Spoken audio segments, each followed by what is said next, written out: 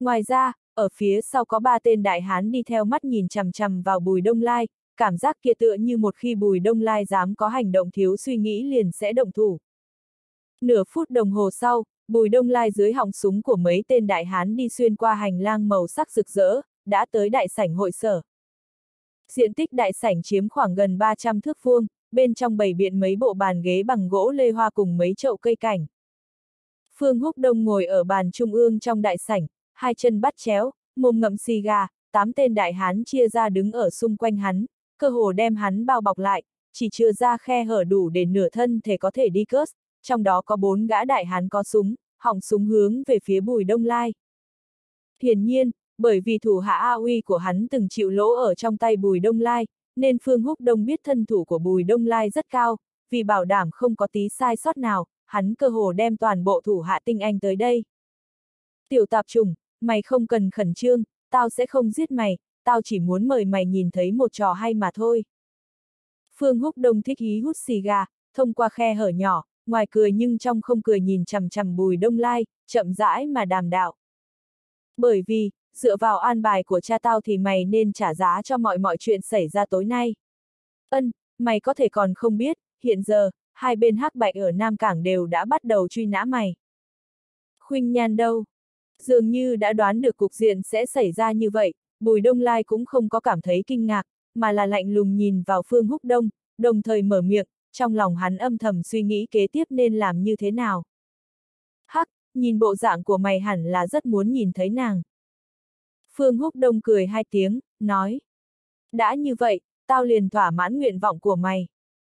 Thanh âm vừa dứt, Phương Húc Đông làm ra một cái thủ thế, một gã đại hán ngầm hiểu, vội vàng mở ra màn hình lớn trên vách tường đại sảnh.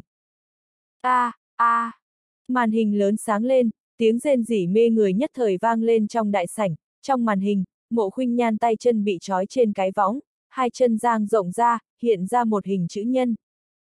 Bởi vì bị ép uống vào khoái nhạc nhất hào, cộng thêm dược tính đã hoàn toàn phát tác, lúc này mộ khuynh nhan đã hoàn toàn lâm vào tình cảnh muốn đàn ông, gương mặt của nàng đỏ ửng một mảnh, bên tai, cổ, thậm chí hai cánh tay cùng bắp đùi cũng đều đỏ ửng.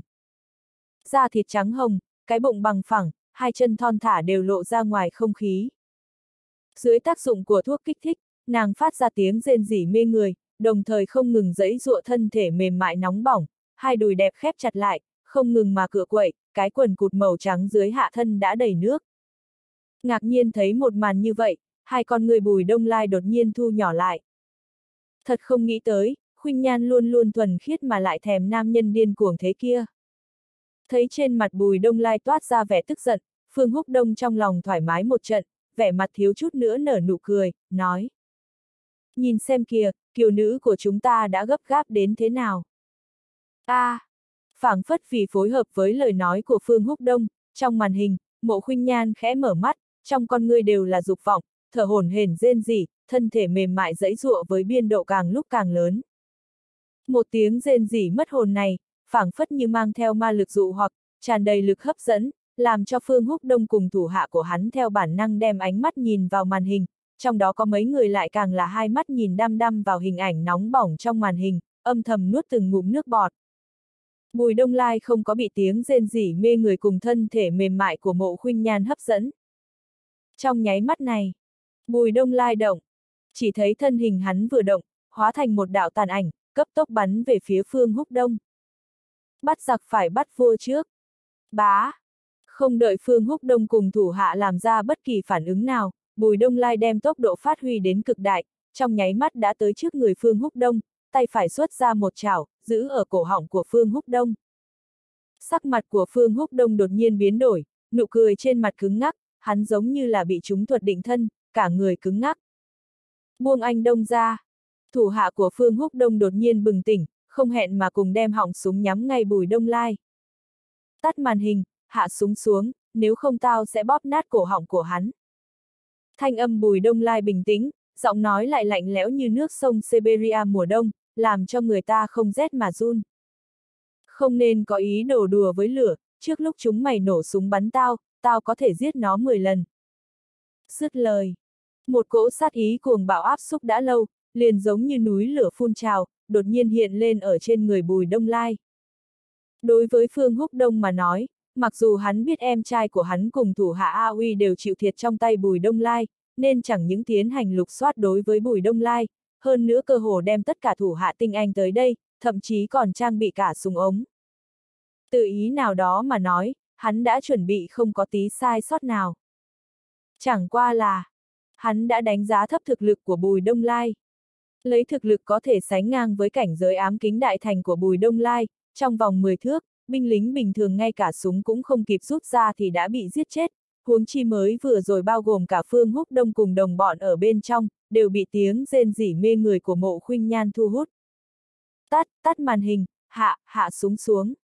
Cảm nhận được sát ý kinh khủng trên người Bùi Đông Lai, Phương Húc Đông cảm giác được dường như bản thân mình đã rơi vào trong tay tử thần, lông tóc cả người dựng đứng lên, hô hấp trở nên rồn rập, nói chuyện có chút cả lam. Nghe được mệnh lệnh của Phương Húc Đông, mấy tên thủ hạ của Phương Húc Đông sắc mặt tức giận nhìn chằm chằm vào Bùi Đông Lai, đem súng ném xuống dưới chân, mà tên đại hán lúc trước mở màn hình trên tường lại đi tắt màn hình lớn. Bù! Bùi Đông Lai thấy thế, chân phải nhấc lên, hất một khẩu súng nằm dưới đất lên, tay trái vung lên không trung, thuận thế chộp vào trong tay. Bá! Thấy một màn như vậy, những tên thủ hạ kia của Phương Húc Đông đều sắc mặt đại biến. Lăn qua đây! Bùi Đông Lai nắm chặt cổ họng của Phương Húc Đông, dùng họng súng chỉ về mấy tên đại hán phía sau đang định đánh lén. Mấy tên đại hán kia vốn đang định đánh lên từ phía sau Bùi Đông Lai, đột nhiên thấy Bùi Đông Lai dùng súng chỉ hướng bọn hắn, đều bị hù dọa tới mức mặt biến sắc, liền bỏ qua ý niệm đánh lén trong đầu, bọn hắn giống như chuột thấy mèo, cước bộ như nhũn ra đi tới hướng đồng bọn đang đứng đối diện. Dẫn tao đi gặp Khuynh Nhan, nhanh lên. Mắt thấy thủ hạ của Phương Húc Đông tụ tập lại một chỗ, Bùi Đông Lai không có nổ súng, mà là đem hỏng súng lạnh như băng chĩa vào cái ót của Phương Húc Đông. Cảm thụ được nòng súng truyền đến cảm giác lạnh như băng cùng sát ý không có chút nào che giấu trên người Bùi Đông Lai, trái tim Phương Húc Đông có quắp kịch liệt, hai chân có chút nhũn ra. Sau đó, trong sự tức giận mà khẩn trương cùng ánh nhìn chăm chú của mấy tên thủ hạ của Phương Húc Đông, Phương Húc Đông cắn răng, sắc mặt trắng bệch mà dẫn Bùi Đông Lai đi về phía sau hành lang. Một bước, hai bước, ba bước. Qua năm bước chân, Bùi Đông Lai cùng Phương Húc Đông thối lui đến đầu hành lang. Những tên thủ hạ kia của Phương Húc Đông thấy thế, đều khom lưng, chuẩn bị nhặt súng lên đuổi theo. Chẳng qua là, Bùi Đông Lai lại không hề do dự nổ súng, không cho bọn hắn có cơ hội. Pằng, pằng, pằng, cò súng giật mấy phát, đạn bay ra khỏi nòng súng, thanh âm tử vong vang lên. Mấy viên đạn viên sau nối viên trước từ nòng súng bay ra, mang theo hơi thở tử vong, quét về phía mấy tên thủ hạ của Phương Húc Đông. Phốc, phốc, phốc. Từng tiếng đạn xuyên qua thân thể lần của mấy tên đại hán lần lượt vang lên ở trong đại sảnh, mấy tên thủ hạ của Phương Húc Đông giống như bị tử thần hỏi thăm bình thường, ngã xuống một mảng lớn trên mặt đất. Trong lúc nhất thời, trong đại sảnh tán loạn, máu tươi văng khắp nơi, huyết nhục đầy đất, tựa như địa ngục trên nhân gian. A, à, đừng, đừng bắn. Sau khi bắn càn quét một vòng, chỉ còn hai người may mắn còn sống sót cả người sụi lơ, gắt gao nằm gục trên mặt đất, bọn hắn dùng một loại ánh mắt hoảng sợ tới cực điểm nhìn Bùi Đông Lai. Bằng, bằng, không chút do dự, Bùi Đông Lai liền bắn ra hai phát, ngay giữa đầu hai gã đại hán, đều là một súng nổ đầu. A! À, trơ mắt nhìn hai gã thủ hạ bị bắn nổ đầu, Phương Húc Đông hoảng sợ hét lên. Sau đó, hai chân hắn mềm nhũn, trực tiếp sụi lơ trên mặt đất, một cỗ chất lỏng màu vàng từ giữa hai chân của hắn chảy ra. Đừng, đừng, đừng giết tôi. Phương Húc Đông sụi lơ trên mặt đất, cả người run run van xin tha thứ, trong đôi mắt của hắn hoàn toàn bị nỗi sợ hãi chiếm lấy. Sợ. Hắn thật sự rất sợ. Hắn thân là nhân vật trẻ tuổi có thực quyền trong Hồng Tinh, hắn đã từng giết người, hơn nữa không chỉ là một người. Chỉ là, hắn cảm thấy mới vừa rồi Bùi Đông Lai không phải là đang giết người, mà là đang giết gà. Ông nội biến thành cháu trai, chỉ cần trong nháy mắt. Giờ khắc này Phương Húc Đông không giống với lúc mới nhìn thấy Bùi Đông Lai mà họ hét điên cuồng, ngược lại, hắn chỉ cảm thấy mình giống như con sâu cái kiến, tùy thời sẽ bị Bùi Đông lại bóp chết. Mắt thấy Phương Húc Đông giống như một con chó Trung Quốc quỳ trên mặt đất cầu xin tha thứ, Bùi Đông Lai sắc mặt không đổi ngồi xổm người xuống, một tay nắm lấy Phương Húc Đông, hướng cuối hành lang mà đi tới. A, a, Theo bước chân của Bùi Đông Lai đi tới, tiếng rên rỉ của mộ khuynh nhan càng ngày càng gần. Tiếng rên rỉ câu hồn, mê người kia rơi vào trong tai Phương Húc Đông, không hề gợi lên hứng thú của hắn, cũng không làm hắn thú huyết sôi trào, mà giống như là ma âm đến từ địa ngục tập kích vào tâm thần của hắn. Giải dược. Xác định mộ khuynh nhan ở gian phòng phía trước, Bùi Đông Lai dừng bước lại, lạnh lùng nói. Không trả lời, Phương Húc Đông giống như là bị đánh cắp linh hồn, hai mắt vô thần nhìn Bùi Đông Lai. Bùi Đông Lai thấy thế, liền lục soát một vòng thật nhanh ở trên người Phương Húc Đông, kết quả không có tìm được giải dược. Phát hiện này khiến cho chân mày Bùi Đông Lai cao lại, tay phải đang nắm lấy cổ áo của Phương Húc Đông, đột nhiên buông ra. Thân thể Phương Húc Đông rơi xuống, Bùi Đông Lai không có rút tay về, mà là thuận thế vung lên. A! À, một tiếng giòn vang, Bùi Đông Lai cho Phương Húc Đông một cái bạt tai vang dội, sau đó không đợi thân thể Phương Húc Đông bay ra ngoài, lại một phát nắm được cổ áo của Phương Húc Đông, đem Phương Húc Đông treo trên không trung. Giải dược ở đâu? Mắt thấy Phương Húc Đông đã tỉnh lại một chút, Bùi Đông Lai đem mặt ghé sát vào Phương Húc Đông, thanh âm khàn khàn hỏi. Hô, hô, vẫn như cũ không trả lời, Phương Húc Đông thở hổn hển, chất lỏng màu vàng tùy ý từ giữa hai chân của hắn chảy ra. A, ư, a. Trong phòng, tiếng kêu của mộ khuynh nhan càng lúc càng lớn, tựa hồ như tùy thời sẽ hít thở không thông. Tao hỏi mày một lần cuối cùng, giải dược ở đâu? Bùi Đông Lai dùng súng nhắm ngay mi tâm của Phương Húc Đông. Ở, ở, ở trong cái tủ ngay đầu giường. Đôi mắt Phương Húc Đông trợn to ra, sợ hãi lắp bắp nói. Bốp! Nghe được lời nói của Phương Húc Đông, Bùi Đông Lai lập tức đánh ngất Phương Húc Đông, một tay kéo Phương Húc Đông, nhanh chóng mở cửa phòng. A, ư, a, ư. Trên giường trong gian phòng, mộ khuynh nhan giống như bị điện giật bình thường, cả người dạng ra thành hình chữ nhân nằm ở trên giường, điên cuồng dẫy dụa thân thể mềm mại, lớn tiếng rên rỉ. Bởi vì mộ khuynh nhan mặc váy ngắn nằm đối diện cửa phòng, Bùi Đông Lai vừa bước vào cửa phòng, lập tức nhìn thấy cái quần lót lây che chắn trốn đào nguyên hoàn toàn ướt đẫm hơn nữa phía dưới của khăn trải giường cũng ướt nhẹp một mảnh. Đối mặt với cảnh sắc đủ để cho nam nhân điên cuồng này, sắc mặt Bùi Đông Lai hết sức khó coi, một tay hắn ném Phương Húc Đông vào góc tường, sau đó nhanh chóng bước vào tới bên giường, một tay nhấc ra hộp thuốc trong chiếc tủ đầu giường. Phương Húc Đông ép mộ khuynh nhan uống vào khoái nhạc nhất hào là đồ của Mỹ sản xuất. Do ngành đặc biệt của Mỹ đặc biệt nghiên cứu chế tạo ra, dược lực cực kỳ bá đạo, một khi nữ nhân uống vào thì cho dù là trinh nữ cũng sẽ biến thành dâm phụ. Không chỉ như vậy, nữ nhân một khi uống vào khoái nhạc nhất hào, đối với hơi thở của đàn ông cực kỳ nhạy cảm. Lúc này mộ khuynh nhan cũng là như thế, lúc bùi đông lai đi tới bên giường, cầm lấy hộp thuốc trên cái tủ đầu giường, đang xác định có phải giải dược hay không thì đồng thời lúc đó nàng đột nhiên mở mắt. Dưới ánh đèn, cặp mắt của nàng vốn là trong suốt, trong đôi mắt đơn thuần tràn ngập mê ly, hoàn toàn bị dục vọng chiếm cứ. Đàn ông, ngứa quá. người được hơi thở nam nhân trên người bùi đông lai, dược lực trong cơ thể mộ khuynh nhân tựa hồ như bị trực tiếp triệt để kích phát vậy, khiến cho đôi mắt của nàng toát ra quang mang cực nóng, toàn thân đỏ tới mức muốn nhỏ ra máu. Mặc dù lực khống chế của Bùi Đông Lai cực kỳ xuất sắc, hơn nữa bởi vì mộ khuynh nhan bị bắt cóc, bỏ thuốc cùng chuyện tình tương cương bị giết, trong lòng hắn tràn ngập sát ý, chỉ là, hắn là một nam nhân chân chính, nghe được tiếng rên rỉ của mộ khuynh nhan có thể làm cho bất cứ nam nhân nào cũng nổi điên, cũng không thể khống chế mà nổi lên phản ứng mà nam nhân nên có, giữa hai chân hắn trong lúc vô tình nổi lên một cái lều nhỏ. Em ngứa, giúp em, giúp em với. Dưới ánh đèn, mộ khuynh nhan hoàn toàn điên cuồng, nàng dẫy dụa muốn ngồi dậy, nhưng hai chân bị trói chặt, căn bản không cách nào đứng dậy, chỉ có thể lợi dụng cái eo của mình uốn éo, hai tòa thánh nữ phong trước ngục đung đưa kịch liệt không ngừng, chiếc giường theo nhịp uốn éo của nàng mà vang lên tiếng kêu. Sau khi xác định dược vật trong tay đích xác là giải dược, Bùi Đông Lai biết rõ dược lực trong cơ thể mộ khuynh nhan đã hoàn toàn phát tác, không dám chậm chế, đầu tiên là mạnh mẽ chế trụ dục vọng trong nội tâm, sau đó nhanh chóng xoay người, một tay nâng cằm của mộ khuynh nhan lên, khiến mộ khuynh nhan hé miệng ra, đem một viên thuốc màu đen bóp nát, đưa vào trong miệng mộ khuynh nhan. Làm xong hết thảy, Bùi Đông Lai không hề dừng lại, mà là một lần nữa sách Phương Húc Đông lên, bước ra khỏi gian phòng. Hắn hiểu được, mặc dù đã cho mộ khuynh nhan uống giải dược, cũng phải chờ dược tính phát tác cần một chút thời gian, mà hắn vừa rồi đem giải dược bóp nát, chính là vì để cho dược tính trong thời gian ngắn nhất phát huy tác dụng. Vừa ra khỏi phòng, Bùi Đông Lai liền nghe được tiếng bước chân hỗn loạn, lập tức giơ súng lên hướng đại sảnh đi tới. Cùng lúc đó, tám tên thủ hạ của Phương Húc Đông đang chờ ở cửa thang máy cùng bãi đậu xe, bởi vì nghe được tiếng súng nên đã chạy tới đại sảnh. Trong đại sảnh, hơn 10 tên thủ hạ của Phương Húc Đông đã biến thành một đống tử thi, máu tươi nhuộm đỏ cái thảm màu trắng. Hơn nữa trong không khí tràn ngập mùi máu tươi gây mũi, thậm chí còn lơ lửng một tầng huyết khí nhàn nhạt. Quẹ!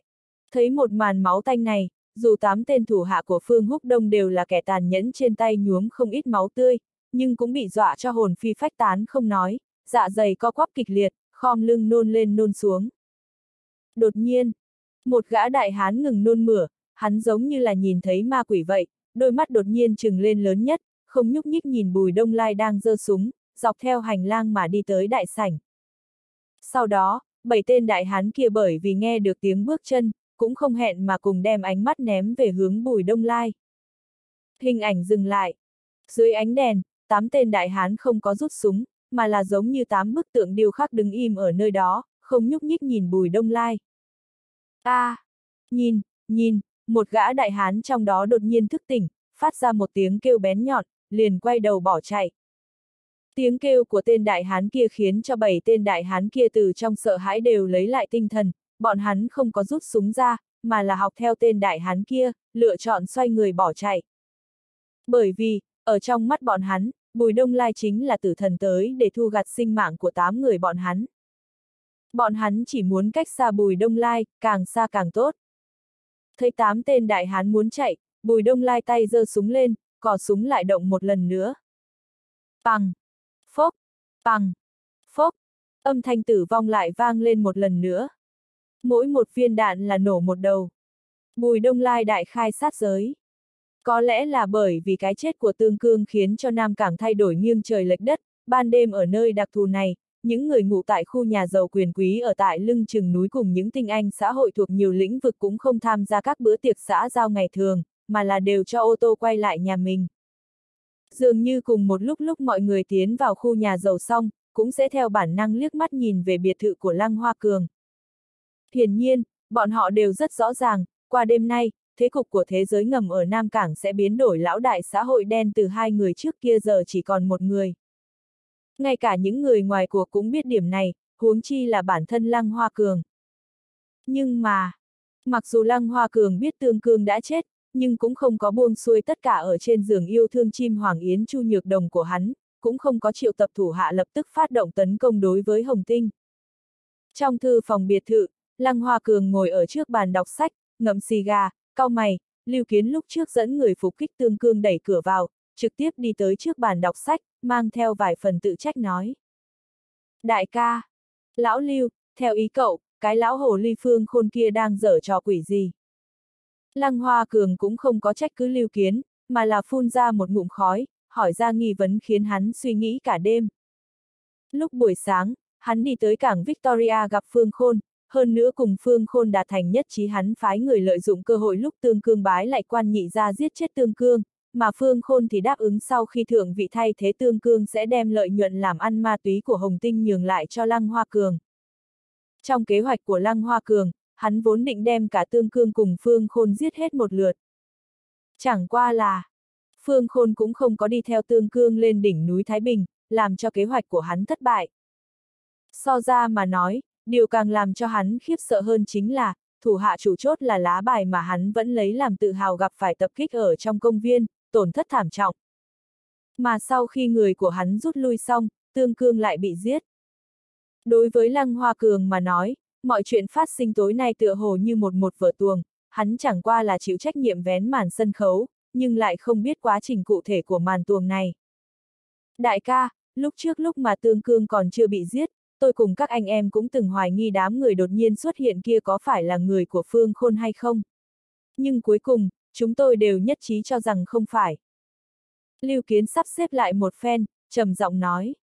Dù sao, nếu như bọn họ là người của Phương Khôn, dù muốn đem chúng tôi một lưới bắt hết, như vậy, ít nhất cũng phải đợi đến khi chúng tôi thành công giết chết Tương Cương, mà không phải lúc chúng tôi đối phó với Tương Cương, lại ngăn chặn hành động của chúng tôi. Nói tới đây, Lưu Kiến dừng lại một chút, thấy Lăng Hoa Cường không có nói gì, mà lại ý bảo hắn nói tiếp. Chỉ là, sau khi Tương Cương bị giết, tôi lại cảm thấy những người đó rất có thể đúng là người của Phương Khôn lấy thực lực mà đám người kia thể hiện ra, bọn họ hoàn toàn có thể thịt sạch chúng tôi, sau đó lại hạ thủ đối với Tương Cương. Sắc mặt của Lưu Kiến ngưng trọng nói. Ta cũng cho là như vậy. Lăng Hoa Cường hung hăng hút vài hơi xì gà, vẻ mặt lộ ra vẻ âm trầm. Phương Khôn lão hồ ly này cũng đủ giảo hoạt, tính kế với tất cả chúng ta. Đại ca, kế tiếp làm sao bây giờ? Có nên nghĩ biện pháp điều tra rõ ràng thân phận của những người đó, sau đó xuất thủ giết chết bọn họ, hay là thừa dịp Hồng Tinh đang đại loạn mà ra tay thâu tóm Hồng Tinh hay không? Lưu Kiến hỏi. Tương Cương đã chết, cả Nam Cảng đều đang rối loạn, cơ hồ tất cả cảnh sát đều xuất động, lúc này chúng ta không thể động thủ. Phương Khôn dám lớn mật yên tâm cùng ta hợp tác, cũng chính là bởi vì coi trọng điểm này. Chỉ cần chúng ta không nhân cơ hội Hồng Tinh đang loạn mà động thủ, là có thể cho Phương Khôn cơ hội chỉnh đốn, Phương Khôn có thể thượng vị thuận lợi. Lăng Hoa Cường lắc đầu nói. Bất quá, mặc dù Phương Khôn thượng vị, nội bộ Hồng Tinh cũng sẽ không vững chắc, đến lúc đó chúng ta động thủ một lần nữa cũng không muộn. Điều cầu cần phải làm bây giờ chính là, lập tức đi điều tra thân phận của những người thần bí kia, nhất định phải điều tra ra kết quả. Lăng Hoa Cường lại bổ sung. Lưu Kiến ngay lập tức vội vàng gật đầu lĩnh mệnh. Rõ, đại ca. Dưới chân núi Thái Bình. Phương Khôn dẫn người hội hợp với đám người Uông Chu vẫn ủng hộ Tương Cương, sau khi tiến hành nói chuyện đơn giản với nhau, liền trở về tổng bộ tập đoàn Hồng Tinh, chuẩn bị thương lượng bước kế tiếp nên làm cái gì. A Minh, làm tốt lắm. Ô tô khởi động, Phương Khôn chủ động bấm số điện thoại của A Minh, không chút keo kiệt lời ca ngợi của mình. Phương ra quá khen, đây là chuyện mà A Minh phải làm. Ở trong một chiếc Mercedes-Benz S350 đi trước đoàn xe A Minh có một loại cảm giác thụ sủng nhược kinh. Đúng rồi, A Minh, lúc trước ta quên mất chưa hỏi cậu, đám người thần bí ngăn chặn đông tinh rốt cuộc là ai? Cậu đã cùng bọn họ đối mặt sao?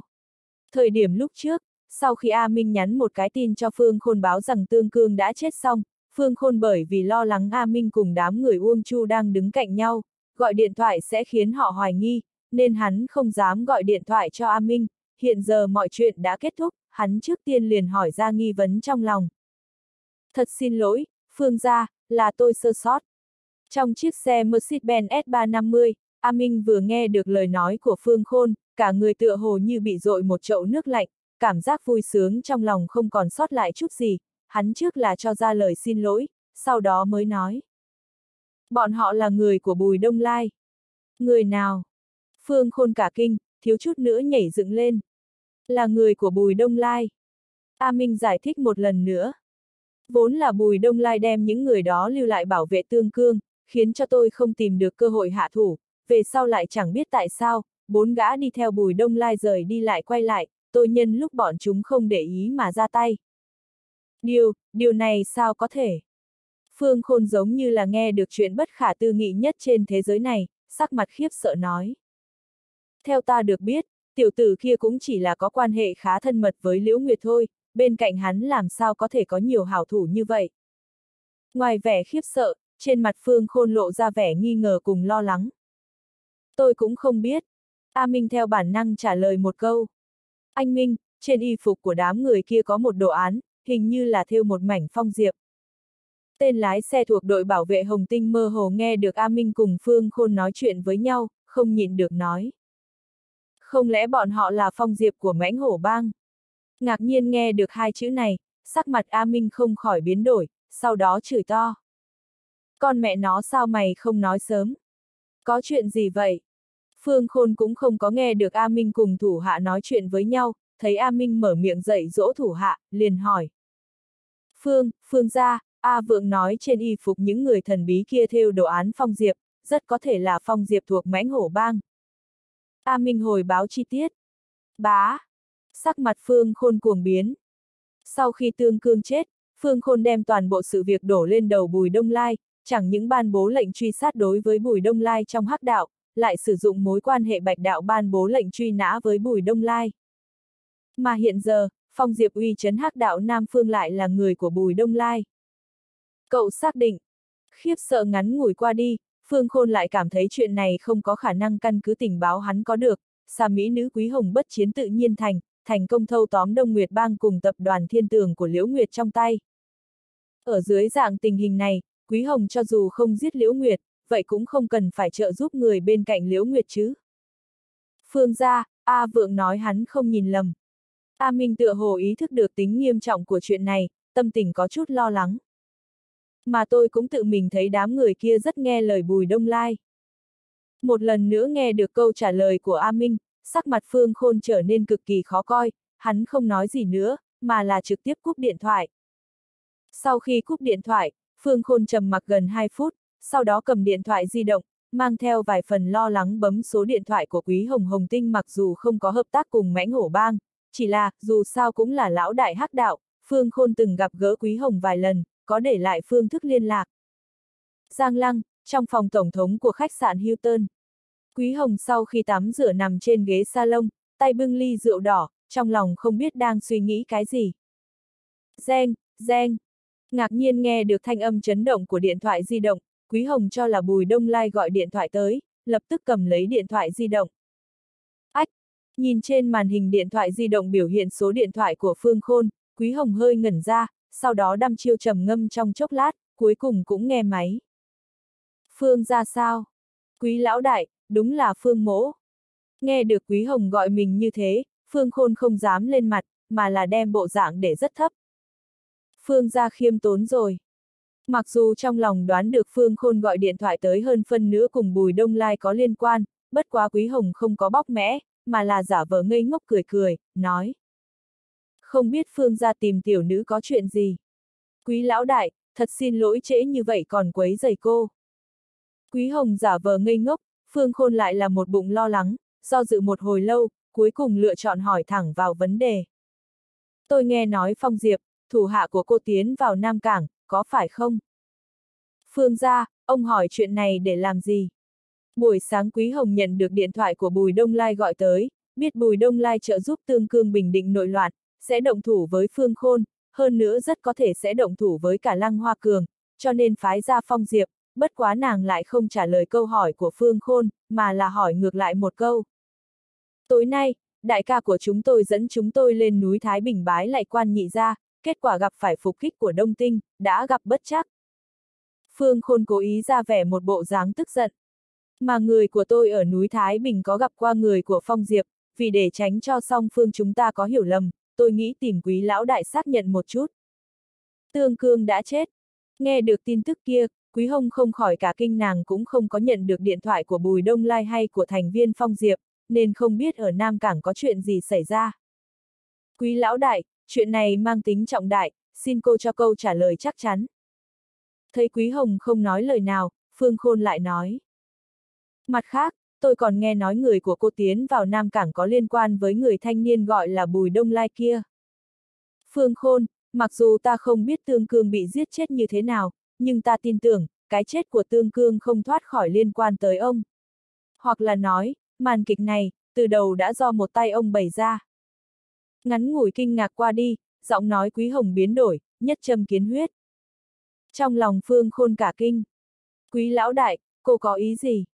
Xem ra ta đoán chúng. Quý Hồng cười lạnh nói.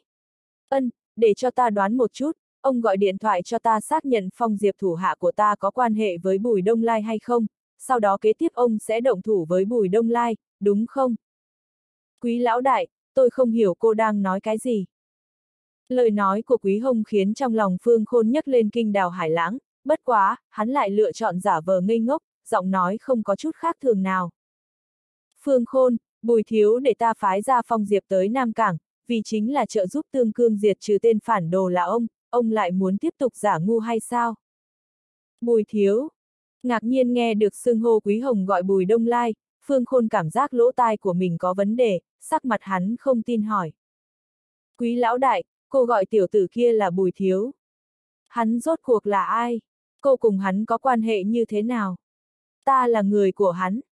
Quý Hồng nói.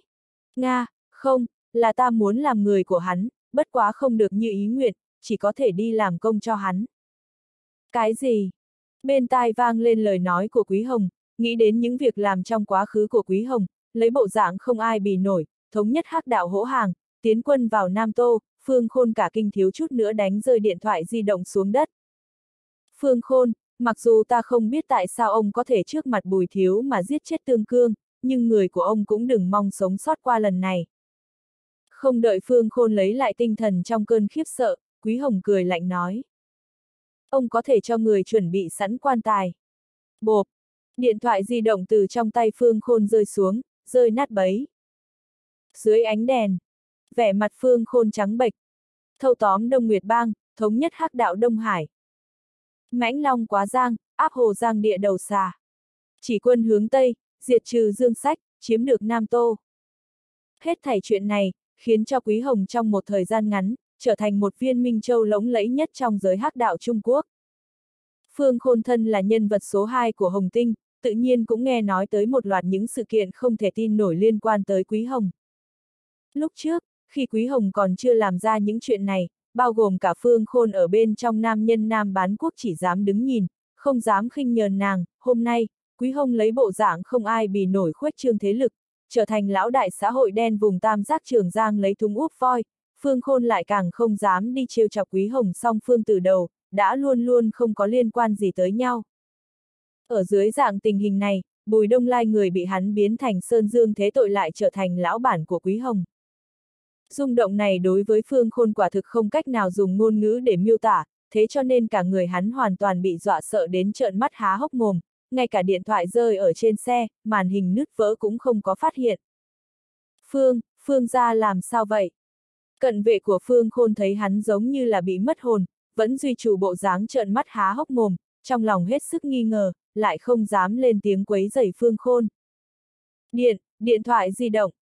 Không biết qua bao lâu, trong lòng Phương Khôn vừa động, đột nhiên nhớ ra cái gì đó, ngạc nhiên lấy lại tinh thần, cúi đầu nhìn thoáng qua điện thoại di động, phát hiện màn hình di động đã nứt vỡ, lập tức hướng về phía tên cận vệ giống lớn một tiếng.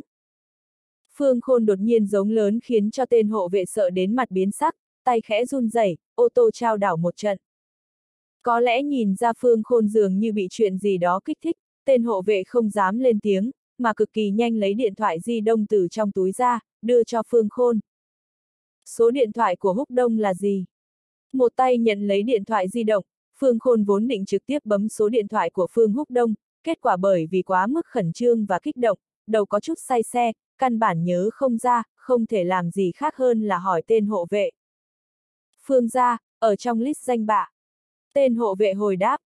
Nghe được lời nói của tên hộ vệ, Phương Khôn không nói gì nữa, mà là mở danh bạ ra, tìm kiếm số điện thoại của Phương Húc Đông. Cùng lúc đó, trong hội sở Baby, tất cả thủ hạ của Phương Húc Đông toàn bộ chết dưới họng súng của Bùi Đông Lai, chỉ còn một mình hắn còn sống. Quẹ! Trong đại sảnh, tấm thảm bằng lông dê có màu trắng hoàn toàn bị máu tươi nhuộm đỏ, huyết khí ngất trời, Phương Húc Đông nằm trên mặt đất, dạ dày co quắp một trận, cái eo đột nhiên cong lên, cong thành hình dáng con tôm, há mồm ói lên ói xuống. Phương Húc Đông phun ra ước chừng nửa phút, đem hết cả dịch dạ dày phun hết ra. Sau khi ói xong, cả người Phương Húc Đông thư thái hơn rất nhiều, cũng thanh tỉnh lại, hắn mờ mịt nhìn thoáng qua thi thể ở khắp nơi, thân thể giống như là bị chạm điện, từ từ co quắp lại, sau đó tốc độ co quắp càng lúc càng nhanh, biên độ càng lúc càng lớn. Lúc trước tao với mày nói chuyện với nhau, tao đã nói rồi, nếu như mày dám động vào một cọng tóc của Khuynh Nhan, tao sẽ đổ sát cả nhà mày, bá đạo vãi. Đại sảnh vốn đang an tĩnh, thì giọng nói của Bùi Đông Lai bỗng nhiên vang lên. Phương Húc Đông thân thể cứng đờ, ngừng thở, ngẩng đầu nhìn về hướng Bùi Đông Lai. Có lẽ là không cách nào thấy rõ khuôn mặt của Bùi Đông Lai, Phương Húc Đông không ngừng dướn cổ lên, chỉ là, vô luận hắn cố gắng như thế nào, hắn đều không thể thấy rõ khuôn mặt của Bùi Đông Lai khiến cho hắn kinh hồn táng đảm. Tao nhớ được, lúc ấy mày rất nghiêu bức nói cho tao bia mày đang ở chỗ này, hơn nữa còn bảo tao nhanh lên một chút, nếu không mày sẽ vũ nhục khuynh nhan, còn muốn đem nàng bán vào hộp đêm dơ bẩn nhất, đúng không? Bùi Đông Lai lại mở miệng một lần nữa, giọng nói phá lệ bình tĩnh, tựa hồ như đang nói đến một chuyện nhỏ không đáng kể. Bên tai vang lên lời nói của Bùi Đông Lai, Phương Húc Đông kìm lòng không đậu nuốt nước bọt, sắc mặt trắng bệch một mảnh, thân thể co quắp một lần nữa. Bịch! Sau đó, không đợi Bùi Đông Lai mở miệng một lần nữa, Phương Húc Đông quỳ dạp xuống mặt đất, giống như một con chó Trung Quốc, ôm lấy chân phải của Bùi Đông Lai, khóc lóc cầu xin tha thứ. Tôi, tôi sai rồi, tôi không nên trêu chọc anh. Cầu xin, cầu xin anh, đừng có giết tôi. Đừng có giết tôi, được không? Giọng nói vừa dứt, Phương Húc Đông đem đầu mình dí sát trên mặt thảm, hàm răng không ngừng va vào nhau, phát ra một trận giọng nói lập cập rất nhỏ. Ta không làm đại ca thật nhiều năm. Bùi Đông Lai không trả lời, chuông điện thoại di động của Phương Húc Đông vang lên, là bài hát đại ca nổi danh Đại Giang Nam Bắc năm đó. Mới đây thôi, mỗi lần Phương Húc Đông nghe được tiếng chuông điện thoại di động vang lên, cũng sẽ âm thầm tự nói với mình, một ngày nào đó, hắn sẽ được làm đại ca, làm đại ca của Hồng Tinh, làm đại ca của cả Đài Loan. Giờ khắc này, giai điệu quen thuộc quanh quẩn ở bên tai, lại giống như lời châm chọc tàn khốc nhất thế gian. Chẳng qua, đối mặt với những lời châm chọc đó, Phương Húc Đông lại không cảm thấy có gì mất mặt. Bởi vì, giờ khắc này, hắn đã không có bất kỳ thể diện nào nữa rồi, hắn bây giờ chỉ muốn sống. Đưa điện thoại di động cho tao. Trong tâm tình khẩn trương lo lắng của Phương Húc Đông, Bùi Đông Lai mở miệng, giọng nói vẫn bình tĩnh như trước, khiến cho Phương Húc Đông có một loại cảm giác không thể kháng cự. Phương Húc Đông giống như là nghe được thánh chỉ, không nói hai lời, run rẩy lấy điện thoại di động ra, đưa tới trước người Bùi Đông Lai. Ánh mắt của Bùi Đông Lai khẽ nheo lại, ấn nút nghe. Húc Đông. Điện thoại vừa chuyển, Phương Khôn ở đầu bên kia điện thoại đang ngồi trong xe Lincoln không có giống như ngày thường chém gió với con trai, mà là làm cho người có một loại cảm giác lửa đốt mông, nôn nóng vô cùng. Phương Khôn, nghe giọng nói của mày có chút khẩn trương. Bùi Đông Lai thản nhiên nói. Ân. Ngạc nhiên nghe được giọng nói của Bùi Đông Lai, Phương Khôn trong lòng căng thẳng. Mày, mày là ai? Húc Đông đâu? Phương Khôn, mày mới vừa rồi ban bố lệnh truy sát với tao trong hắc đạo, lại khiến cảnh sát phong tỏa sân bay, bến tàu, tiến hành truy nã đối với tao, vậy mà hiện giờ mày lại hỏi tao là ai, trí nhớ của mày cũng không phải là quá kém sao. Bùi Đông Lai trên đường đi tới hội sở Baby, nhận được điện thoại của Phong Diệp, biết được chính mình bị biến thành Sơn Dương thế tội. Lộc bộp, trái tim của Phương Khôn đập kịch liệt, hô hấp của hắn trở nên rồn rập. Cha, cứu con, cứu con. Đồng thời lúc Phương Khôn trầm mặc, Phương Húc Đông nghe ra chủ nhân giọng nói ở đầu bên kia điện thoại đúng là cha của hắn thì trong cơ thể không biết từ đâu sinh ra một cỗ lực lượng buông lỏng chân của Bùi Đông Lai ra không nói, hướng về cái loa điên cuồng hò hét không ngừng. Quỳ xuống cho tao. Bùi Đông Lai quát lạnh một tiếng, một cú phách thối hướng về phía Phương Húc Đông. A, à, răng rác. Một tiếng giòn vang truyền ra, bả vai Phương Húc Đông không cách nào thừa nhận lực lượng khổng lồ, trong nháy mắt gãy lìa, tựa hồ như con ruồi bị chụp trúng, hung hăng ngã thẳng tắp xuống mặt đất, xương mũi đụng vào mặt đất trực tiếp bị dập nát bấy, máu tươi chảy ra giàn ruộng. Đừng, đừng giết con của ta. Nghe được tiếng quát lạnh của Bùi Đông Lai, Phương Khôn ý thức được cái gì, thất kinh hô lên. Mày âm thầm tính kế tương tiên sinh, con của mày thiếu chút nữa lăng nhục khuynh nhan, mày lại bảo tao bỏ qua cho con của mày. Bùi Đông Lai một chân dẫm lên lưng Phương Húc Đông từ phía sau, giọng nói chuyển sang lạnh lẽo. Mày cảm thấy chuyện này có thể sao? Ô, ô! Phương Húc Đông bị Bùi Đông Lai dùng chân dẫm lên lưng, không cách nào nhúc nhích, chỉ có thể nhịn đau nhức nhăn nhó khuôn mặt, giống như là nhận được kích thích lớn lao, hoàn toàn phát điên một bên hộc máu loãng, một bên quát to. Tiểu tạp trùng, mày dám giết tao, ba tao nhất định sẽ không bỏ qua cho mày. Phương Khôn, đã nghe thấy chưa? Con của mày bắt đầu uy hiếp tao đấy. Nghe được lời nói của Phương Húc Đông, Bùi Đông Lai cười, cười đến lạnh lẽo. Ông, ông! Phương Khôn nghe vậy đầu ong ong một trận không nói, thiếu chút nữa ngất đi. Phương Khôn, con của mày cố gắng cho tao xem một hồi kịch hay, kết quả thất bại. Bùi Đông Lai không nói tiếp, sau đó lại mở miệng nói. Kế tiếp tao sẽ cho mày nghe một khúc kịch tuồng. Giọng nói vừa dứt, Bùi Đông Lai ngồi xổm người xuống đưa điện thoại di động qua một bên, từ trên người một gã đại hán đã chết lấy ra một cây trùy thủ. Mày, mày muốn làm gì? Không, đừng, đừng qua đây. Mắt thấy Bùi Đông Lai giơ trùy thủ lên, chậm rãi ngồi xổm xuống thân thể mình, Phương Húc Đông mới vừa rồi nghe được tiếng của Phương Khôn mà khôi phục được một ít bình tĩnh giờ không còn sót lại chút gì, không để ý đến cả người đang đau nhức, từ từ di chuyển về phía sau. Đừng, chỉ cần cậu không giết con của tôi, cậu có điều kiện gì tôi cũng có thể đáp ứng. Đầu bên kia điện thoại, Phương Khôn tựa hồ ý thức được Bùi Đông Lai muốn động thủ, giống lớn nói. Không trả lời. Bùi Đông Lai vung chủy thủ lên. Bá! giơ tay chém xuống, chủy thủ sắc bén tựa hồ như đang cắt một miếng đậu hũ, trực tiếp gọt một lỗ tai của Phương Húc Đông. Phốc! Ây ây ây! Máu tươi phun ra, lỗ tai rơi xuống máu chảy đầm đìa, Phương Húc Đông phát ra một tiếng chu bén nhọn, theo bản năng đưa tay lên bịt tai lại. Lại là một đao, tay phải của Phương Húc Đông đang bịt lấy vết thương ở lỗ tai trực tiếp bị chặt thành hai khúc. A a a a! Phương Húc Đông đau đến chu lên thảm thiết, bị dọa cho sợ đến tâm tê liệt phế. Mà ở đầu bên kia điện thoại, Phương Khôn chỉ cảm thấy có người cầm lấy một thanh trùy thủ sắc bén, một đao lại một đao đâm vào tim của hắn, khiến cho hắn có một loại cảm giác sống không bằng chết.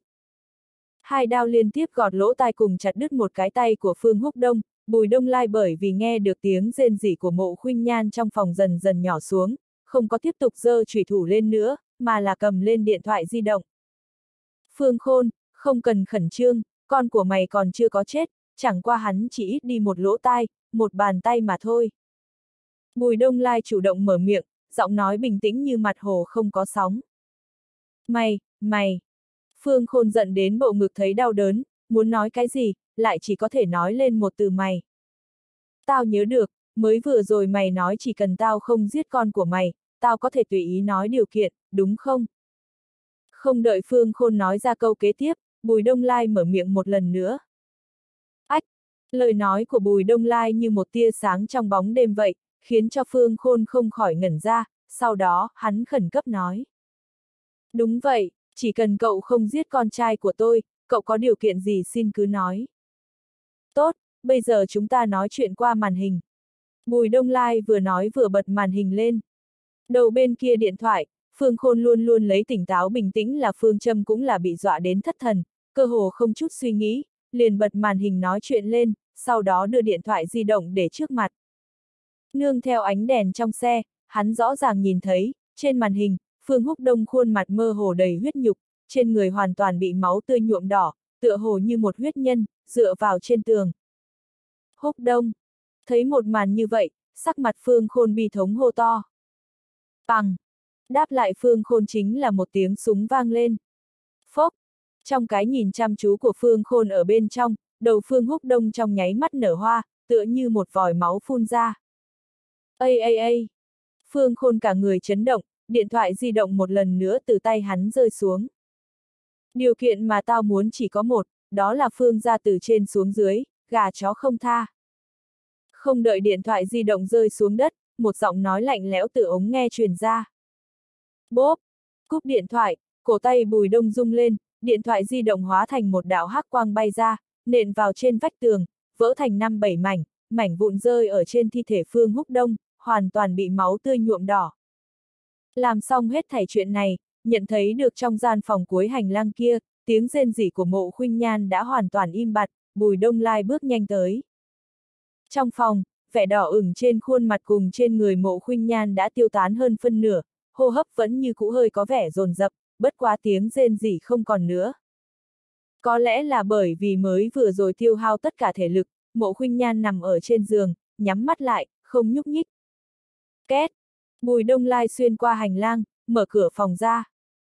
Ngạc nhiên nghe được tiếng mở cửa, lông mi mộ khuynh nhan vừa động, vô lực mở mắt ra, mở mịt nhìn về phía cửa. Dưới ánh đèn, nàng nhìn thấy một thân ảnh mơ hồ, thân ảnh này cho nàng một loại cảm giác cực kỳ quen thuộc. Phát hiện này khiến cho ý thức của nàng dần dần trở nên thanh tỉnh, nàng cố gắng, cố gắng mở to hai mắt, cố gắng khiến cho mình nhìn càng thêm rõ ràng một chút. Đông, đông lai. Sốt cục, nàng thấy rõ ràng rồi, thân thể hư thoát mềm mại nhẹ nhàng run lên, vô lực nói nhỏ.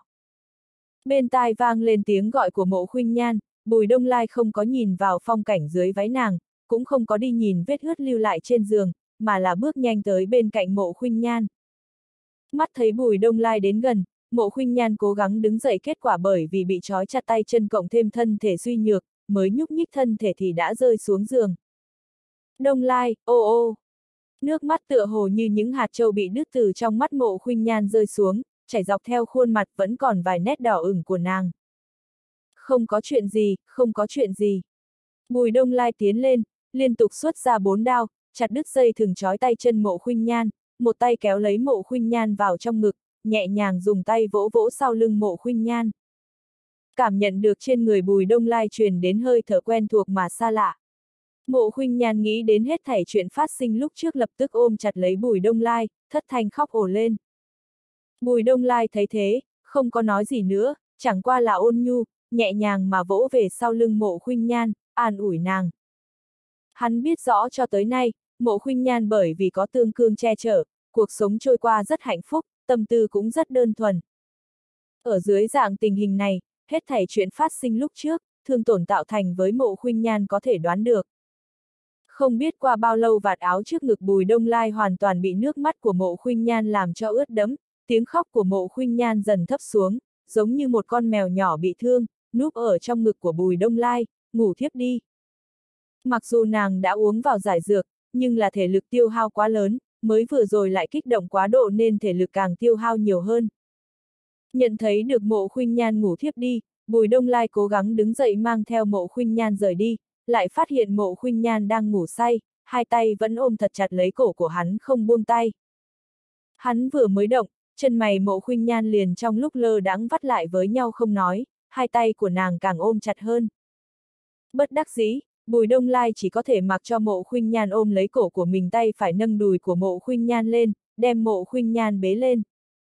5 phút sau, Bùi Đông Lai lái ô tô rời khỏi bãi đậu xe, từng chiếc xe cảnh sát gào thét đi tới, hội sở baby trong giới xã hội thượng lưu Nam Cảng có danh khí không nhỏ biến thành một biển lửa.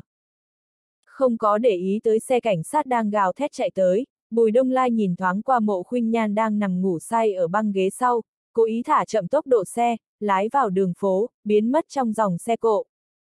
10 phút sau, trong chiếc Lincoln của Phương Khôn, vẻ mặt Phương Khôn dữ tợn, hai mắt đỏ bừng, tay phải nắm thật chặt chiếc điện thoại di động của tên hộ vệ, cái sim điện thoại đã đổi thành của hắn.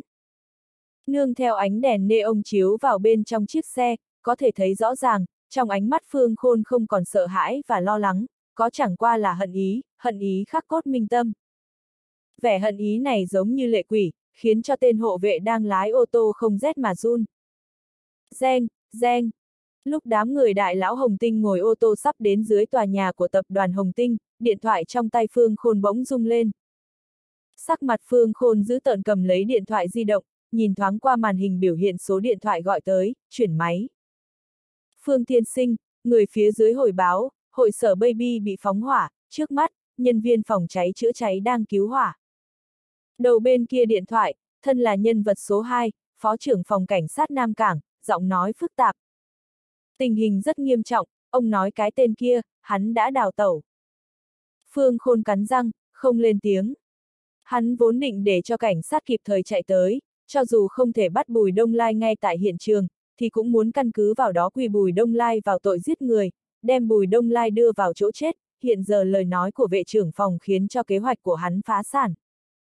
Phương Tiên Sinh, thủ đoạn của hung thủ thật sự quá tàn nhẫn, hắn rốt cuộc là ai? Thấy Phương Khôn không nói lời nào, vệ trưởng phòng do dự một chút, hỏi. Vệ trưởng phòng. Phương Khôn gọi một tiếng, trong giọng nói mang theo hận ý nồng đậm. Mấy năm nay, chỉ cần ngài yêu cầu, vô luận là đại ca của tôi hay là tôi cũng sẽ thỏa mãn yêu cầu của ngài. Chân mày của vệ trưởng phòng cao lại, không nói lời nào. Hiện giờ, có người giết chết đại ca của tôi, còn giết chết con trai của tôi. Hai mắt Phương Khôn đỏ rực lên tưởng chừng sắp dỉ ra máu, giọng nói lạnh lẽo khiến cho người khác không rét mà run. Vệ trưởng phòng trầm giọng nói. Phương Thiên Sinh, ông không cần nhiều lời, tôi biết nên làm như thế nào coi như là đào lên ba thước đất, tôi cũng sẽ giúp ông tìm ra hung thủ. Cảm ơn. Phương Khôn lạnh lùng nói một tiếng cảm ơn, lời nói mặc dù khách khí, chỉ là vẻ lạnh lẽo trong giọng nói kia khiến cho vệ trưởng phòng có chút sờn tóc gáy.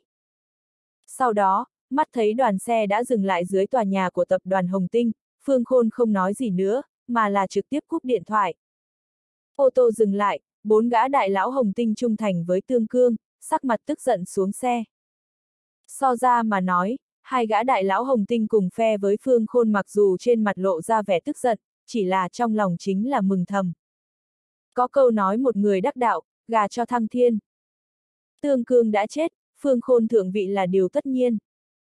Bọn hắn trong quá khứ mấy năm trước, một mực âm thầm ủng hộ Phương Khôn, kể từ đó, sau khi Phương Khôn tại vị, tự nhiên cũng không thiếu chỗ tốt của bọn họ. Ách! Khôn ca diễn kịch giống như vậy sao? Bởi vì còn không biết chuyện Phương Húc Đông bị Bùi Đông Lai giết chết, hai gã đại lão hồng tinh âm thầm ủng hộ Phương Khôn kia thấy vẻ mặt hắn dữ tợn, hai mắt đỏ bừng xuống xe, đầu tiên là ngẩn ra, sau đó liếc mắt nhìn nhau, đều cho là Phương Khôn đang diễn kịch. Có lẽ là bởi vì trong lòng tất cả mọi người ở đây đều nghẹn một cỗ lửa giận, bao gồm cả Phương Khôn ở bên trong, bảy gã đại lão Hồng Tinh đều không nói gì, mà là im lặng mang theo hộ vệ đi vào tòa nhà tập đoàn Hồng Tinh, đi thẳng tới phòng họp trên tầng cao nhất. 5 phút sau, Phương Khôn dẫn đầu mọi người đi vào phòng họp. Đại ca đã chết, Hồng Tinh lâm vào nguy cơ. Mọi người vừa ngồi xuống, Phương Khôn hai mắt đỏ lên, ánh mắt theo thứ tự quét trên mặt từng người, trầm giọng nói.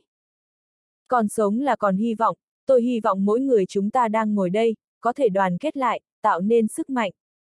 Lão Khôn, đừng nói những thứ nhảm nhí này, cái chúng ta cần thảo luận bây giờ chính là nên báo thù như thế nào. Phương Khôn vừa dứt lời, Uông Chu Thân là nhân vật số 3 trong Hồng Tinh mở miệng nói.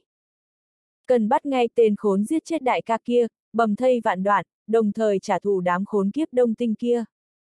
Tiết Khiêm có quan hệ tốt nhất với Tương Cương vẻ mặt đằng đằng sát khí nói. Đúng là phải báo thù.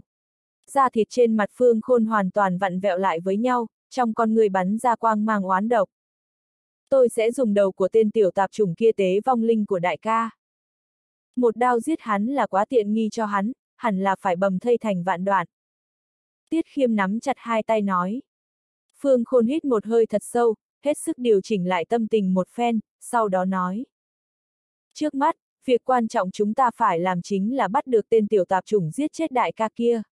Còn đông tinh ở bên kia, đêm nay xảy ra động tĩnh lớn như vậy, cảnh sát xuất động hơn một nửa lực lượng. Vào lúc này, chúng ta tạm thời không thể điên cuồng trả thù đông tinh, muốn trả thù cũng chỉ có thể thông qua mạng lưới quan hệ của chúng ta với cảnh sát mà hạ thủ đối với đông tinh. Đại ca đã chết, còn sợ cái dám gì nữa. Tiết Khiêm rất bất mãn đối với quyết định của Phương Khôn. Mà Uông Chu cùng ba tên đại lão ủng hộ tương cương bởi vì tình nghĩa huynh đệ bao năm đối với đề nghị của Phương Khôn cũng ít nhiều có chút bất mãn, nhưng là lý trí nói cho bọn hắn biết, đề nghị của Phương Khôn rất chính xác. Ở thời điểm nhạy cảm này, cảnh sát tuyệt đối không cho phép hai đại xã đoàn hắc bang chém giết quy mô lớn, mà là sẽ vận dụng hết mọi biện pháp khống chế toàn cục. Chính vì lẽ đó, nếu Hồng Tinh cố ý động thủ, tương đương với việc khiêu khích quyền uy của cảnh sát, sẽ gặp phải sự đàn áp của chính quyền. Vậy trước tiên để cho người phía dưới chuẩn bị sẵn sàng. Uông Chu trầm ngâm một chút, mở miệng. Chờ chúng ta bắt được tên khốn kiếp kia, báo thù cho đại ca, lúc đó tình hình đã dịu xuống rồi, đến lúc đó có thể tìm đông tinh tính sổ. Uông Chu vừa mở miệng, Tiết Khiêm còn muốn nói điều gì, bất quá lại bị Uông Chu dùng ánh mắt ngăn lại, mà hai gã đại lão còn lại ủng hộ tương cương cũng lên tiếng phụ họa đề nghị của Uông Chu. Bốn người Uông Chu không có ý kiến, hai gã đại lão ủng hộ Phương Khôn tự nhiên cũng sẽ không có ý kiến phản đối. Tiểu tạp trùng, tao không cần biết mày là người nào, mày dám giết con của Phương Khôn tao, tao sẽ dám đem mạng của mày lưu lại Nam Cảng. Mắt thấy mọi người thống nhất ý kiến, Phương Khôn âm thầm siết chặt hai tay, trong lòng ác độc nói.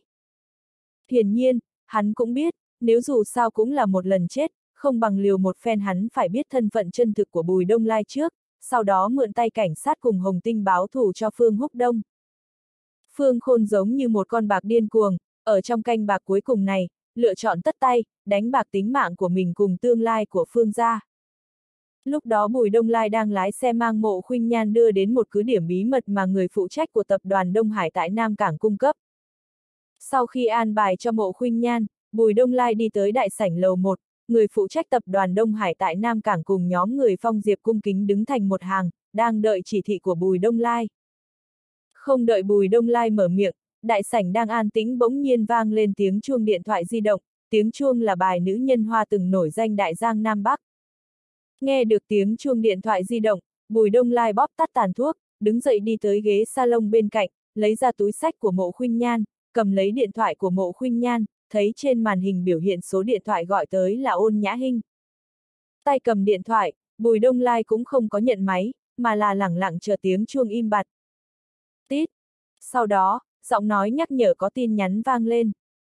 Khuynh Nhan, bảo Bùi Đông Lai gọi điện thoại cho tôi, tôi có thứ đồ mà hắn muốn. Dưới ánh đèn, trên màn hình hiện ra một hàng chữ như vậy. Dường như Bùi Đông Lai đang suy nghĩ đến cái gì đó. Đêm đã khuya, có lẽ là bởi vì sợ ảnh hưởng đến giấc ngủ của người dân, tiếng còi cảnh sát bắt đầu giảm dần xuống. Bất quá, tại sân bét, bến tàu vẫn trong tình trạng bị phong tỏa, tất cả những người muốn rời đi đều phải tiếp nhận kiểm tra cực kỳ nghiêm khắc. Ngoài ra, cảnh sát áp dụng một đợt hành động truy quét tên là Gió Thu, tiến hành kiểm tra đối với các hội sở tiêu khiển, các dịch vụ massage, khách sạn của Nam Cảng. Mục đích kiểm tra chỉ có một đó là tìm ra Bùi Đông Lai. Bùi Đông Lai thông qua con đường đặc thù biết được hết thảy chuyện này, hắn cũng không có bị dọa sợ trốn chui trốn nhủi, ngược lại, hắn một mình lái ô tô rời khỏi cứ điểm bí mật của người phụ trách tập đoàn Đông Hải cung cấp, đã tới bờ biển. Dưới ánh trăng nhu hòa giải trên mặt biển, tạo thành một giải ngân quang đẹp mắt, sóng biển đánh vào trên đá ngầm tạo thành bọt sóng văng khắp nơi, tiếng sóng biển phá vỡ vẻ yên lặng của bờ biển. Trên đường lớn cạnh bờ biển, một chiếc Alfa Romeo lẳng lặng đậu ở bên đường, Bùi Đông Lai rất dễ dàng tìm thấy. Trong chiếc xe thể thao, ôn nhã hình nhìn mặt biển xa xa, hút một điếu thuốc dành cho nữ giới, trong lòng cũng không biết đang suy nghĩ cái gì. Gió biển thổi qua, thổi lên mái tóc dài nhuộm màu đỏ của nàng, nương theo ánh trăng, có thể thấy rõ trên khuôn mặt quyến rũ cùng ôn nhu của nàng lưu lại vài vệt nước mắt. Xa xa nhìn thấy chiếc Alfa Romeo, Bùi Đông Lai cũng không nóng lòng tới gần chiếc ô tô, mà là cẩn thận xem xét chung quanh một phen, sau khi xác định không có mai phục, mới tiến lại gần chiếc ô tô. Thông qua gương chiếu hậu thấy được một chiếc Passat tầm thường dần dần đến gần, ôn nhã hình dần dần lấy lại tinh thần, thu hồi ánh mắt, bắn tàn thuốc lên không trung, tàn thuốc bay trên không trung thành một vòng cung xinh đẹp sau đó bị gió thổi đi.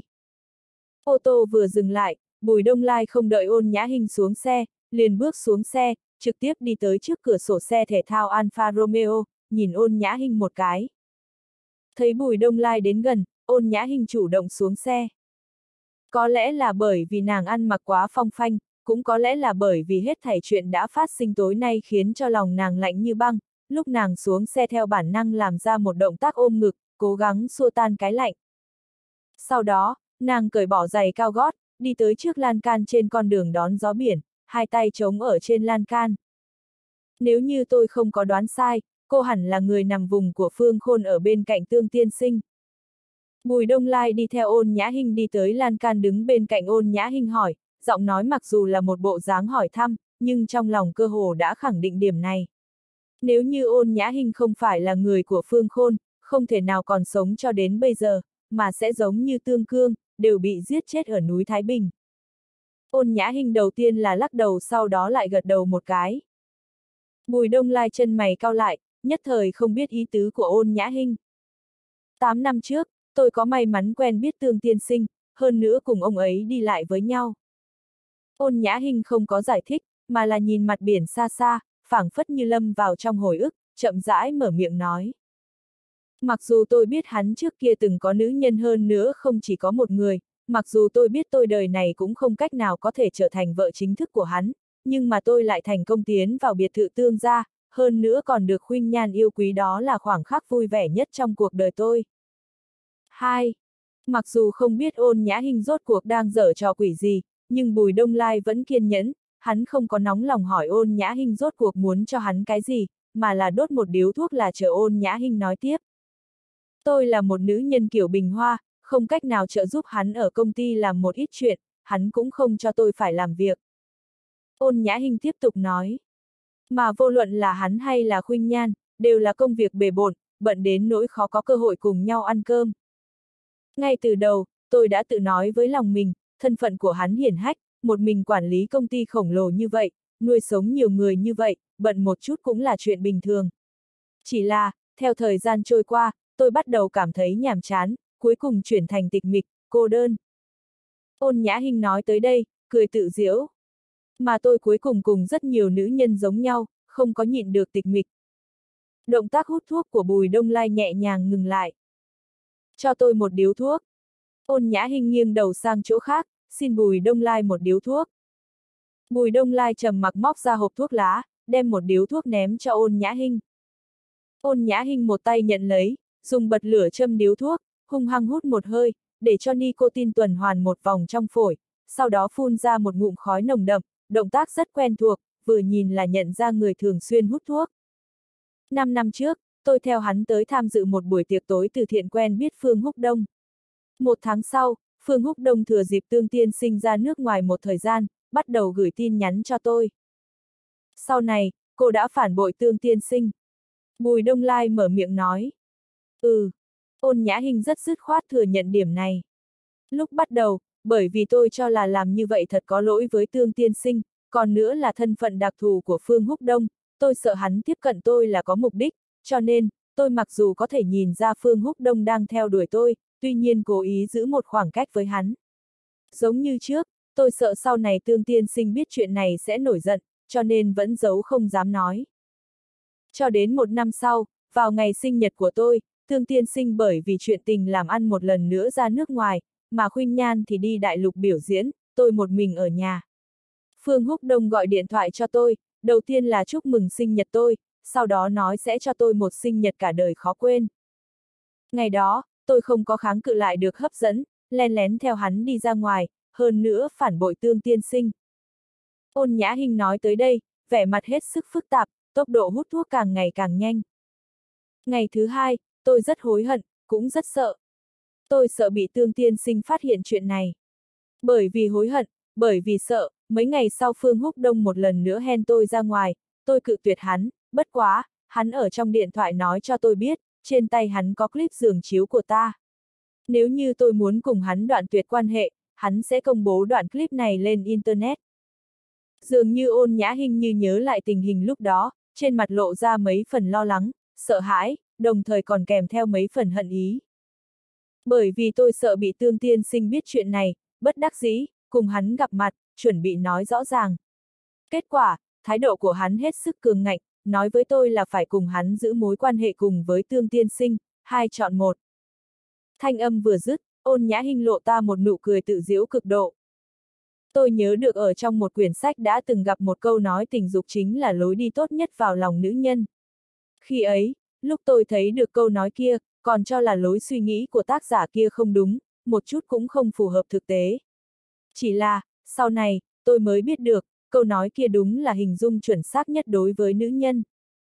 Ôn nhã hình vẫn đang cười, trong nụ cười ngoài vẻ tự diễu, còn cho người ta có một loại cảm giác thê thảm. Nam nhân từ 18 tuổi đến 25 tuổi, ham muốn mạnh nhất, mà nữ nhân lại là từ 28 tuổi đến 38 tuổi là lúc ham muốn nhất. Tương tiên sinh bận làm ăn, cùng nhiều chuyện khác, một tuần căn bản mới có một lần muốn ta. Ách, có đôi khi thậm chí một tháng mới muốn ta một lần, hơn nữa hắn mặc dù lão luyện trên thương trường, phương diện kia lại không được, mà Phương Húc Đông lại là thanh niên trẻ tuổi khỏe mạnh cường tráng, năng lực ở phương diện kia cùng kỹ xảo của hắn rất tốt. Phụng trộm cùng với Phương Húc Đông được mấy lần, từ lúc bắt đầu tôi vốn ghét bỏ, kháng cự, đến cuối cùng lại hoàn toàn lún sâu, không cách nào tự kiềm chế, hơn nữa đối với hắn còn sinh ra một chút tình cảm. Ôn Nhã Hinh nói xong, vẻ mặt hết sức phức tạp. Tình dục có phải là lối vào lòng phụ nữ nhanh nhất hay không, nữ nhân có phải là không chịu nổi tịch mịch hay không, tôi không biết. Bùi đông lai cao mày, lạnh lùng nói. Nhưng tôi nhìn ra được, trong xương tủy của cô chính là đồ đê tiện, một con dâm phụ, cô một chút cũng không đáng được đồng tình. Đúng vậy, tôi cũng biết mình là một nữ nhân hạ tiện, căn bản không đáng được đồng tình. Ôn nhã hình vẫn đang cười, chỉ là nàng cười so với khóc còn khó coi hơn. Bùi đông lai mặt lạnh như tiền, một lần nữa đốt một điếu thuốc lá. Tôi biết, cậu muốn biết trong tay tôi rốt cuộc có đồ vật gì, chỉ cần cậu nghe cho hết câu chuyện này, liền sẽ biết.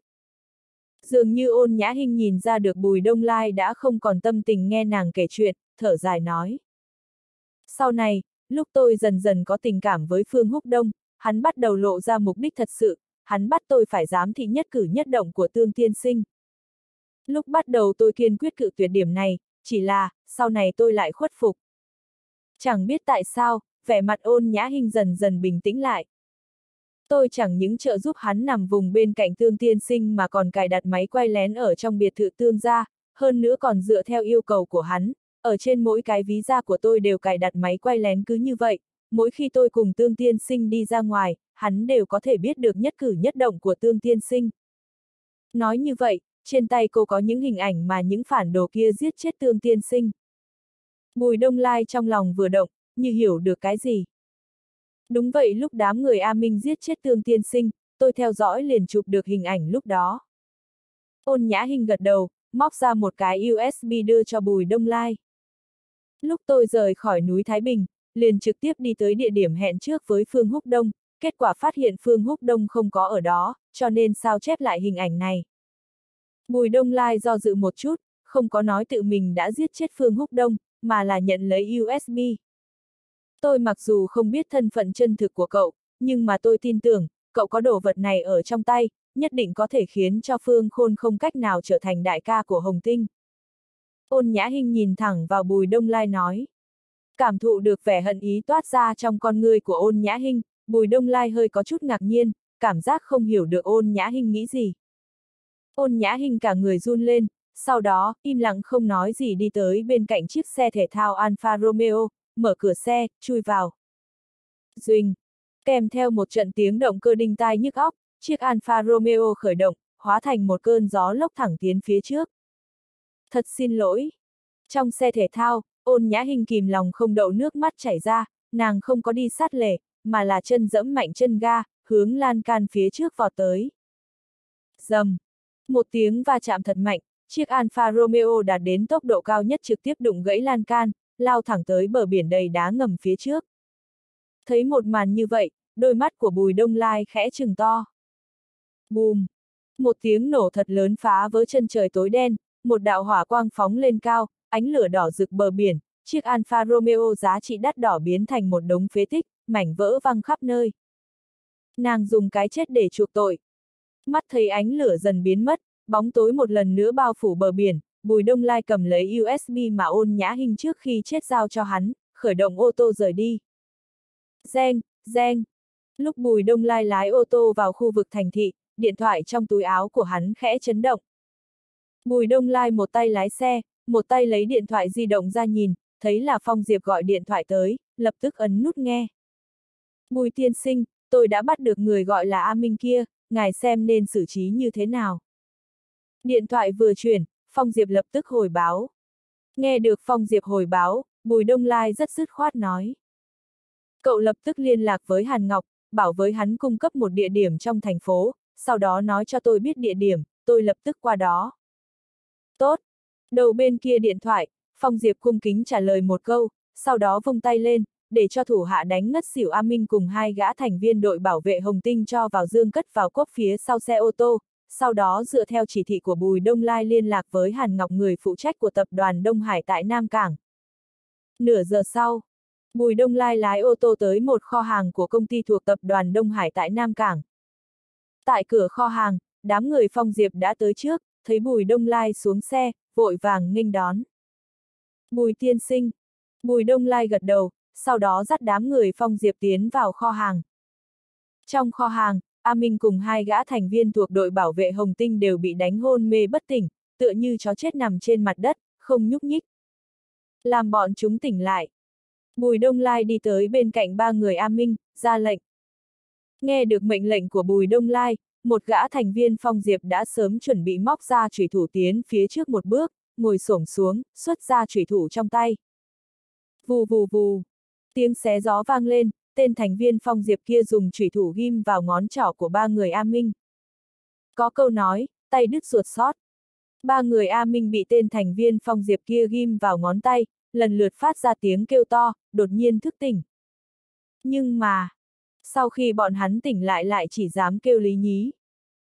Dưới ánh đèn bọn hắn đều sợ hãi nhìn đám người bùi đông lai, chính xác là nhìn bùi đông lai cầm đầu đám người. Hiển nhiên, trong lòng bọn họ đều là rõ ràng, rơi vào tay bùi đông lai, muốn sống đi ra khỏi kho hàng này rất khó. Bọn mày bị Phương Khôn mua chuộc, tiềm phục bên cạnh tương tiên sinh cuối cùng cũng hoàn thành sứ mạng mà Phương Khôn giao cho chúng mày, giết chết tương tiên sinh. Mắt thấy vẻ mặt sợ hãi của ba người A Minh nhìn mình, Bùi Đông Lai trước tiên mở miệng nói. Cho nên, mày đối với các kế hoạch của Phương Khôn đều là biết rõ, đúng không? Ba người A Minh mặc dù trong lòng sợ hãi tới cực điểm, nhưng không có mở miệng trả lời, bọn hắn đều rất rõ ràng, một khi mở miệng nói ra sự thật mà nói, Bùi Đông Lai rất có thể lợi dụng đoạn clip phá hỏng kế hoạch thượng vị của Phương Khôn, bởi như vậy, cho dù Bùi Đông Lai không giết bọn hắn, Phương Khôn cũng sẽ không bỏ qua cho bọn hắn. Tao có thể cho chúng mày có cơ hội giữ lại mạng sống. Thấy cả ba người đều trầm mặc, Bùi Đông Lai một lần nữa mở miệng ngữ suốt kinh nhân. Ân. Ngạc nhiên nghe được lời nói của Bùi Đông Lai, ba người A Minh đều là ngẩn ra, sau đó lại dùng một loại ánh mắt hoài nghi nhìn Bùi Đông Lai, tựa hồ không tin tưởng lời nói của Bùi Đông Lai. Nhưng là, trong ba người chúng mày, chỉ có thể còn một người sống sót. Bùi Đông Lai đón nhận ánh mắt hoài nghi của ba tên sau đó bổ sung. Người nào mở miệng trước nói cho tao biết toàn bộ kế hoạch của Phương Khôn thì có thể sống còn hai người còn lại thì sẽ vĩnh viễn rời khỏi cái thế giới này. Hắc, mày gọi là Bùi Đông Lai đúng không? Ngạc nhiên nghe được lời nói của Bùi Đông Lai, A Minh liền biến sắc mặt, trong nháy mắt nhìn rõ dụng ý của Bùi Đông Lai, vẻ mặt cười lạnh nói. Ba huynh đệ chúng tao đã rơi vào trong tay bọn mày, muốn chém muốn giết muốn tóc thịt tùy bọn mày. Mày không cần ảo tưởng từ trong miệng chúng tao mà biết được bất cứ chuyện gì. Giống như trước, mày không cần ảo tưởng châm ngòi ly rán, chúng tao sẽ không bao giờ mở miệng. Trước khi tới nơi này, tao đã giết chết Phương Húc Đông cùng đồng bọn, cộng dồn lại vượt qua 20 mạng. Nếu như chúng mày không muốn tranh thủ cơ hội lần này thì tao không ngần ngại tự thân động thủ lần nữa, cho chúng mày thể nghiệm một chút cái gì mới thật sự sống không bằng chết. Tao từng học được từ huấn luyện viên ma quỷ dây sần hơn 108 loại phương pháp bức cung, tao tin tưởng, làm được điểm này cũng không khó. Bùi Đông Lai sắc mặt không đổi nhìn A Minh nói cứng miệng, nói. Phong Diệp, bắt đầu tính giờ, qua một phút đồng hồ, nói cho tôi biết. Bá! Một lần nữa nghe được lời nói của Bùi Đông Lai, bao gồm cả A Minh vừa mới mạnh mồm ở bên trong, ba người đều biến đổi sắc mặt. Hiển nhiên, bọn họ nằm mơ cũng không nghĩ tới, Bùi Đông Lai lại giết chết Phương Húc Đông. Dung động ngắn ngủi qua đi, A Minh tiếp tục cười lạnh nói. Tiểu tử, mày hù dọa ai đó? Không trả lời, Bùi Đông Lai nhận lấy thanh thủy thủ trong tay một gã thành viên phong diệp, rồi đùa nghịch. Nhìn động tác đùa giỡn thủy thủ của Bùi Đông Lai, hồi tưởng lại lời nói lúc nãy của Bùi Đông Lai, nhận thấy được thời gian trôi đi vô tình, A Minh không dám mạnh miệng nữa, mà vẻ mặt của hai gã thành viên đội bảo vệ Hồng Tinh còn lại giống như là tắc kè hoa, không ngừng biến ảo, tựa hồ dẫy dụa có nên mở miệng hay không. Một giây, hai giây, ba giây. Cứ mỗi một giây trôi qua, mồ hôi lạnh dỉ ra trên trán hai gã thành viên đội bảo vệ Hồng Tinh càng ngày càng nhiều, trong con người bọn hắn toát ra ánh mắt hoảng sợ bất an. Tôi nói, lúc thời gian trôi qua được 30 giây, một gã thành viên đội bảo vệ Hồng Tinh sắc mặt sợ hãi trước tiên mở miệng nói. Tôi cũng nói. Một gã thành viên đội bảo vệ Hồng Tinh khác thấy vậy, cũng vội vàng nói, cảm giác kia sợ đồng bạn giành nói trước, sau đó hắn sẽ chết vậy. A Minh thấy thế, mặc dù trong lòng rất tức giận, nhưng cũng không cách nào ngăn cản. Mày mở miệng trước, như vậy mày nói trước đi. Bùi Đông Lai chỉ vào tên thành viên đội bảo vệ Hồng Tinh thứ nhất, nói. Bất quá, nếu như sau khi mày nói xong, đồng bạn của mày còn có bổ sung thêm cái gì thì như vậy tao sẽ giết mày, để cho đồng bạn của mày sống. Vốn là, tên thành viên đội bảo vệ Hồng Tinh kia mở miệng trước tiên thấy Bùi Đông Lai để cho hắn nói trước, thì có một loại cảm giác từ địa ngục trở lại thiên đường, âm thầm thở phào nhẹ nhõm, nhưng mà khi hắn nghe được câu nói kế tiếp của Bùi Đông Lai xong, lại trở nên khẩn trương vạn phần. Dưới ánh đèn, hắn không có nóng lòng mở miệng, mà là cẩn thận sắp xếp lại hết thảy những gì mình biết trong đầu, bảo đảm không bỏ sót cái gì. Không riêng gì hắn, gã thành viên đội bảo vệ Hồng Tinh bên cạnh hắn cũng là hết sức nhớ lại mọi thứ. Mày xác định sẽ bỏ qua cho người nói hết mọi chuyện cho mày chứ? A Minh một lần nữa mở miệng, giọng nói vẫn như cũ tràn đầy không tin tưởng. Dường như mày đã mất tác dụng. Bùi Đông Lai khẽ mỉm cười, không đùa giỡn chủy thủ trong tay nữa, từng bước đi tới phía trước. Tao, tao so với bọn hắn thì biết nhiều hơn, tao nói. À, A Minh thấy thế, bị dọa cho sợ đến biến sắc, sắc mặt hoảng sợ nói. Mày đã muốn nói, như vậy cứ dựa theo quy củ mà làm. Ân, mày là người cuối cùng, nếu như mày có thể bổ sung những gì bọn nó không biết, tao sẽ lưu lại cho mày một mạng. Bùi Đông Lai cũng không có cấp cơ hội mở miệng cho A Minh. Dựa vào an bài của Phương gia, à không là sự an bài của Phương Khôn đêm nay chúng tôi đã tới núi Thái Bình trước, ngoài mặt là tiến hành kiểm tra công viên trên đỉnh núi, sau đó nói cho Tương Tiên Sinh, công viên trên đỉnh núi không có gì nguy hiểm. Đợi Tương Tiên Sinh lên núi xong, Phương Khôn cùng hai người Giang Hải, Trầm Bân vẫn ủng hộ hắn kiếm cớ không lên công viên trên đỉnh núi, người của Đông Tinh đã mai phục từ trước liền tiến hành ám sát đối với Tương Tiên Sinh. Sau đó, đối mặt với máy quay, tên thứ nhất chỉnh sửa lại những gì mình biết, rồi tự mình đem hết thảy nói ra. Sau đó, bởi vì người của ngài đột nhiên xuất hiện, người của Đông Tinh hành động thất bại, đều chạy trốn. Đối với lần này, Phương Khôn thay đổi kế hoạch, nói chúng ta tìm cơ hội giết chết tương tiên sinh, sau đó gài cho ngài tội danh ám sát tương tiên sinh. Thanh âm vừa dứt, tên thứ nhất có chút khẩn trương nhìn về phía A Minh cùng gã còn lại của đội bảo vệ Hồng Tinh kia. Mày còn điều gì muốn bổ sung sao? Bùi Đông Lai đem ánh mắt ném về hướng tên thành viên đội bảo vệ Hồng Tinh còn lại. Phương Khôn nói cho chúng tôi không chỉ tìm cơ hội giết chết tương tiên sinh, nếu thuận tiện thì giết luôn 5 người ủng hộ tương tiên sinh. Gã thành viên đội bảo vệ Hồng Tinh còn lại bổ sung. Bá! Ngạc nhiên nghe được lời nói của đồng bạn, tên thành viên đội bảo vệ Hồng Tinh thứ nhất vừa mở miệng liền biến sắc, trên mặt hiện ra biểu tình hối hận, hối hận chính mình lại quên mất chuyện trọng yếu như vậy. Mà gã vừa lên tiếng bổ sung kia lại là khẩn trương nhìn về hướng A Minh. Chúng tôi sở dĩ không có giết ôn nhã hinh là bởi vì ôn nhã hinh là người của Phương Húc Đông. A Minh vội vàng bổ sung. Ngoài ra, hộ vệ của hai người Tiết Khiêm cùng Uông Chu đều âm thầm bị Phương Khôn mua chuộc rồi. Thấy A Minh mở miệng bổ sung, hai gã thành viên đội bảo vệ Hồng Tinh mở miệng lúc trước thân thể không khống chế được run lên, mặt xám như cho tàn nhìn Bùi Đông Lai. Bùi Đông Lai không để ý đến ánh mắt sợ hãi của hai tên này, cũng không động thủ giết chết hai người, mà là nhìn A Minh, tiếp tục hỏi. Còn gì nữa không? A Minh suy nghĩ một chút, lắc đầu. Tôi chỉ biết có như vậy. Bên tai vang lên lời nói của A Minh, Bùi Đông Lai làm ra một thủ thế, để cho tên thành viên phong diệp kia dừng máy quay lại, đồng thời thu hồi trùy thủ, móc ra một khẩu súng. Bằng! Bằng! Cò súng giật hai phát, đạn bay ra khỏi nòng súng, vô cùng chính xác găm vào đầu hai gã thành viên đội bảo vệ Hồng Tinh, đều là headshot. Hô, hô! Thấy hai gã thủ hạ ngã xuống trong vũng máu, A Minh bị dọa sợ đến sụi lơ trên mặt đất, hô hấp trở nên rồn rập. Yên tâm, tao nói rồi sẽ không giết mày. Bùi đông lai thổi khói toát ra từ nòng súng, nói. Mày biết số điện thoại của Uông Chu không? Biết. A Minh gật đầu như gà con mổ thóc. Bấm vào điện thoại di động của tao. Bùi đông lai lấy điện thoại di động ra, đưa tới trước mặt A Minh. A Minh mồ hôi lạnh đầm đìa, hai tay run rẩy vươn ra, giống như là đang nhận lấy một bảo bối quý giá vậy, vô cùng cẩn thận. Nhận lấy điện thoại di động, A Minh hít một hơi thật sâu, lấy lại bình tĩnh, sau đó bấm số điện thoại của Uông Chu vào điện thoại di động của Bùi Đông Lai. Mặc dù tao không giết mày, nhưng mày cần làm một việc cho tao. Cầm lại điện thoại di động, Bùi Đông Lai lại nói. Ngài cứ nói. Chuyện cho tới nước này, A Minh cũng biết, chính mình cũng chỉ có thể mặc cho Bùi Đông Lai dắt mũi. Lên xe rồi tao sẽ nói cho mày biết. Bùi Đông Lai vừa nói, tay cầm điện thoại di động, đi ra ngoài kho hàng. Phong Diệp thấy thế, vội vàng làm ra một cái thủ thế, hai gã thành viên Phong Diệp không nói gì, trực tiếp đem A Minh nhấc lên, đi theo Bùi Đông Lai, mà các thành viên Phong Diệp còn lại nhanh chóng dọn dẹp thi thể cùng vết máu lưu lại.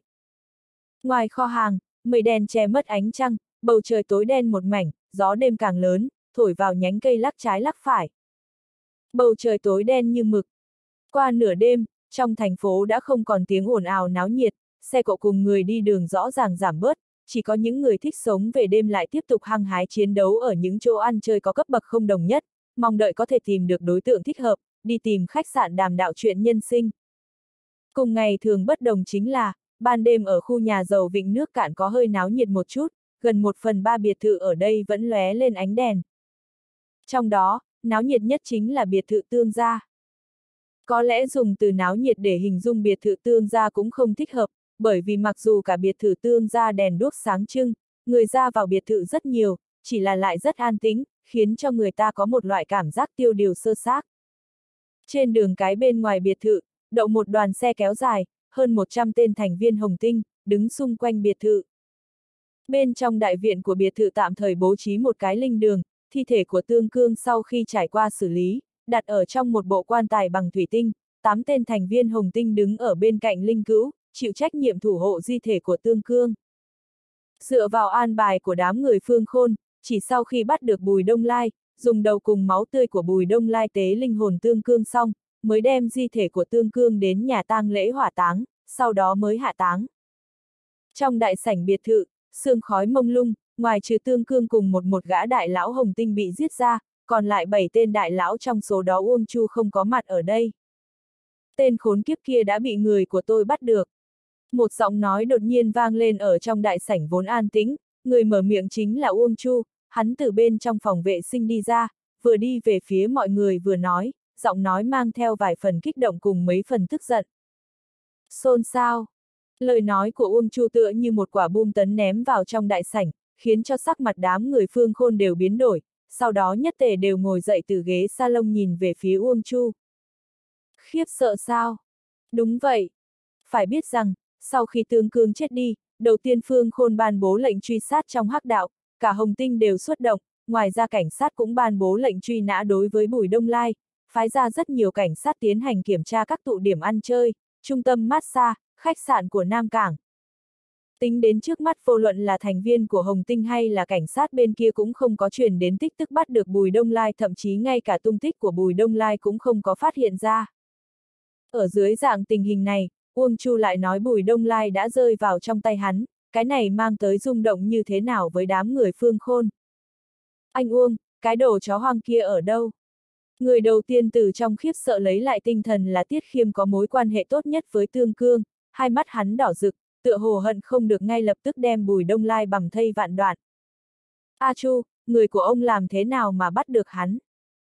Bất đồng với Tiết Khiêm đang kích động, nóng lòng muốn báo thù, Phương Khôn sau khi bình tĩnh lại trong cơn khiếp sợ, mang theo vài phần hoài nghi hỏi Uông Chu.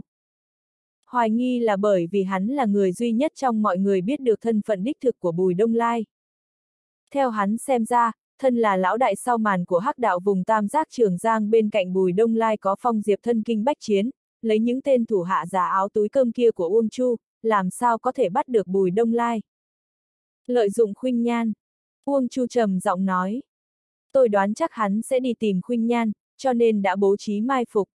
Kết quả là mới vừa rồi, hắn một mình đi tìm khuynh nhan, chúng phải mai phục của tôi. Thì ra là như vậy. Bởi vì Phương Khôn cũng không biết chuyện Phương Húc Đông bắt cóc mộ khuynh nhan, cộng thêm lúc trước hắn từng đề nghị muốn tìm được Bùi Đông Lai thì phải dùng mộ khuynh nhan làm mồi nhử. Chỉ là bởi vì không biết hiện tại mộ khuynh nhan đang ở đâu nên mới không có áp dụng biện pháp này, lúc này nghe được Uông Chu nói như vậy, hắn liền bỏ qua nghi ngờ trong lòng, bất quá vẫn hỏi. A Chu, bây giờ khuynh nhan đang ở đâu? Đang đi về biệt thự bọn chúng, hẳn là đi cùng nhau tới đó. Uông Chu nghiêm mặt nói. Đã như vậy, nói cho người phía dưới chuẩn bị sẵn sàng, tí nữa sẽ dùng đầu của tiểu tạp chủng kia tế linh hồn của đại ca. Phương Khôn trầm ngâm một chút, làm ra quyết định. Còn nữa, những người bên cạnh tiểu tạp chủng đó có thực lực không tầm thường, vì phòng ngừa những tên đó tới quấy rối, để cho người phía dưới chuẩn bị thật tốt, còn nữa tôi sẽ gọi một cú điện thoại cho vệ trưởng phòng, để cho hắn phái đội phi hổ tới đây trợ giúp chúng ta, một khi những tên đó xuất hiện, sẽ khiến cho bọn chúng có đi mà không có về. Tốt! Nghe được lời nói của Phương Khôn thì Uông Chu đáp một tiếng, tâm tư liền thu lại, trong chỗ sâu nhất của con người hiện lên một tia sát ý rất nhạt. Sát ý, trôi qua rồi biến mất. Phương Khôn cũng không có nhận thấy được sát ý rất nhạt trong con người của Uông Chu, hắn trực tiếp lấy ra điện thoại di động, trước mặt mọi người bấm số điện thoại của vệ trưởng phòng. Vệ trưởng phòng, hung thủ giết chết đại ca của chúng tôi đã bị người của chúng tôi bắt được. Điện thoại vừa chuyển, Phương Khôn đi thẳng vào vấn đề. Bất quá, bên cạnh hung thủ còn có 10 tên tội phạm, vì đề phòng những tên tội phạm kia tiếp tục phạm pháp, hy vọng ngài có thể điều động đội phi hổ đến khu vịnh nước cạn, bố trí mai phục. Một khi nhưng tên tội phạm kia xuất hiện, liền một lưới bắt hết bọn chúng. Được. Đầu bên kia điện thoại, vệ minh thân là phó trưởng phòng cảnh sát Nam Cảng sau khi nghe được lời nói của Phương Khôn, trước tiên là có chút kinh ngạc, sau đó đợi cho Phương Khôn nói xong, nhưng không có hỏi thêm cái gì, mà rất dứt khoát cấp ra câu trả lời chắc chắn.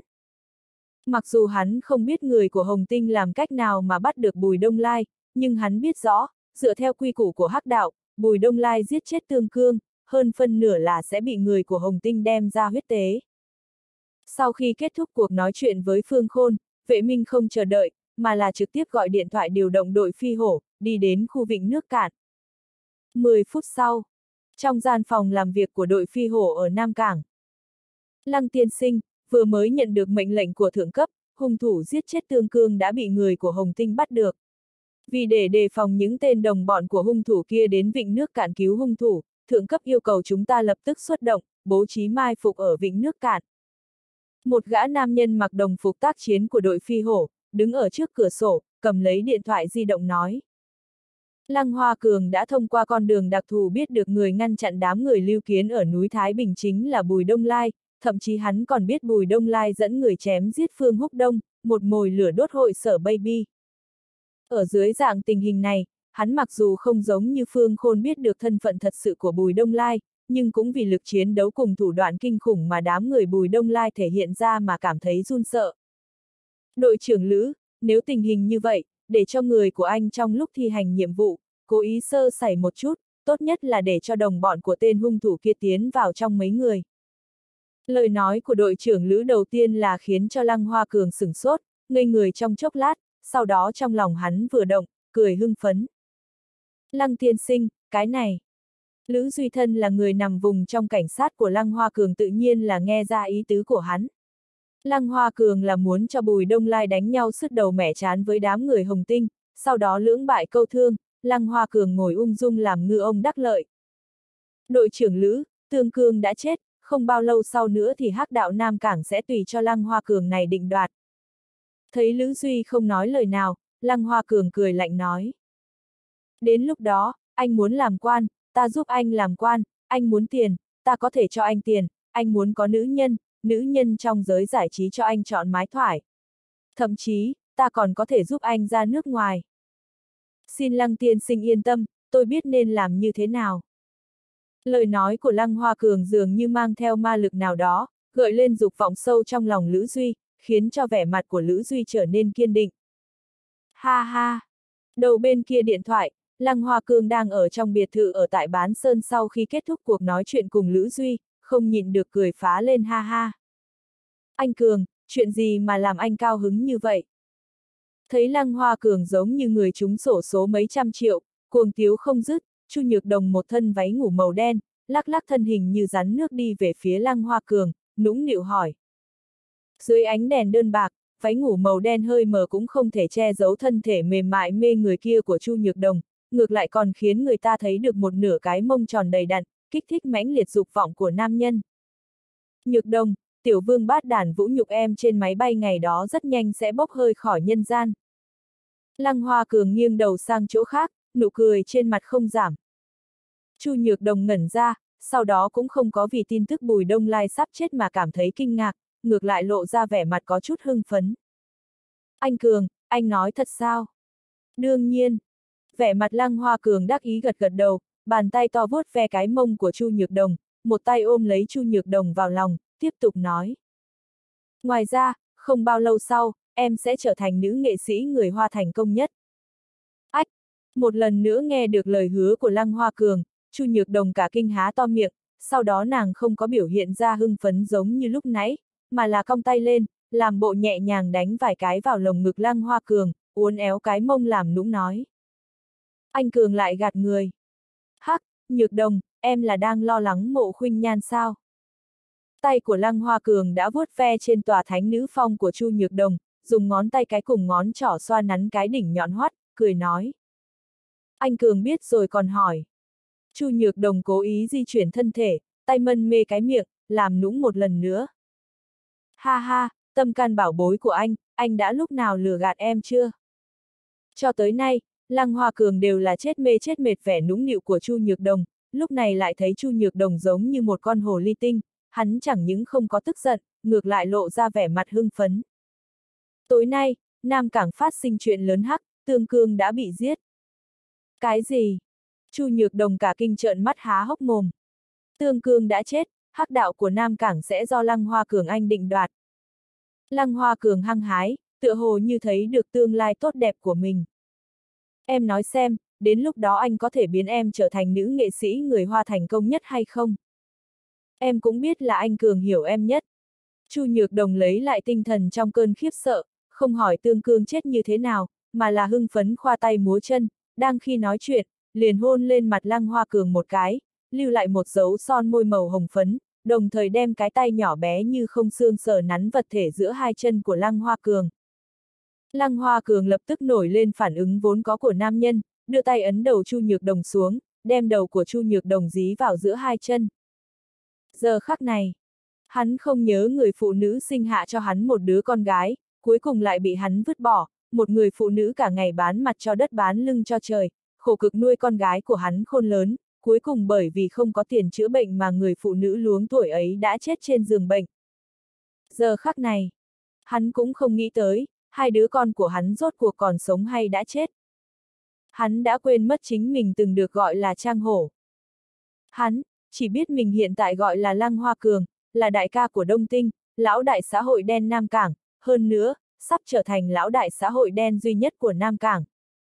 Hắn, chỉ muốn tâm can bảo bối chu nhược đồng của hắn dùng cái miệng anh đào nhỏ nhắn kia hầu hạ hắn, lấy phương thức này nghênh đón tương lai tươi sáng.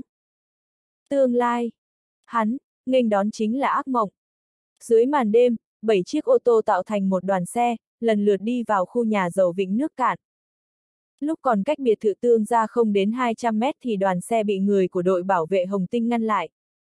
A bang, Phương gia sẽ lợi dụng đội phi hổ đối phó với đám tạp chủng kia, cậu lưu lại mấy huynh đệ ở cửa biệt thự, còn lại cho những người khác rút lui đến cửa tiểu khu. Cửa kính chiếc Mercedes-Benz S350 mở ra, A Minh Thân là đội phó đội bảo vệ Hồng Tinh cố gắng không chế nỗi sợ hãi trong nội tâm, nói mấy câu với đầu lĩnh của đội bảo vệ Hồng Tinh.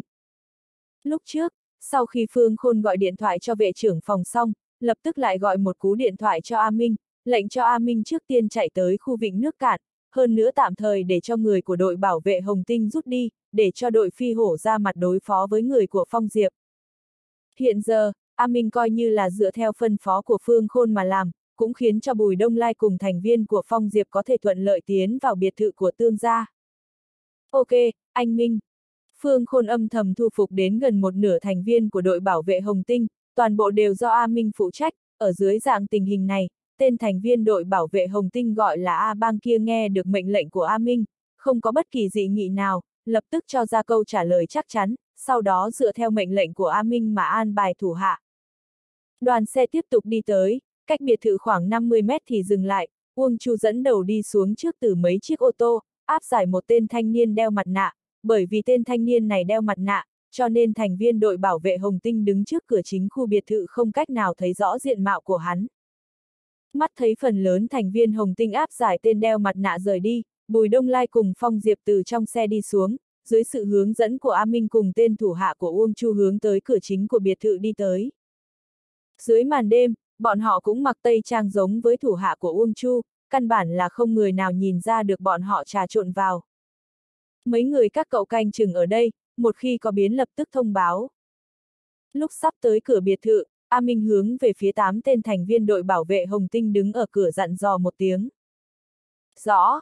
Tám tên thành viên đội bảo vệ Hồng Tinh thấy thế liền vội vàng gật đầu, căn bản không có đi kiểm tra đám người Bùi Đông Lai. A Minh thành công hấp dẫn sự chú ý của tám tên thành viên đội bảo vệ Hồng Tinh, khiến đám người Bùi Đông Lai thành công tiến vào biệt thự, hướng thẳng đại sảnh biệt thự đi tới.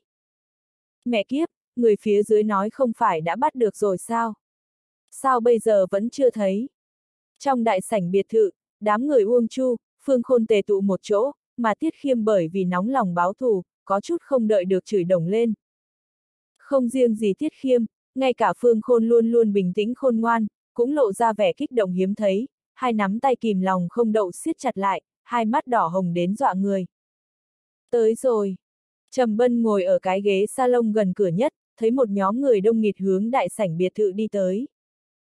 Nghe được lời nói của Trầm Bân, Tiết Khiêm kích động trực tiếp giơ chủy thủ lên đứng dậy từ ghế salon, bộ dáng đằng đằng sát khí.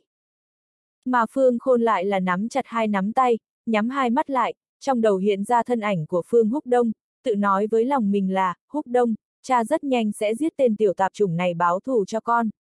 Cha sẽ cho hắn sống không bằng chết. Bá! Hai mắt mở ra, một cỗ sát ý bén nhọn nhất thời lấy thân thể của Phương Khôn làm trung tâm tràn ra bốn phía, ánh mắt của hắn sắc bén như đao, nhìn chằm chằm vào đám người đang đi tới đại sảnh. Nhận thấy được Phương Khôn có chút khác thường, trong con người Uông Chu cũng hiện lên sát cơn nồng đậm. Sau khi tiến vào vườn hoa biệt thự, A Minh cùng mấy tên thủ hạ của Uông Chu đều thối lui đến phía sau bùi đông lai, mà tên thanh niên bị tạm giữ kia, lấy xuống mặt nạ trên mặt, đi theo phía sau đám người. Chờ sau khi tôi tiến vào, đem mấy tên canh cửa kia giết đi, động tác nhanh gọn một chút, đừng gây ra tiếng động. Mắt thấy sắp đi tới đại sảnh biệt thự, Bùi Đông Lai phân phó vài câu với Phong Diệp bên cạnh. Phong Diệp gật đầu, dừng bước lại, âm thầm làm ra một thủ thế, mang theo mấy tên thành viên Phong Diệp biến mất ở hoa viên trong biệt thự. Bá! Lúc Bùi Đông Lai dẫn theo đám người A Minh tiến vào đại sảnh biệt thư, trong đại sảnh biệt thự, ngoài Uông Chu ra, tất cả mọi người bao gồm cả Phương Khôn đều đứng lên, ánh mắt như đao nhìn chằm chằm Bùi Đông Lai, hận không được lập tức xé xác Bùi Đông Lai thành trăm mảnh. Tiểu tạp trùng, nợ máu phải trả bằng máu. Mày đã giết đại ca, hôm nay, chúng tao muốn dùng đầu cùng máu tươi của mày để tế linh hồn của đại ca. Hai mắt của Phương Khôn đỏ bừng, ánh mắt lạnh lẽo nhìn chằm chằm Bùi Đông Lai, gần từng chữ. Người đâu, trước tiên đánh gãy hai chân của hắn cho ta, để cho hắn quỳ xuống nói chuyện. Không có phản ứng. Vô luận là A Minh hay là những tên thủ hạ của Uông Chu, đều đem lời nói của Phương Khôn thành giám thúi, không nhúc nhích đứng ở phía sau lưng Bùi Đông Lai. Chúng mày còn đang làm gì? Mắt thấy không có ai động thủ, Phương Khôn giận đến run cả người, sau đó tức giận quét mắt nhìn đám người A Minh một cái, cuối cùng đem ánh mắt rơi trên người A Minh. A Minh, đánh gãy chân của hắn cho ta. Vẫn như cũ không có phản ứng. A Minh giống như là không nhận ra Phương Khôn, ánh mắt vẫn nhìn thẳng vào bóng lưng của Bùi Đông Lai, chẳng qua là trong lòng hắn hết sức khẩn trương, không phải là lo lắng Phương Khôn sẽ làm gì hắn, mà là lo lắng hắn dựa theo phân phó của Bùi Đông Lai mà làm, Bùi Đông Lai có bỏ qua cho hắn hay không. A Minh, con mẹ nó cậu bị điếc sao?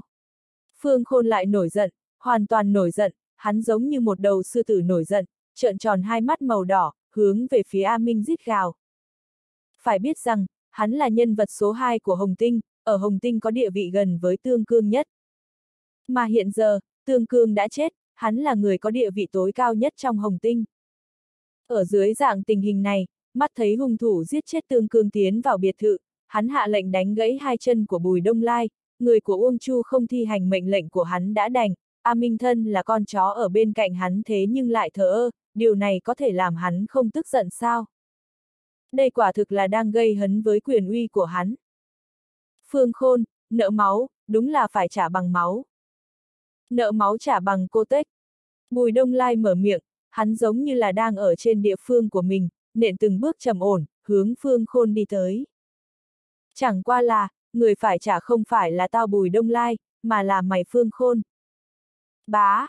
Ngạc nhiên nghe được lời nói của Bùi Đông Lai, trừ Uông Chu cùng Phương Khôn ra, những tên đại lão hồng tinh kia sắc mặt đều biến sắc, bọn họ đều là đã nhận ra một tia hơi thở không tầm thường, trong đó có hai người trầm bân cùng Giang Hải ủng hộ Phương Khôn, trong lòng họ nhấc lên sóng to gió lớn, không nhịn được đem ánh mắt ném về hướng Phương Khôn, mà đám người tiết khiêm ủng hộ Tương Cương lại là ném ánh mắt về hướng Uông Chu.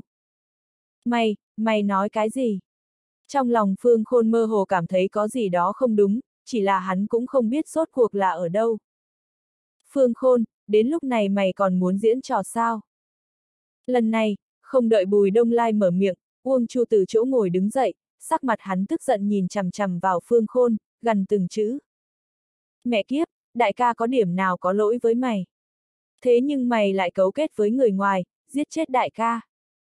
Uông, Uông Chu, ông. Mắt thấy Uông Chu nhảy ra chỉ trích mình, rốt cục sắc mặt của Phương Khôn thay đổi, trên mặt hắn trong lúc này xuất hiện vẻ kinh hoàng không cách nào che giấu. Tiết Khiêm vẫn duy trì vẻ mặt kinh ngạc nhìn về phía hai người Uông Chu cùng Phương Khôn, mà hai người Trầm Bân cùng Giang Hải lại là dường như đã ý thức được cái gì, cả người cứng ngắc đứng im tại chỗ. A Minh! Bùi Đông Lai lại một lần nữa mở miệng, hắn lấy ra USB, không quay đầu lại nói. Nghe được Bùi Đông Lai gọi mình, A Minh giống như là nghe được thánh chỉ của Hoàng đế vậy, vội vàng từ trong đám người đi ra, bối rối chạy đến bên cạnh Bùi Đông Lai, nhận lấy USB trong tay của Bùi Đông Lai, cắm vào thiết bị kết nối với TV. Chư vị, Phương Khôn cấu kết với Đông Tinh bố trí mai phục ở đỉnh núi Thái Bình, muốn đem mọi người chúng ta một lưới bắt hết.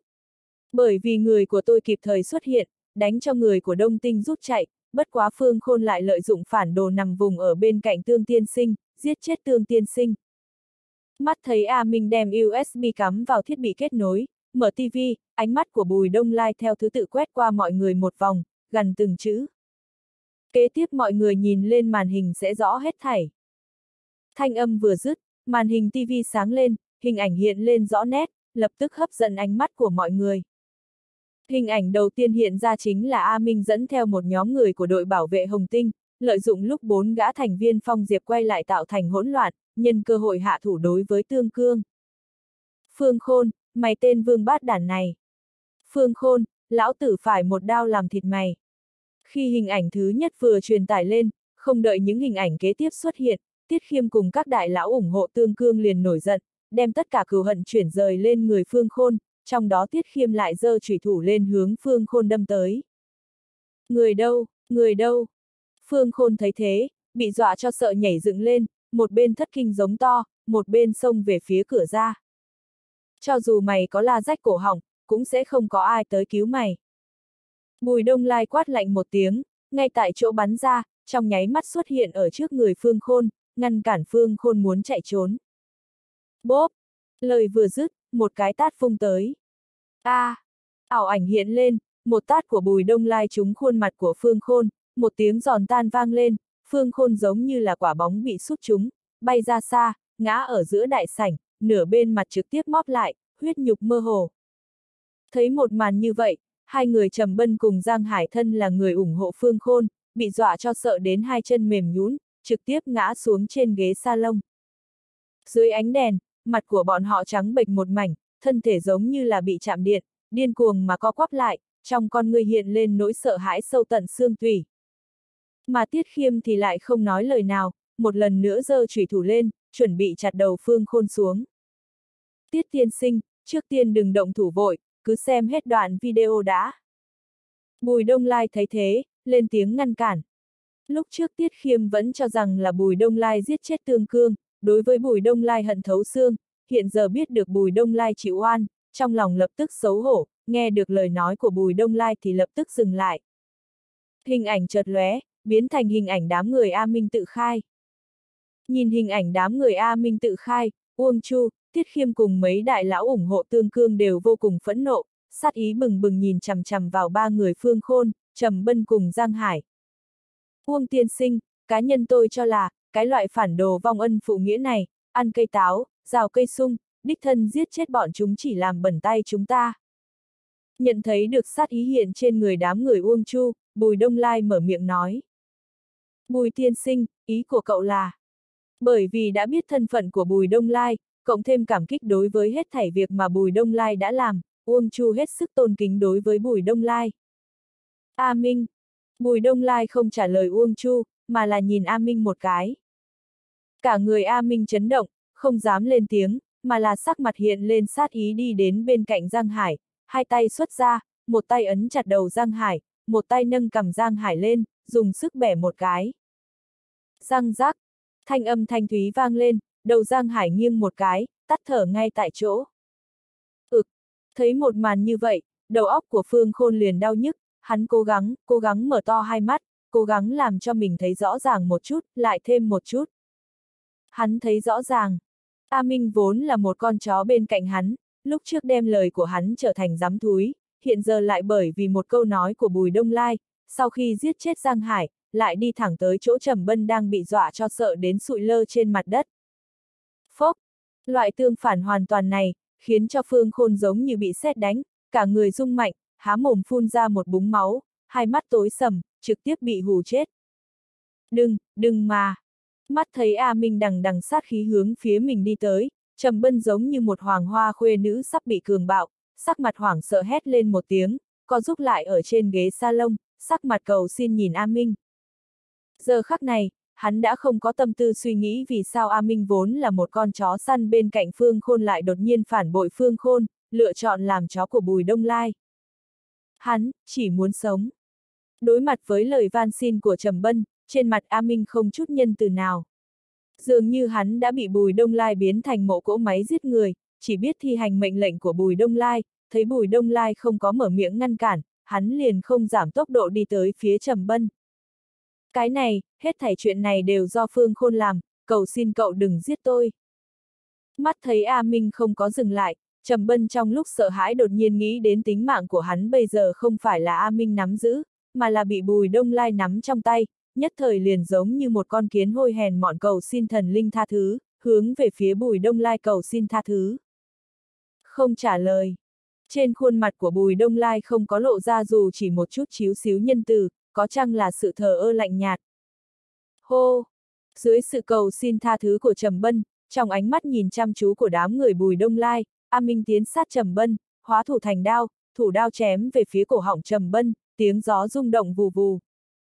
Kinh phong đập vào mặt, Trầm Bân phảng phất như bị rút cạn tất cả khí lực, tuyệt vọng nhắm hai mắt lại. Răng rác, tiếng xương gãy lại vang lên, thủ đao của A Minh vô cùng chính xác chém vào cổ họng của Trầm Bân, lực đạo khổng lồ đem cổ họng hắn chấn nát bấy, máu tươi tràn ra ngoài. Ách! Cảm thụ được cổ họng truyền đến cảm giác đau nhức, hô hấp của Trầm Bân trong nháy mắt bị cắt đứt, hắn theo bản năng dùng hai tay che cổ họng, há to mồm, cố gắng hít từng ngụm không khí, kết quả lại không có chút tác dụng nào, chỉ còn sức lực để co quắp lại.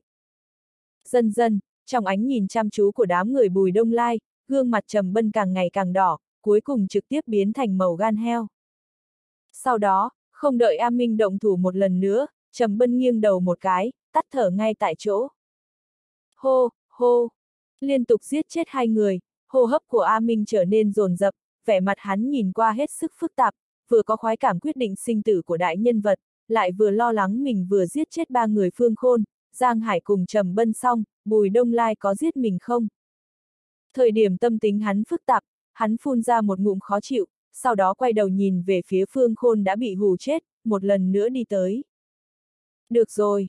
Mắt thấy A Minh sắp động thủ với phương khôn, Bùi Đông Lai lên tiếng ngăn cản. Ân. Ngạc nhiên nghe được lời nói của Bùi Đông Lai, vẻ mặt của đám người Uông Chu đều là nghi ngờ nhìn về phía Bùi Đông Lai. Lúc trước bởi vì nghe được Bùi Đông Lai muốn mượn tay A Minh diệt trừ đám người phương khôn, bọn họ cũng không có động thủ, hiện giờ, lúc A Minh giết chết Giang Hải cùng Trầm Bân xong, Bùi Đông Lai lại bảo hắn dừng lại khiến cho bọn họ không hiểu Bùi Đông Lai muốn làm gì. So sánh với đám người Uông Chu mà nói, nghi ngờ trong lòng A Minh càng nhiều, bất quá hắn lại không dám hỏi thêm cái gì, mà là trước tiên dừng lại, giống như một đứa trẻ nghe lời người lớn đứng im ở nơi đó. Phương Khôn đúng là đầu sỏ gây nên cái chết của tương tiên sinh, giết hắn như vậy e là quá tiện nghi cho hắn, hơn nữa lại bất lợi với chuyện tình chúng ta sắp làm sau đây. Thấy đám người Uông Chu lộ ra vẻ mặt nghi ngờ, Bùi Đông Lai nghiêm mặt nói. Tôi có ý kiến là, chúng ta lấy khí thế xét đánh không kịp bưng tai diệt trừ những thủ hạ của Phương Khôn, đợi sau khi nắm được cục diện trong tay, lại diễn một hồi kịch trước mặt các thành viên nòng cốt của Hồng Tinh, dùng đầu cùng máu tươi của Phương Khôn tế vong hồn của Tương Tiên Sinh. Tốt nhất là để cho những thành viên nòng cốt kia toàn bộ đều động thủ, đưa đến một tác dụng chấn nhiếp, ngăn chặn sự tình loại này phát sinh một lần nữa. Tốt, tôi cũng cảm thấy một đao làm thịt tạp chủng phương khôn cái loại ăn cây táo, rào cây sung này thật sự quá tiện nghi cho hắn. Bùi Đông Lai vừa nói xong, Tiết Khiêm lập tức gật đầu tán thành. Mà Uông Chu Thân là nhân vật số 3 của Hồng Tinh lại là hai mắt tỏa sáng, đồng thời cũng âm thầm kinh hãi, kinh hãi tâm tư cẩn thân của Bùi Đông Lai, kinh hãi thủ đoạn tàn nhẫn của Bùi Đông Lai quả thực làm cho người ta không thể tin Bùi Đông Lai chỉ là một thanh niên chưa tới 20 tuổi. Phương Khôn có thể sau này mới giết, còn hắn thì sao? Tiết Khiêm hôm nay là muốn quyết tâm báo thù cho Tương Cương, thấy không thể ngay lập tức giết Phương Khôn, lập tức đem đầu mâu nhắm ngay A Minh. Bá! Nhận thấy được ánh mắt đằng đằng sát khí của Tiết Khiêm, trong lòng A Minh chấn động, sát ý trên người dường như bị bốc hơi hết, không còn sót lại chút gì. Giờ khắc này, hắn giống như hai người Giang Hải cùng Trầm Bân vừa bị giết, từ vị thế là người đứng ở trên cầu ngắm phong cảnh, biến thành người ngắm phong cảnh ở trên cổng thành, trong lòng sợ hãi vô cùng. Tiết tiên sinh, hắn vẫn còn hữu dụng, chưa thể giết. Thấy Tiết Khiêm muốn lấy máu A Minh, Bùi Đông Lai lên tiếng ngăn cản. Ân. Lời nói của Bùi Đông Lai không chỉ khiến cho Tiết Khiêm sửng sốt, tất cả mọi người bao gồm cả Uông Chu ở bên trong đều là vẻ mặt nghi ngờ nhìn Bùi Đông Lai, cảm giác kia tựa hồ như đang hỏi hắn còn có tác dụng gì. Chư vị, mặc dù tương tiên sinh chết bởi trong tay phản đồ, nhưng mà trước lúc phản đồ động thủ, Lăng Hoa Cường đã cấu kết cùng Phương Khôn nên đã phái ra thủ hạ định ám sát tương tiên sinh. Bùi Đông Lai nghiêm mặt nói. Đúng vậy, ngoại trừ tên phản đồ phương khôn ra, chúng ta còn muốn cho Lăng Hoa Cường nợ máu phải trả bằng máu. Uông Chu gật đầu, hắn biết rõ là nếu như không có sự xuất hiện của Bùi Đông Lai cũng như không có thành viên phong diệp kịp thời xuất hiện, chỉ e là đám thủ hạ của Lăng Hoa Cường đã trải qua chiến trường tay nhuộm đầy máu tanh kia có thể đã giết được tương cương rồi. Không riêng gì Uông Chu biết được điểm này, đám người tiết khiêm cũng là tâm như gương sáng. Trong lúc nhất thời, bọn họ đều dùng một loại ánh mắt cảm kích nhìn Bùi Đông Lai. Bùi tiên sinh, đúng là chúng ta phải tìm tên tạp chủng lăng hoa cường kia để báo thù, chẳng qua là tôi không rõ lưu lại tên tạp chủng này có lợi ích gì. Sau đó, Tiết Khiêm lại một lần nữa mở miệng, lúc nói chuyện hắn dùng chủy thủ chỉ vào A Minh. Chẳng lẽ để hắn cùng với người của Phương Khôn đi liều mạng với Lăng Hoa Cường? Không phải. Bùi Đông Lai lắc đầu. Đêm nay xảy ra chuyện lớn như vậy, cả Nam Cảng này e là loạn hết rồi, trong thời điểm nhạy cảm này, nếu còn phát sinh một lần huyết chiến nữa, cho dù quan hệ của Hồng Tinh với cảnh sát tốt đến thế nào, cũng khó tránh khỏi sẽ phải chịu trừng phạt. Còn nữa, hắn chẳng qua chỉ là một con chó của Phương Khôn thôi muốn hắn đem người của Phương Khôn đi liều mạng với Lăng Hoa Cường, cái này không thực tế. Vậy ý tứ của Bùi Tiên Sinh là? Trong lòng Uông Chu mơ hồ đoán được cái gì, lại không dám khẳng định. Lúc này đây, không đợi Bùi Đông Lai mở miệng trả lời câu hỏi của Uông Chu, Phong Diệp tựa hồ như U Linh, lặng lẽ không phát ra hơi thở từ bên ngoài biệt thự đi vào. Lúc tiến vào biệt thự, Phong Diệp không để ý đến đám người Uông Chu mà là đi thẳng tới chỗ Bùi Đông Lai lúc còn cách Bùi Đông Lai khoảng một thước thì dừng lại, cúi người xuống hồi báo. Bùi tiên sinh, cảnh sát xuất động đã tới biệt thự, có để cho bọn họ đi vào không? Ách! Nghe được lời nói của Phong Diệp thì bao gồm cả Uông Chu ở bên trong, những đại lão hồng tinh kia dùng một loại ánh mắt nhìn quái vật mà nhìn Phong Diệp. Bởi vì, bọn họ đều nghe ra ý tứ của Phong Diệp chỉ cần Bùi Đông Lai lắc đầu một cái, Phong Diệp sẽ dẫn người khiến cảnh sát không cách nào tiến vào biệt thự nửa bước. Bùi tiên sinh, cảnh sát đến đây là thông qua quan hệ của Phương Khôn. Ngắn ngủi kinh ngạc qua đi, Uông Chu vội vàng giải thích. Lúc trước, tôi giả vờ nói cho Phương Khôn cậu bị người của tôi bắt được sau đó Phương Khôn cố gắng lợi dụng cậu làm mồi nhử để kéo thủ hạ của cậu tới đây, sau đó mượn tay cảnh sát diệt trừ. Cho nên, Bùi Tiên Sinh không cần lo lắng cảnh sát tiến vào biệt thự. Bùi Đông Lai cũng biết Hồng Tinh có thể xưng bá nhiều năm ở Nam Cảng, hoàn toàn là dựa vào mạng lưới quan hệ trong bạch đạo, lúc này nghe Uông Chu nói như thế, đầu tiên là gật đầu tỏ vẻ mình đã hiểu, sau đó lại hướng Phong Diệp nói. Nói với các anh em cứ nấp trong bóng tối chờ mệnh lệnh của tôi. Rõ, Bùi Tiên Sinh. Phong Diệp lĩnh mệnh liền thối lui, từ đầu đến cuối không có nhìn đám người Uông Chu một cái, tựa hồ như ở trong mắt của hắn, Uông Chu cùng mấy đại lão oai phong một cõi hắc đạo Nam Cảng căn bản không đáng được nhắc tới. Bởi vì biết được cảnh sát đến nên đám người Uông Chu không có tiếp tục truy vấn Bùi Đông Lai rốt cuộc muốn lợi dụng A Minh làm cái gì. Hai phút sau, trong sự chờ đợi của đám người Bùi Đông Lai, Lữ Duy Thân là đội phó đội phi hổ một mình tiến vào biệt thự. Ân, Lúc tiến vào biệt thự hắn thấy Phương Khôn giống như một con chó chết nằm trên mặt đất không nhúc nhích, hai người Giang Hải cùng Trầm Bân thì đầu ngả sang một bên, một bộ dáng đã chết, sắc mặt của Lữ Duy không khỏi biến đổi, cước bộ cũng vì thế dừng lại. Đội trưởng Lữ. Cùng lúc đó, Uông Chu dẫn người tiến lên chào hỏi Lữ Duy. Lời nói của Uông Chu kéo Lữ Duy từ trong kinh ngạc trở về thực tại, hắn nhìn đám người Uông Chu một cái, cuối cùng đem ánh mắt dừng ở trên người Bùi Đông Lai.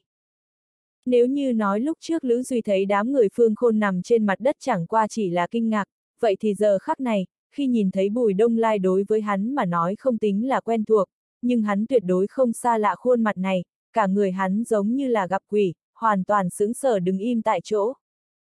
Hắn rõ ràng nhớ được, cấp trên nói Bùi Đông Lai là hung thủ giết chết Tương Cương, hiện đã rơi vào tay Hồng Tinh, hẳn là sẽ bị huyết tế, còn phái hắn dẫn người tới trước bố trí mai phục, đem những tên thủ hạ kia của Bùi Đông Lai một lưới bắt hết. Mà hiện giờ, Bùi Đông Lai thân là hung thủ lại giống như không có chuyện gì đứng ở đó, mà Phương Khôn thân là nhân vật số 2 của Hồng Tinh, sắp trở thành đại ca lại giống như chó chết nằm trên mặt đất, sống chết không rõ. Hết thảy cái này khiến cho Lữ Duy khiếp sợ quả thực không cách nào dùng lời nói để mà hình dung được. Đội trưởng Lữ, thấy sắc mặt khiếp sợ của Lữ Duy, Uông Chu lại lên tiếng chào hỏi một lần nữa. Uông tiên sinh, đã xảy ra chuyện gì? Lữ Duy lấy lại tinh thần thu hồi ánh mắt, mồm hỏi Uông Chu nhưng trong lòng thì âm thầm suy đoán nguyên nhân trong đó, kết quả là dù hắn vắt hết óc ra suy nghĩ cũng không cách nào biết được nguyên nhân, chỉ có thể mong đợi Uông Chu cho hắn câu trả lời xác đáng. Đội trưởng Lữ, hôm nay đại ca của chúng tôi gặp tai nạn ở đỉnh núi Thái Bình. Uông Chu nghiêm mặt nói. Chúng tôi đang xử lý chuyện trong nội bộ, mong rằng đội trưởng Lữ thông cảm cho. Được. Mặc dù không phải là đáp án hắn muốn, nhưng Lữ Duy cũng không phải là người mới gia nhập vào giới cảnh sát, hắn không có biểu hiện bất mãn đối với câu trả lời của Uông Chu, mà là gật đầu đáp ứng, sau đó lại không nhịn được nhìn thoáng qua Phương Khôn đang nằm co quắp trên mặt đất, do dự một chút hỏi. Uông tiên sinh, tiếp theo không có chuyện gì chứ? Không có chuyện gì nữa rồi, cảm ơn đội trưởng Lữ quan tâm. Uông Chu lắc đầu nói. Chờ tôi xử lý xong những chuyện này, sẽ đích thân tới cửa bái phòng đội trưởng Lữ. Lữ Duy biết bái phòng trong lời nói của Uông Chu là có ý gì, nhưng không có biểu hiện ra, mà là im lặng không lên tiếng gật đầu, sau đó liền xoay người rời đi. Chẳng qua là, trong nháy mắt xoay người đó, hắn lại không nhìn được đem ánh mắt nhìn Bùi Đông Lai một cái, kết quả là vừa lúc bắt gặp ánh mắt của Bùi Đông Lai cũng đang nhìn hắn. Trong phút chốc, trong không khí dường như lóe qua một tia lửa vô hình. Có lẽ nguyên nhân cấu kết cùng Lăng Hoa Cường làm nhiều chuyện xấu, khiến nội tâm Lữ Duy có quỷ, lúc ánh mắt của hắn tiếp xúc với ánh mắt của Bùi Đông Lai, trong lòng hắn không khỏi run lên, vội vàng thu hồi ánh mắt. Lăng tiên sinh, ba người phương khôn, Trầm Bân cùng Giang Hải chẳng biết tại sao đã bị giết chết, mà cái tên hung thủ giết chết tương cương kia lại bình yên vô sự, hơn nữa nhìn qua hắn cùng đám người Uông Chu đã đạt thành một cái hiệp nghị nào đó. Ra khỏi biệt thự, Lữ Duy trước tiên lấy điện thoại di động ra nhắn một cái tin nhắn cho Lăng Hoa Cường. Ha ha, ha ha ha, ha ha ha ha. Lăng Hoa Cường đang ở biệt thự bán sơn, thấy tin nhắn gửi đến đầu tiên là sửng sốt, sau đó, một cái âm mưu hiện lên trong lòng hắn, hắn giống như được uống máu gà vậy kích động vạn phần. Trời cũng giúp ta, thật là trời cũng giúp ta a. À. Đối với Lăng Hoa Cường mà nói, khi hắn liếc mắt phát hiện là tin nhắn của Lữ Duy, phản ứng đầu tiên chính là kinh ngạc. Chẳng qua là, ngắn ngủi kinh ngạc qua đi, Lăng Hoa Cường nghĩ đến sức chiến đấu kinh khủng của đám người bên cạnh Bùi Đông Lai, theo bản năng cho là người của Bùi Đông Lai một lần nữa xuất thủ. Trong lòng hiện ra ý nghĩ này, hắn liền giống như nữ nhân bị trò trúng điểm G, trực tiếp cao trào. Cho dù Phương Khôn có còn sống đi chăng nữa, hắn vẫn là có lòng tin trở thành lão đại xã hội đen duy nhất của Nam Cảng này, huống chi là hiện giờ Phương Khôn đã chết. Hồng Tinh cùng Đông Tinh tranh đấu đã nhiều năm, thân là lão đại của Đông Tinh, Lăng Hoa Cường hiểu rõ về Hồng Tinh hơn nhiều người tưởng tượng, hắn biết rõ là cả Hồng Tinh, ngoài tương cương nghĩa bạc Vân Thiên, có nhân mạch cực kỳ khủng bố ở hai lĩnh vực chính thương, Phương Khôn lại là loại giấu giếm rất sâu, thuộc về loại thiếu diện hổ, chịu trách nhiệm sự vụ làm ăn trong hắc đạo của Hồng Tinh, ở Hồng Tinh tuyệt đối là nhân vật có thực quyền, hơn nữa mạng lưới quan hệ với Bạch Đạo cũng rất khủng bố. So sánh với Tương Cương cùng Phương Khôn mà nói, các đại lão Hồng Tinh khác, ngoại trừ Uông Chu tham gia quản lý sản nghiệp Bạch Đạo của Hồng Tinh, những đại lão khác vốn là dựa vào công lao năm đó cùng Tương Cương tranh đấu giành thiên hạ mà có cổ phần ở tập đoàn Hồng Tinh, hàng năm được chia một phần lợi nhuận, căn bản không có thực quyền. Ở dưới dạng tình hình này, Tương Cương cùng Phương Khôn đều đã chết, hơn nữa còn là tàn sát lẫn nhau. Theo Lăng Hoa Cương xem ra, quả thực chính là một cơ hội tốt trời ban. Chỉ cần hắn diệt trừ cái tên tạp chủng ngoại lai bùi đông lai kia, thì thu phục hồng tinh lúc ấy tan thành năm bè bảy mảng tàn sát lẫn nhau thật sự là không có bất kỳ khó khăn nào. Vì thế, hắn không đợi Lữ Duy hồi báo cho vệ minh, liền bấm số điện thoại của vệ minh. Hắn muốn cùng Phương Khôn giống nhau, mượn đao giết người, mượn tay cảnh sát diệt trừ bùi đông lai cùng đồng bọn. Đầu bên kia điện thoại, vệ minh vẫn chưa đi ngủ tay cầm điện thoại di động, đứng ở bên cửa sổ thư phòng, nhìn cảnh đêm bên ngoài cửa sổ, chân mày không khỏi nhíu lại. Thân là phó trưởng phòng cảnh sát Nam Cảng, vệ minh chính là ô dù trong cảnh sát của Hồng Tinh. Ở dưới dạng tình hình này, hắn và Lăng Hoa Cường không có bất kỳ quan hệ nào, ngược lại, lúc trước hắn đã từng giúp đỡ Hồng Tinh thu thập Đông Tinh, cũng coi như là một cửu nhân của Đông Tinh. Mặc dù không có bất kỳ quan hệ nào với Lăng Hoa Cường, ngược lại có thành kiến rất lớn nhưng bởi vì tính chất cùng thân phận đặc thù của công việc nên khi liếc mắt một cái thì vệ minh liền nhìn ra số điện thoại biểu hiện trên màn hình là số điện thoại của Lăng Hoa Cường. Alo, ai đó? Mười mấy giây đồng hồ sau, vệ minh cao mày ấn nút nghe máy, lựa chọn giả vờ không biết. Ngài khỏe chứ, trưởng phòng vệ, tôi là Lăng Hoa Cường. Lăng Hoa Cường trước tiên tự giới thiệu. Lăng Hoa Cường, dường như giữa chúng ta không có quan hệ gì, muộn như thế này rồi mà ông còn gọi điện thoại cho tôi làm gì. Trong lòng vệ minh có thể khẳng định mục đích Lăng Hoa Cường gọi điện thoại tới cùng cái chết của Tương Cương có quan hệ, nhưng vẫn lựa chọn giả vờ không biết. Trưởng phòng vệ, có lẽ ngài còn chưa biết, Hồng Tinh lại xảy ra chuyện lớn. Ừ, tôi nghe nói ba người Phương Khôn, Trầm Bân cùng Giang Hải chết trong biệt thự tương gia. Lăng Hoa Cường cười nói, không chút che giấu hưng phấn trong lòng. Bá! Bên tai vang lên lời nói của Lăng Hoa Cương thông qua điện thoại, sắc mặt của vệ minh nhất thời đại biến. Lúc trước, bởi vì nhận được điện thoại của Phương Khôn nên hắn đã phái ra đội phi hổ đến khu vịnh nước cạn bố trí mai phục, chuẩn bị đem thủ hạ của Bùi Đông Lai một lưới bắt hết. Hiện giờ, đội phi hổ bên kia còn chưa hồi báo bất cứ tin tức gì, Lăng Hoa Cường lại nói cho hắn biết, Phương Khôn, Trầm Bân cùng Giang Hai lại chết trong biệt thự tương gia. Lăng Hoa Cường, nếu như ông cảm thấy ngứa ngáy, tôi liền không ngần ngại cho ông thư giãn gân cốt. Ngắn ngủi kinh ngạc qua đi, vẻ mặt của vệ minh trở nên có chút âm trầm, giọng nói lạnh xuống, ý tứ uy hiếp không cần nói cũng biết. Đối mặt với uy hiếp trần trụi của vệ minh, Lăng Hoa Cường trong quá khứ còn có chút kiêng kỵ với vệ minh lại không có lộ ra chút vẻ mặt sợ hãi nào, mà là vẫn cười nói. Trưởng phòng vệ, thoạt nhìn ngài không tin lời của tôi. Nếu như vậy, trước tiên ngài gọi điện thoại cho thủ hạ của ngài để họ nói tình huống cụ thể cho ngài, sau đó tôi đợi câu trả lời của ngài. Thanh âm vừa dứt, Lăng Hoa Cường rất dứt khoát cúp điện thoại, giống như là đã ném ra một mồi câu đối với vệ minh, đang chờ con cá tự động mắc câu. Quả nhiên như dự đoán, khi nghe thấy trong ống nghe truyền ra thanh âm đô đô, vệ minh giận đến tái mặt, sau đó âm trầm trực tiếp bấm số điện thoại của Lữ Duy. Lữ Duy, bên kia xảy ra chuyện gì? Điện thoại vừa chuyển, vệ minh không có chửi ầm lên, mà là trầm giọng hỏi. Đầu bên kia điện thoại, Lữ Duy vừa mới rời khỏi biệt thự tương ra nghe được lời nói của vệ minh, nhận thấy được có hỏa khí trong giọng nói của vệ minh, vội vàng đáp.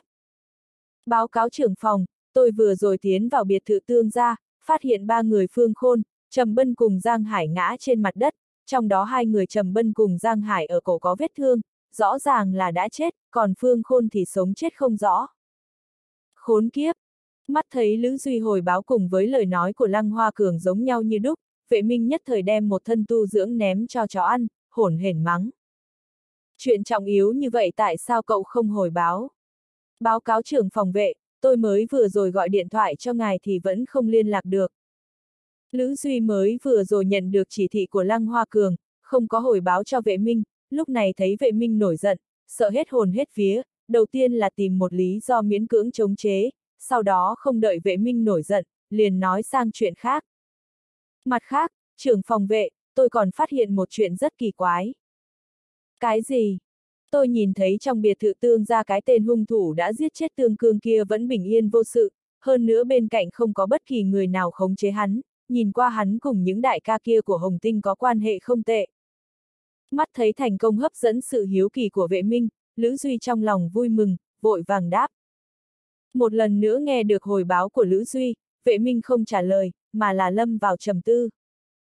Theo hắn xem ra, Phương Khôn chịu thiệt như vậy, giải thích duy nhất chính là Bùi Đông Lai động thủ. Chỉ là, nếu như Bùi Đông Lai động thủ thì lại có một vấn đề khác, tại sao những đại ca kia của đồng thời cũng không có làm gì đối với Bùi Đông Lai. Cậu dẫn người đứng ở đó đợi lệnh. Vệ Minh trầm tư một hồi lâu, không cách nào làm rõ đầu mối, lại nhớ lại cú điện thoại vừa rồi của Lăng Hoa Cường, trong lòng vừa động, lập tức làm ra chỉ thị. Rõ, trưởng phòng vệ. Lữ Duy cho ra một câu trả lời chắc chắn, sau đó, sau khi đợi vệ minh cúp điện thoại, hắn không nhịn được nhìn thoáng qua biệt thự tương ra trong miệng thầm lẩm bẩm. Xem ra Hồng Tinh sắp bị xóa tên khỏi hắc đạo Nam Cảng.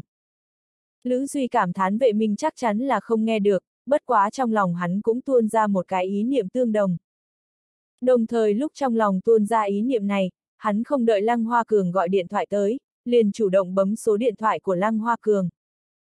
Lăng Hoa Cường, nói cho tôi biết, ông biết được những gì. Điện thoại vừa chuyển, vệ minh là người hỏi trước vẫn là giọng nói hỏi thăm nhưng không giống giọng điệu cả vú lấp miệng em lúc trước. Dường như đã đoán được trước cái kết quả này, Lăng Hoa Cường cũng không có cảm thấy ngoài ý muốn, mà là thích ý hút một hơi xì gà, cười nói. Trưởng phòng vệ, sở dĩ tôi biết được chuyện phát sinh tối nay ân, tôi biết chính là tin tức. Trong lòng vệ minh vừa động, nhưng không có lên tiếng. Tối nay, tôi cùng phương khôn của Hồng Tinh liên thủ, lợi dụng cơ hội tương cương đi bái lại quan nhị ra, trong ứng ngoài hợp định ám sát tương cương. Lúc này đây, Lăng Hoa Cường không đợi vệ minh chủ động hỏi, liền trực tiếp giải thích. Vốn là dựa theo kế hoạch của chúng tôi, tương cương hẳn phải chết không thể nghi ngờ. Sau đó, bởi vì tên tiểu tử gọi là Bùi Đông Lai kia âm thầm phái người trợ giúp, kế hoạch ám sát của chúng tôi thất bại. Bất quá, Phương Khôn âm hiểm giảo hoạt có lưu lại hậu chiêu. Hắn lợi dụng người nằm vùng ở bên cạnh Tương Cương, giết chết Tương Cương. Nghe được lời nói của Lăng Hoa Cường, vệ minh không khỏi âm thầm tiếc hận cho Tương Cương. Chẳng qua là, tiếc hận thì tiếc hận, trong lòng hắn cũng rất rõ ràng, tính cách nghĩa bạc vân thiên của Tương Cương chỉ thích hợp với quá trình tranh đấu giành thiên hạ chứ không thích hợp để giữ Giang Sơn.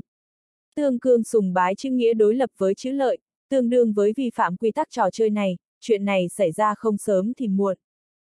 Thậm chí, vệ minh cảm thấy, với tính cách nghĩa bạc vân thiên như Tương Cương có thể ngồi trên vị trí lão đại cho tới ngày hôm nay, đã là một loại kỳ tích.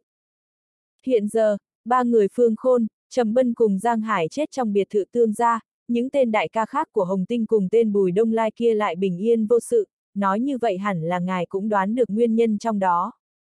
Thấy vệ minh không nói lời nào, Lăng Hoa Cường lại tiếp tục nói. Đoán được sao? Đúng vậy. Nếu như vệ minh ngay cả điểm này cũng không đoán được, như vậy hắn liền không có tư cách ngồi lên vị trí hiện tại. Mặc dù trong lòng hiểu hết thảy chuyện này, bất quá vệ minh cũng không có tiếp tục nói chuyện này, mà là lạnh lùng hỏi. Lăng Hoa Cường, ông nói cho tôi biết những thứ này, không sợ tôi bắt ông sao?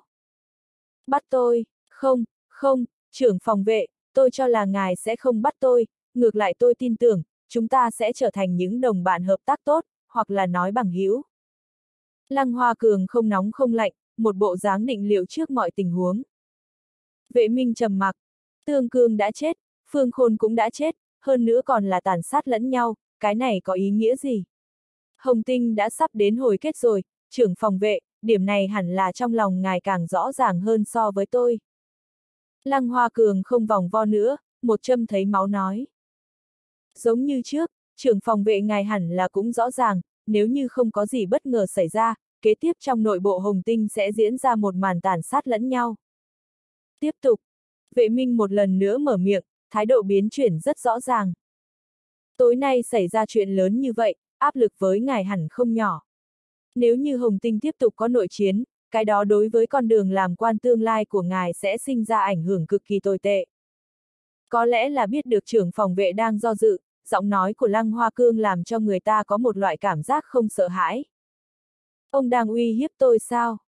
Quả nhiên, vệ minh đang nắm trước to bị lời nói của Lăng Hoa Cường kích thích. Dĩ nhiên không phải, tôi nói rồi chúng ta có thể trở thành bằng hữu, những lời vừa rồi của tôi chẳng qua là đang nhắc nhở ngài mà thôi. Lăng Hoa Cường cười nói một câu, sau đó giọng nói đột nhiên biến chuyển. Tôi có thể giúp ngài ngăn cản hết thảy chuyện này, hơn nữa những gì Hồng Tinh có thể cho ngài, sau này tôi có thể cho ngài gấp đôi. Vệ Minh trầm mặc một lần nữa, trái tim trong lúc lơ đãng nhảy lên kịch liệt, dục vọng đột nhiên bành trướng. Ông là muốn mượn tay cảnh sát diệt trừ tên thanh niên gọi là Bùi Đông Lai kia cùng đồng bọn của hắn sao? Vệ minh tâm như gương sáng nói. Đối với ngài mà nói, cái này tuyệt đối không có vấn đề gì. Dù sao hắn cũng tham dự vào chuyện này, hơn nữa người của hắn đúng là đã xuất hiện trên công viên đỉnh núi Thái Bình, quan trọng hơn chính là, ba người Phương Khôn, Trầm Bân cùng Giang Hải đúng là chết trong tay hắn. Chẳng lẽ ngài không cảm thấy hắn là Sơn Dương thế tội tốt nhất hay sao? Lăng Hoa Cường rất dứt khoát thừa nhận. Nếu như hắn đã chết, ngài tốt, tôi cũng tốt, tất cả mọi người đều tốt. Nếu như hắn không chết, hắn nhất định sẽ làm dối cục diện, mà lấy thực lực đám người dưới tay hắn thể hiện ra, nếu như thật sự làm chuyện này ẩm ý lên, hậu quả thật không cách nào tưởng tượng. Nhớ kỹ lời của ông, nếu như ông không làm được, tôi dù có không còn ở vị trí này, ông cũng sẽ không được sống an ổn. Trầm mặc một hồi lâu, vệ minh cho ra câu trả lời chắc chắn. Nghe được uy hiếp trong lời nói của vệ minh, cái gì cũng phải dựa trên sự thỏa hiệp, Lăng Hoa Cường lộ ra nụ cười của người chiến thắng. Trưởng phòng vệ, chúc cho sự hợp tác tốt đẹp của chúng ta. Vệ minh không có nói gì nữa, mà là trực tiếp cúp điện thoại. 30 giây, sau. Một chỉ thị mới liền truyền đạt đến trong tai Lữ Duy. Một lớp chưa ổn, một lớp nữa lại đến. Có người ngại bị chết quá chậm. Có người từng nói, trên cái thế giới này không có địch nhân vĩnh viễn, cũng không có bằng hữu vĩnh viễn. Từ ý nào đó mà nói, Lăng Hoa Cường cùng vệ minh đem những lời này vận dụng vô cùng nhuần nhuyễn.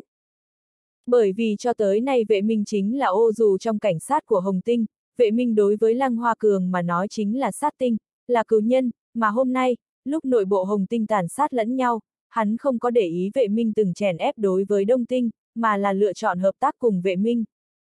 Trái lại, mặc dù vệ minh hắn có mối quan hệ cá nhân rất tốt với Tương Cương, hơn nữa hàng năm thông qua Hồng Tinh đạt được lợi ích mà người thường không cách nào tưởng tượng nổi, nhưng mà sau khi Tương Cương bị giết, lúc Hồng Tinh gặp phải khó khăn, hắn liền đem cái gọi là tình cảm cá nhân vứt cho chó ăn. Lợi ích có thể biến bạn rất thân trở thành tử địch, lợi ích cũng có thể biến tử địch trở thành bằng hữu.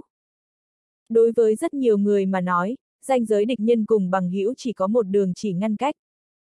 Cái này mặc dù có chút châm chọc, nhưng lại sự thực không cách nào sửa đổi. Trong đêm tối, lúc Lữ Duy nhận được chỉ thị của vệ minh, trước tiên đem mệnh lệnh của vệ minh truyền đạt cho hơn 100 tên thành viên đội phi hổ, sau đó bọn hắn lấy khí thế xét đánh không kịp bưng tai thẳng tiến biệt thự tương ra. Lúc trước, khi Lữ Duy một mình tiến vào biệt thự tương ra tìm Phương Khôn để nói chuyện, đám người phong diệp dựa theo chỉ thị của Bùi Đông Lai, tất cả đều núp trong bóng tối, không có lộ diện. Hiện giờ, phát hiện hơn 100 tên thành viên đội phi hổ đột nhiên hướng biệt thự tương ra chạy tới, Phong Diệp trước tiên nhận ra có chút gì đó không đúng, hắn đánh ra một thủ thế, để cho thủ hạ làm tốt công tác đề phòng đồng thời nhanh chóng trở về đại sảnh biệt thự. Trong đại sảnh biệt thự, Bùi Đông Lai vốn là đang cùng đám người Uông Chu thương lượng nên diệt trừ thế lực của Phương Khôn như thế nào để tránh cho Hồng Tinh xảy ra mâu thuẫn nội bộ, thấy Phong Diệp tiến vào đại sảnh biệt thự, tất cả đều không hẹn mà cùng dừng lại. Bùi tiên sinh, có điểm gì đó không đúng. Giống như lúc trước, Phong Diệp vẫn không để ý đến đám người Uông Chu, mà là bước nhanh tới trước người Bùi Đông Lai hồi báo. Tự ý nào đó mà nói, Bùi Đông Lai đối với Phong Diệp cũng không xa lạ gì. Bùi Đông Lai rất rõ ràng, lấy thực lực cách đấu có thể sánh ngang với võ giả minh kính đỉnh phong của Phong Diệp, nếu bàn về năng lực tác chiến cá nhân, hắn hoàn toàn có thể ám sát võ giả vừa tiến vào cảnh giới ám kính. Hơn nữa Phong Diệp là một người cực kỳ bình tĩnh tỉnh táo, là người có thể ở trong thời khắc sống chết vẫn có thể giữ được một cái đầu lạnh, làm ra lựa chọn tốt nhất. Bởi vì có hiểu biết nhất định về tính cách của Phong Diệp, lúc này nghe được Phong Diệp hồi báo, Bùi Đông Lai chân mày không khỏi nhướng lên, lý trí nói cho hắn biết, chuyện có thể xuất hiện biến cố nên lập tức hỏi. Xảy ra chuyện gì? Hiện giờ có hơn 100 tên đội phi hổ đang cấp tốc tới gần biệt thự này, hơn nữa trên người võ trang đầy đủ. Phong Diệp hồi báo chi tiết. Bên tai vang lên lời nói của Phong Diệp, Bùi Đông Lai lại càng nhíu chặt hơn, trong con ngươi lóe lên ánh mắt nghiềm ngấm, không biết là đang suy nghĩ cái gì. Bùi tiên sinh không cần lo lắng, mặc dù tôi không biết đội phi hổ rốt cuộc muốn làm gì, nhưng có thể khẳng định là, bọn họ sẽ không tìm chúng ta gây phiền phức. Thấy Bùi Đông Lai im lặng không lên tiếng, vẻ mặt Uông Chu tự tin nói. Không riêng gì Uông Chu, ngay cả đám người Tiết Khiêm cũng lộ ra vẻ mặt tự tin. Phần tự tin kia là do mối quan hệ trong bạch đạo của Hồng Tinh. Dù sao Hồng Tinh trong quá khứ nhiều năm như vậy có thể vững vàng áp chế Đông Tinh, đều là dựa vào mạng lưới quan hệ trong bạch đạo. Bùi Đông Lai có thể rõ ràng nhận thấy được sự tự tin toát ra từ đám người Uông Chu, giống như trước, hắn cũng biết mạng lưới quan hệ ở bạch đạo của Hồng Tinh đúng là không đơn giản. Nhưng mà, hắn vẫn không có yên tâm. Mới vừa rồi Lữ Duy đã tới biệt thự, ở dưới dạng tình hình này nếu như Lữ Duy xuất lĩnh đội phi hổ không phải là tới tìm phiền toái thì như vậy Lữ Duy không có lý do gì mà quay lại. Dường như vì xác minh suy đoán trong lòng Bùi Đông Lai, không đợi Bùi Đông Lai mở miệng, trong tai nghe của Phong Diệp truyền ra một thanh âm hồi báo của một gã thành viên Phong Diệp. Phong Diệp, đội phi hổ muốn tiến vào biệt thự, hơn nữa cảnh cáo chúng ta không nên cản trở, nếu không sẽ đem toàn bộ chúng ta bắt lại. Bùi tiên sinh, đội phi hổ muốn tiến vào biệt thự, hơn nữa phát ra cảnh cáo, không cho phép cản trở. Nghe được hồi báo của thủ hạ, Phong Diệp không dám chậm trễ, trước tiên truyền đạt lời nói cho Bùi Đông Lai. Ách! Ngạc nhiên nghe được lời nói của Phong Diệp, đám người Uông Chu không khỏi ngẩn ra. So ra mà nói, Bùi Đông Lai dường như đã đoán trước được cái kết quả này, hắn không có cảm thấy kinh ngạc, mà là ngửi được một hơi thở không tầm thường, ánh mắt khẽ híp lại. Để cho bọn hắn tiến vào, bản thân ta muốn xem bọn hắn muốn làm gì. Tiết khiêm mở miệng, khẩu khí rất cuồng, dường như cũng không có đem đội phi hổ để vào trong mắt. Phong Diệp dường như đem lời nói của Tiết Khiêm trở thành không khí, chẳng qua là vẫn đang nhìn Bùi Đông Lai đợi Bùi Đông Lai cho chỉ thị. Bảo các anh em không cần hành động thiếu suy nghĩ. Bùi Đông Lai suy nghĩ một chút nói. Để bọn họ tiến vào. Không cần cản trở, để cho bọn họ tiến vào. Không trả lời, Phong Diệp trực tiếp truyền đạt mệnh lệnh của Bùi Đông Lai. Phong Diệp vừa ra mệnh lệnh, ở cửa biệt thự các thành viên Phong Diệp đều nhường đường. Coi chừng bọn họ. Ánh mắt Lữ Duy như đao đánh giá chín gã thành viên Phong Diệp một phen, tựa hồ nhìn ra chín gã thành viên Phong Diệp cũng không phải là người của Hồng Tinh, lạnh lùng hạ một mệnh lệnh. Bá bá bá. Nghe được mệnh lệnh của Lữ Duy, mười mấy tên thành viên đội phi hổ đều dơ khẩu súng tự động MP5 được sản xuất ở Đức lên, họng súng nhắm ngay chín gã thành viên Phong Diệp, cảm giác kia giống như chín gã thành viên Phong Diệp dám làm ra hành động thiếu suy nghĩ, bọn họ sẽ lập tức nổ súng. Đối mặt với sát khí lành lạnh của một đám thành viên đội phi hổ, đối mặt với mười mấy họng súng đen nhánh, sắc mặt chín gã thành viên Phong Diệp biến hóa, nhưng không có làm ra phản kháng, mà là dựa theo chỉ thị của Phong Diệp, đứng bên cạnh cửa điện tử của biệt thự. Lữ Duy thấy thế, không nói thêm gì nữa, xuất lĩnh 30 tên thanh viên đội phi hổ, hùng hổ tiến vào biệt thự tương gia. Bên cạnh linh đường tạm thời, thuốc hạ của Uông Chu cùng những đại lão kia nhìn thấy thành viên đội phi hổ võ trang đầy đủ thì đều lộ ra sắc mặt nghi ngờ, ngoài nghi ngờ ra cũng không có tiến lên ngăn trở. Rất nhanh, Lữ Duy dẫn người xuyên qua vườn hoa biệt thự, xuất hiện ở cửa đại sảnh biệt thự. Đội trưởng Lữ, anh đây là... Cửa đại sảnh, Uông Chu mang theo đám người tiết khiêm chờ đã lâu, thấy Lữ Duy dẫn người xuất hiện liền lập tức nghênh đón, nhưng trong giọng nói mang theo vài phần không vui. Uông tiên sinh. Cùng lúc trước bất đồng, lần này đối mặt với Uông Chu thái độ của Lữ Duy xảy ra biến hóa nghiêng trời lệch đất, giọng nói không hề khách khí khiến cho người ta có một loại cảm giác bức người. Tôi vừa mới nhận được mệnh lệnh của cấp trên, cấp trên yêu cầu tôi mang tội phạm về cục cảnh sát, mong rằng Uông tiên sinh cùng người của ông không nên cản trở chúng tôi thi hành nhiệm vụ. Đang lúc nói chuyện, tay Lữ Duy chỉ vào Bùi Đông Lai đứng ở phía sau đám người Uông Chu.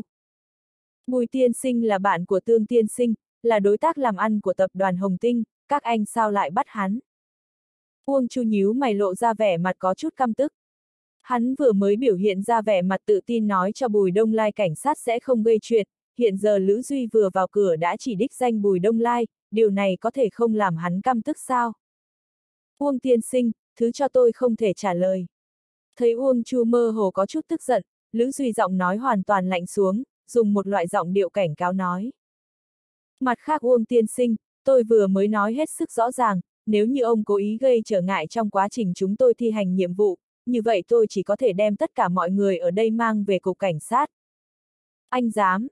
Lữ Duy vừa dứt lời, không đợi Uông Chu đáp lời Tiết Khiêm liền nổi giận, kể từ khi Hồng Tinh trở thành hắc bang xã đoàn đệ nhất Nam Cảng, hắn có lúc nào bị mấy tên cảnh sát tép diêu trước mặt chọc tức.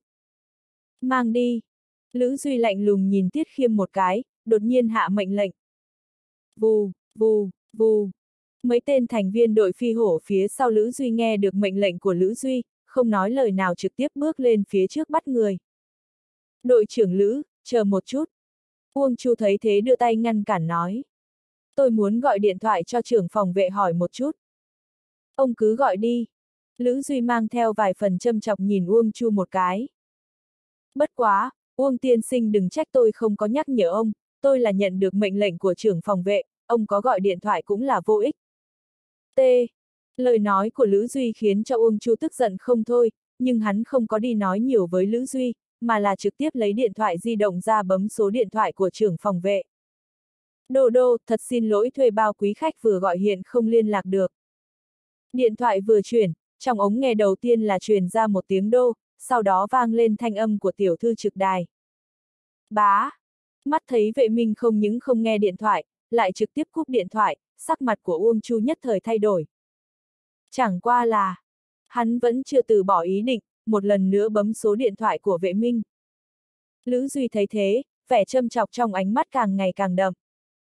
Thân là đội phó đội phi hổ, hắn biết rõ vệ minh hạ cái chỉ thị kia tương đương với việc đạt thành hiệp nghị với Lăng Hoa Cường, mục đích bắt Bùi Đông Lai là tính toán để cho Bùi Đông Lai trở thành Sơn Dương Thế Tối, chịu hoàn toàn trách nhiệm chuyện xảy ra tối nay. Ở dưới dạng tình hình này, hắn tuyệt đối không tin vệ minh sẽ nghe điện thoại của Uông Chu. Đô đô, thật xin lỗi thuê bao quý khách vừa gọi hiện không liên lạc được. Trong điện thoại lại một lần nữa truyền ra thanh âm của tiểu thư trực đài, Uông Chu thân thể khẽ run lên, sắc mặt trở nên cực kỳ khó coi. Mặc dù hắn không cách nào tiếp nhận chuyện này, nhưng lại không thể nào không chấp nhận, vệ minh không muốn nghe điện thoại của hắn. Cái này có ý vị như thế nào, hắn dùng đầu ngón chân cũng có thể nghĩ ra được. Không riêng gì Uông Chu sắc mặt trở nên rất khó coi, đám người tiết khiêm cũng là một cảm giác lúc ăn cơm nuốt phải con ruồi, vẻ mặt hết sức khó chịu. Uông tiên sinh, tránh ra nào. Thấy đám người Uông Chu giống như mấy tên hề làm trò trước mặt mình, Lữ Duy cười lạnh một tiếng nói. Lúc này đây, đám người Uông Chu không có nói gì nữa, mà là sắc mặt gian nan quay đầu nhìn về phía Bùi Đông Lai, trong ánh mắt lộ ra lo lắng thật sâu. Đội trưởng Lữ, nếu như tôi không có đoán sai, anh mới vừa rồi nhận được chỉ thị chính là do trưởng phòng vệ chỉ thị A. Mắt thấy mọi người đem ánh mắt nhìn về phía mình, Bùi Đông Lai vẫn là vẻ mặt bình tĩnh nghênh đón. Ách! Ngạc nhiên nghe được lời nói của Bùi Đông Lai, Lữ Duy hơi có vẻ nghi ngờ, ngoài nghi ngờ ra nhưng cũng không có đi hỏi Bùi Đông Lai dựa vào cái gì mà đoán được điểm này, mà là lạnh lùng nói. Tiểu tử, tôi biết thân thủ của cậu không tệ, nhưng mà tôi cảnh cáo cậu, cậu tốt nhất thành thật một chút không cần tự mình chuốc lại cực khổ. Xem ra bị tôi đoán đúng. Đối mặt với uy hiếp của Lữ Duy, Bùi Đông Lai không thèm để ý chút nào tiếp tục nói. Trưởng phòng vệ đúng là bằng hữu của Hồng Tinh, hiện giờ lại hạ một cái mệnh lệnh như vậy, nhất định là bởi vì cùng Lăng Hoa Cường đạt thành hiệp nghị nào đó, hắn cho các người tới bắt tôi, hơn phân nửa là muốn để cho tôi trở thành Sơn Dương thế tội, đi chịu trách nhiệm cho cái chết của Tương Tiên Sinh, đúng không? Bá! Bùi Đông Lai vừa thốt ra những lời kia, đám người Uông Chu giống như là hài tử bị lạc trong bóng tối, đột nhiên thấy được con đường về nhà mình, bừng tỉnh đại ngộ, sắc mặt cuồng biến không ngừng. Cùng lúc đó, Lữ Duy trong lòng nhấc lên sóng to gió lớn, dùng ánh mắt giống như là nhìn quái vật mà nhìn Bùi Đông Lai, tựa hồ như đang hỏi tiểu tử này làm sao biết được chuyện này. Đội trưởng Lữ, không phải là tôi xem thường các anh, chỉ bằng bọn gà đất chó kiểng các anh, nếu tôi muốn đi thì không ai có thể ngăn cản. Thấy Lữ Duy bị dọa cho sướng sờ ngay tại chỗ, Bùi Đông Lai cười, cười đến ánh mắt híp lại thành một kẽ hở nhỏ. Bất quá, anh yên tâm, tôi sẽ không rời đi, Lăng Hoa Cường tặng tôi một phần đại lễ như vậy, nếu như tôi đi, chẳng phải là cô phụ ý tốt của hắn sao? Dầm! Lời nói hời hợt của Bùi Đông Lai giống như là một chậu nước lạnh hắt vào cái chảo đang sôi trào khiến nó trực tiếp tắt ngúm. Dưới ánh đèn, ngoại trừ Uông Chu đã biết Bùi Đông Lai là lão đại xã hội đen vùng tam giác trường Giang Gia, vẻ mặt những lão đại khác của Hồng Tinh đều là ngây ngốc nhìn Bùi Đông Lai, trong con ngươi tràn đầy vẻ khiếp sợ. Vốn là bọn họ thấy Lữ Duy đi rồi lại tiến vào biệt thự một lần nữa thì cảm thấy hết sức nghi ngờ, hiện giờ nghe được Bùi Đông Lai nói như vậy, mới phản ứng được, cây đổ bầy khí tan, tương cương vừa chết, vệ minh từng là ô dù trong cảnh sát của Hồng Tinh trực tiếp làm phản rồi. Điều này trực tiếp khiến cho Hồng Tinh lâm vào một cục diện cực kỳ nguy hiểm không nói, cũng khiến cho trong lòng của bọn họ tràn đầy lo lắng, không riêng gì lo lắng cho cục diện kế tiếp của Hồng Tinh, cũng lo lắng cho kết cục của Bùi Đông Lai. Theo bọn hắn xem ra, nếu như cảnh sát quyết tâm muốn Bùi Đông Lai trở thành Sơn Dương thế tội, trừ phi Bùi Đông Lai chạy trốn, nếu không thì chậu nước bẩn này hắn phải chịu rồi. Đồng thời hiểu được điểm này, bọn họ cảm thấy đối mặt với 30 tên thành viên đội phi hổ võ trang đầy đủ, Bùi Đông Lai muốn rời khỏi biệt thự này, cơ hồ là không có khả năng. Ở dưới dạng tình hình này, Bùi Đông Lai lại đem thành viên đội phi hổ ví thành gà đất chó kiểng, hoàn toàn không có đem thành viên đội phi hổ để vào trong mắt hơn nữa còn nói không muốn rời đi, đem đầu mâu chỉ thẳng vào lăng hoa cường. Điều này khiến cho bọn hắn rung động quả thực không cách nào dùng lời nói mà hình dung được. So với mấy tên đại ca hồng tinh kia mà nói, lấy Lữ Duy cầm đầu cho đến các thành viên đội phi hổ nghe được lời nói nhìn qua hời hợt, trên thực tế lại cuồng không ai bì nổi kia, đầu tiên là cũng giống như mấy tên đại lão hồng tinh, đều lộ ra vẻ mặt khiếp sợ, sau đó, bọn họ giống như bị chạm vào lòng kiêu ngạo thuộc về thành viên của đội phi hổ mà trực tiếp nổi giận. Bá bá bá. Vì tức giận nên các thành viên của đội phi hổ không đợi Lữ Duy làm ra chỉ thị, liền đằng đằng sát khí dơ khẩu MP5 lên, họng súng nhắm ngay vào bùi đông lai. A, à, ha ha, ha ha ha ha. Thấy thủ hạ chủ động đem họng súng nhắm ngay vào bùi đông lai, Lữ Duy trực tiếp bị chọc cười, hắn giống như là nghe được chuyện đáng cười nhất trên thế giới này, vẻ mặt cười nhạo nhìn bùi đông lai. Tiểu tử, tao thật sự rất tò mò, mày lấy đâu ra dũng khí để nói ra những lời vừa rồi. Chúng ta là gà đất chó kiểng, tao khinh, mày cho rằng mày là siêu nhân à. Lữ Duy vừa dứt lời, liền phát hiện không thấy bùi đông lai đâu. Không sai. Bùi đông lai dường như chưa bao giờ xuất hiện ở chỗ đó, biến mất trước mắt bao nhiêu người. Tao có phải siêu nhân hay không thì không biết, nhưng tao có thể giết mày như giết gà. Bóng người chấp động, bùi đông lai tựa hồ như u linh, đột nhiên xuất hiện ở trước người Lữ Duy, tay phải đột nhiên xuất ra, không đợi Lữ Duy làm ra bất kỳ phản kháng nào thì đã kẹp cứng cổ của Lữ Duy, giống như là sách con gà vậy trực tiếp nhấc Lữ Duy lên khỏi mặt đất. Ách! Mắt thấy bùi đông lai giống như là ảo thuật đột nhiên xuất hiện ở trước người Lữ Duy đem Lữ Duy nhấc lên thì vô luận là Uông Chu cùng các đại lão hồng tinh hay là những thành viên đội phi hổ kia đều có cảm giác nhìn thấy quỷ giữa ban ngày, miệng trực tiếp há thành hình chữ O. Giờ khắc này, thậm chí bọn họ còn nghi ngờ mắt mình xuất hiện ảo giác. Bởi vì, bọn họ không thể tin được cũng không cách nào tiếp nhận Lữ Duy Thân là nhân vật tinh anh số một của đội phi hổ ở trước mặt Bùi Đông Lai cũng không cách nào chịu được một kích. Sau đó, những thành viên đội phi hổ kia đều mở to mắt cố gắng dùng phương thức này nhìn rõ ràng một chút, nhìn kỹ xem liệu mình có xuất hiện ảo giác hay không. Bọn họ thấy rõ. Dưới ánh đèn, Lữ Duy bị Bùi Đông Lai nắm chặt lấy cổ, giống như là bị cố định ở trên không trung, trong nháy mắt gương mặt đỏ bừng lên, hắn cố gắng dẫy dụa kết quả là vừa mới nhúc nhích bùi đông lai liền gia tăng thêm lực đạo tùy thời có thể bóp nát cổ họng của hắn kết thúc tính mạng của hắn. Nhận thấy được điểm này, Lữ Duy bị dọa sợ đến nỗi trái tim đập liên hồi, lập tức dừng dẫy dụa chẳng qua là hoảng sợ nhìn bùi đông lai. Để đội trưởng xuống. Thấy một màn như vậy, những tên thành viên đội phi hổ kia đều lấy lại tinh thần trong cơn khiếp sợ, họng súng đồng loạt nhắm ngay vào bùi đông lai dường như sẽ tùy thời nổ súng nếu bùi đông lai có hành động gì khác. Nếu tao có thể trước lúc chúng mày nổ súng chế phục hắn thì cũng có thể trước lúc chúng mày nổ súng thì tao đã giết hắn rồi. Đối mặt với mấy chục họng súng đen nhánh, trên mặt bùi đông lai không có chút sợ hãi nào, thay vào đó là vẻ khinh thường. Không tin, chúng mày có thể thử một lần. Ô, ô, không đợi những tên thành viên đội phi hổ kia trả lời, Lữ Duy kịch liệt vùng vẫy đứng lên, cổ họng phát ra những tiếng ô ô như tiếng như vịt đực, dùng phương thức này nhắc nhở thủ hạ không nên hành động thiếu suy nghĩ.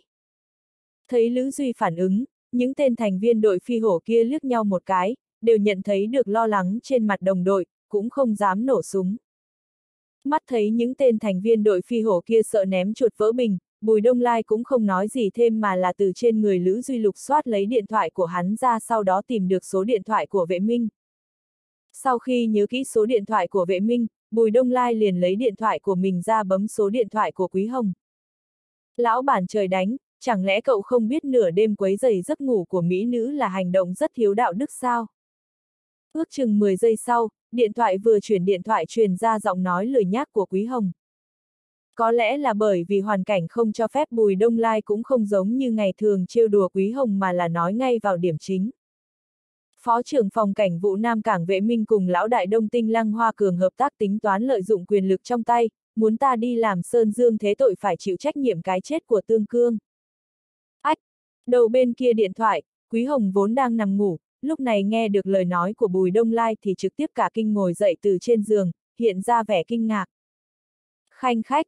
Kinh ngạc qua đi, Quý Hồng giống như là nghe được chuyện gì đáng cười vậy, nàng nở nụ cười cười đến gặp cả người lại bộ ngực sữa đung đưa khiêu khích rất phong tình. Lão bản thân ái của tỷ, cậu thật sự rất đáng yêu, thật sự. Tôi đưa số điện thoại của hắn cho cô, cô nghĩ biện pháp liên lạc cùng với hắn. Bùi Đông Lai đem số điện thoại của vệ minh nói cho Quý Hồng nhưng không có nói cho Quý Hồng tại sao phải liên lạc với vệ minh, bởi vì hắn tin tưởng Quý Hồng hiểu ý tứ của hắn. Lão bản thân ái của tỷ, cậu đây là muốn để cho tỷ đi hù dọa hắn sao? Giống như Bùi Đông Lai dự liệu, Quý Hồng quả thật là hiểu rõ ý tứ của Bùi Đông Lai nên cười trêu nói. Nói thật, tỷ thật hận không được lập tức bay đến Nam Cảng tự mình nói chuyện trực tiếp cùng với hắn. Ngẫm lại mà xem, nếu như hắn biết cậu là lão đại đứng sau màn của hắc đạo vùng tam giác trường giang, biết được ngay cả thái tử Diệp gia quyền thế đang như mặt trời ban trưa cũng không dám theo cậu gọi nhịp, vẻ mặt của hắn nhất định sẽ rất phấn khích nhỉ. Ừ, thiếu chút nữa thì quên mất lão bản thân ái của tỷ còn có một phụ thân nghiêu bức nữa chứ, tỷ sợ là sẽ đem hắn hù dọa thành có bệnh tim đó. Đô, đô. Quý Hồng giống như là lâm vào ảo tưởng vậy tự nói một mình trong điện thoại, kết quả không đợi nàng nói xong Bùi Đông Lai liền cúp điện thoại. Mày không cần khẩn trương, tao sẽ không giết mày. Điện thoại vừa cúp, Bùi Đông Lai thấy ánh mắt hoảng sợ của Lữ Duy nhìn mình hắn thản nhiên nói. Tao chỉ là muốn mày cùng thủ hạ của mày cùng tao chờ điện thoại từ cấp trên của mày thôi. Ách! Một lần nữa nghe được lời nói của Bùi Đông Lai, ngoại trừ Uông Chu ra, những tên đại lão hồng tinh kia đều là vẻ mặt quỷ dị nhìn Bùi Đông Lai, cảm giác kia dường như đang hỏi, người này rốt cuộc là ai? Mà những tên thành viên đội phi hổ kia thì lại hoàn toàn mù tịt, bọn họ thật sự nghĩ không ra Bùi Đông Lai rốt cuộc dựa vào cái gì mà có thể khiến nhân vật số 2 của cảnh sát vệ minh tự mình gọi điện thoại tới. Dựa vào cái gì? Đầu bên kia điện thoại, Quý Hồng nhận thấy được Bùi Đông Lai đã cúp điện thoại, giận đến bộ ngực sữa run lên tức giận mắng. Cái tên khốn kiếp ngàn đao chém chết này, chỉ biết sai tỷ tỷ đi chùi đít cho hắn, xem lần sau làm sao tỷ tỷ này cắt tiểu dây dây của cậu. Nói là nói như vậy nhưng Quý Hồng có thể tưởng tượng ra được cục diện khó khăn mà Bùi Đông Lai gặp phải hiện tại, liền lập tức hành động nhắn cho vệ minh một cái tin nhắn. Nội dung của tin nhắn hết sức đơn giản, tôi là Quý Hồng Chủ tịch Tập đoàn Đông Hải. gen Tiếng tin nhắn vang lên phá vỡ vẻ an tĩnh trong thư phòng của vệ minh. Trong thư phòng, vệ minh vốn là đang ngồi hút thuốc ở trước bàn đọc sách, trong lòng cũng không biết đang nghĩ cái gì đột nhiên nghe được thanh âm tin nhắn vang lên theo bản năng cho là Uông Chu chưa từ bỏ ý định mới nhắn tin đến, bất quá cũng là cầm điện thoại di động lên. Ách! Ngạc nhiên thấy nội dung tin nhắn, trong nháy mắt đôi mắt của vệ minh trợn to ra. Một đoạn thời gian trước, Quý Hồng đầu tiên là nhất thống hắc đạo Đông Hải, sau đó mãnh long quá giang tiêu diệt phương chấn ở hàng hồ cướp lấy giang sơn hắc đạo hàng hồ, lại trực chỉ hướng Tây lấy thế xét đánh không kịp bưng tai chiếm lấy hắc đạo Nam Tô. Thân là nhân vật số 2 của cảnh vụ Nam Cảng, vệ minh tự nhiên là có nghe nói qua một loạt sự tích kinh thiên động địa của Quý Hồng. Ở dưới dạng tình hình này, lại đột nhiên xuất hiện tin nhắn như thể mang theo ma lực nào đó trực tiếp khiến trong lòng của vệ minh rung động không thôi. Gen, gen. Sau đó, không đợi vệ minh từ trong kinh ngạc hồi phục lại tinh thần, điện thoại di động của hắn chấn động một lần nữa. Lúc này đây, không phải là tin nhắn mà là cuộc gọi tới. Mắt thấy trên màn hình biểu hiện số điện thoại gọi tới chính là số mới vừa rồi gửi đến tin nhắn, vệ minh từ trong kinh ngạc lấy lại tinh thần, sắc mặt nghi ngờ nghe điện thoại. Quý tiểu thư, không nghĩ tới trưởng phòng vệ còn nhớ rõ tiểu nữ, thật là có cảm giác vinh hạnh sâu sắc. Quý Hồng vẫn một bộ dáng nũng nịu nói. Quý tiểu thư thiên tư quốc sắc, mỗi một người đàn ông đã gặp một lần đều sẽ không quên. Vệ minh không phải là dạng gà mờ trong quan trường, hắn không cho là xà mỹ nữ này đang đêm gọi điện thoại cho mình nói chuyện yêu đương, ngược lại hắn mơ hồ cảm thấy có gì đó không đúng, cho nên hắn đầu tiên là bất động thanh sắc khen một câu, sau đó trực tiếp hỏi thẳng Quý Hồng. Quý tiểu thư, tôi rất khỏe, trễ như vậy mà cô gọi điện thoại cho tôi, có gì không? Cứu ông! Quý Hồng cười nói. Cứu tôi! Vệ minh sửng sốt, vẻ nghi ngờ trong lòng càng ngày càng đậm, bất quá hắn không lộ ra trong giọng nói mà là cười nói. Quý tiểu thư, cô đùa thật thú vị. Trưởng phòng vệ, tôi nghe nói ông hợp tác cùng Lăng Hoa Cường, cố gắng dùng quyền lực trong tay khiến cho một thanh niên tên là Bùi Đông Lai phải đi làm Sơn Dương thế tội chịu trách nhiệm cái chết của Tương Cương, đúng không? Thấy vệ minh giả vờ không biết, Quý Hồng trực tiếp hỏi. Lộc bộp. Lời nói của Quý Hồng khiến cho trái tim của vệ minh không khỏi căng thẳng, mình cũng chỉ là mới làm ra quyết định hợp tác cùng với Lăng Hoa Cường, Quý Hồng làm sao biết được. Trưởng phòng vệ, biết tại sao tôi nói muốn cứu ông không? Quý Hồng vừa nói, nụ cười trên mặt không giảm giọng nói lại lạnh lẽo làm lòng người phát run. Bởi vì, ông đang đi tìm cái chết. Bởi vì, ông đang đi tìm cái chết. Trong thư phòng an tĩnh, giọng nói lạnh như băng của Quý Hồng thông qua điện thoại rơi vào trong tai của vệ minh, giống như một đạo sấm rền nổ vang khiến trong lòng vệ minh nhấc lên sóng to gió lớn, suy nghĩ miên man thế cho nên quên cả trả lời.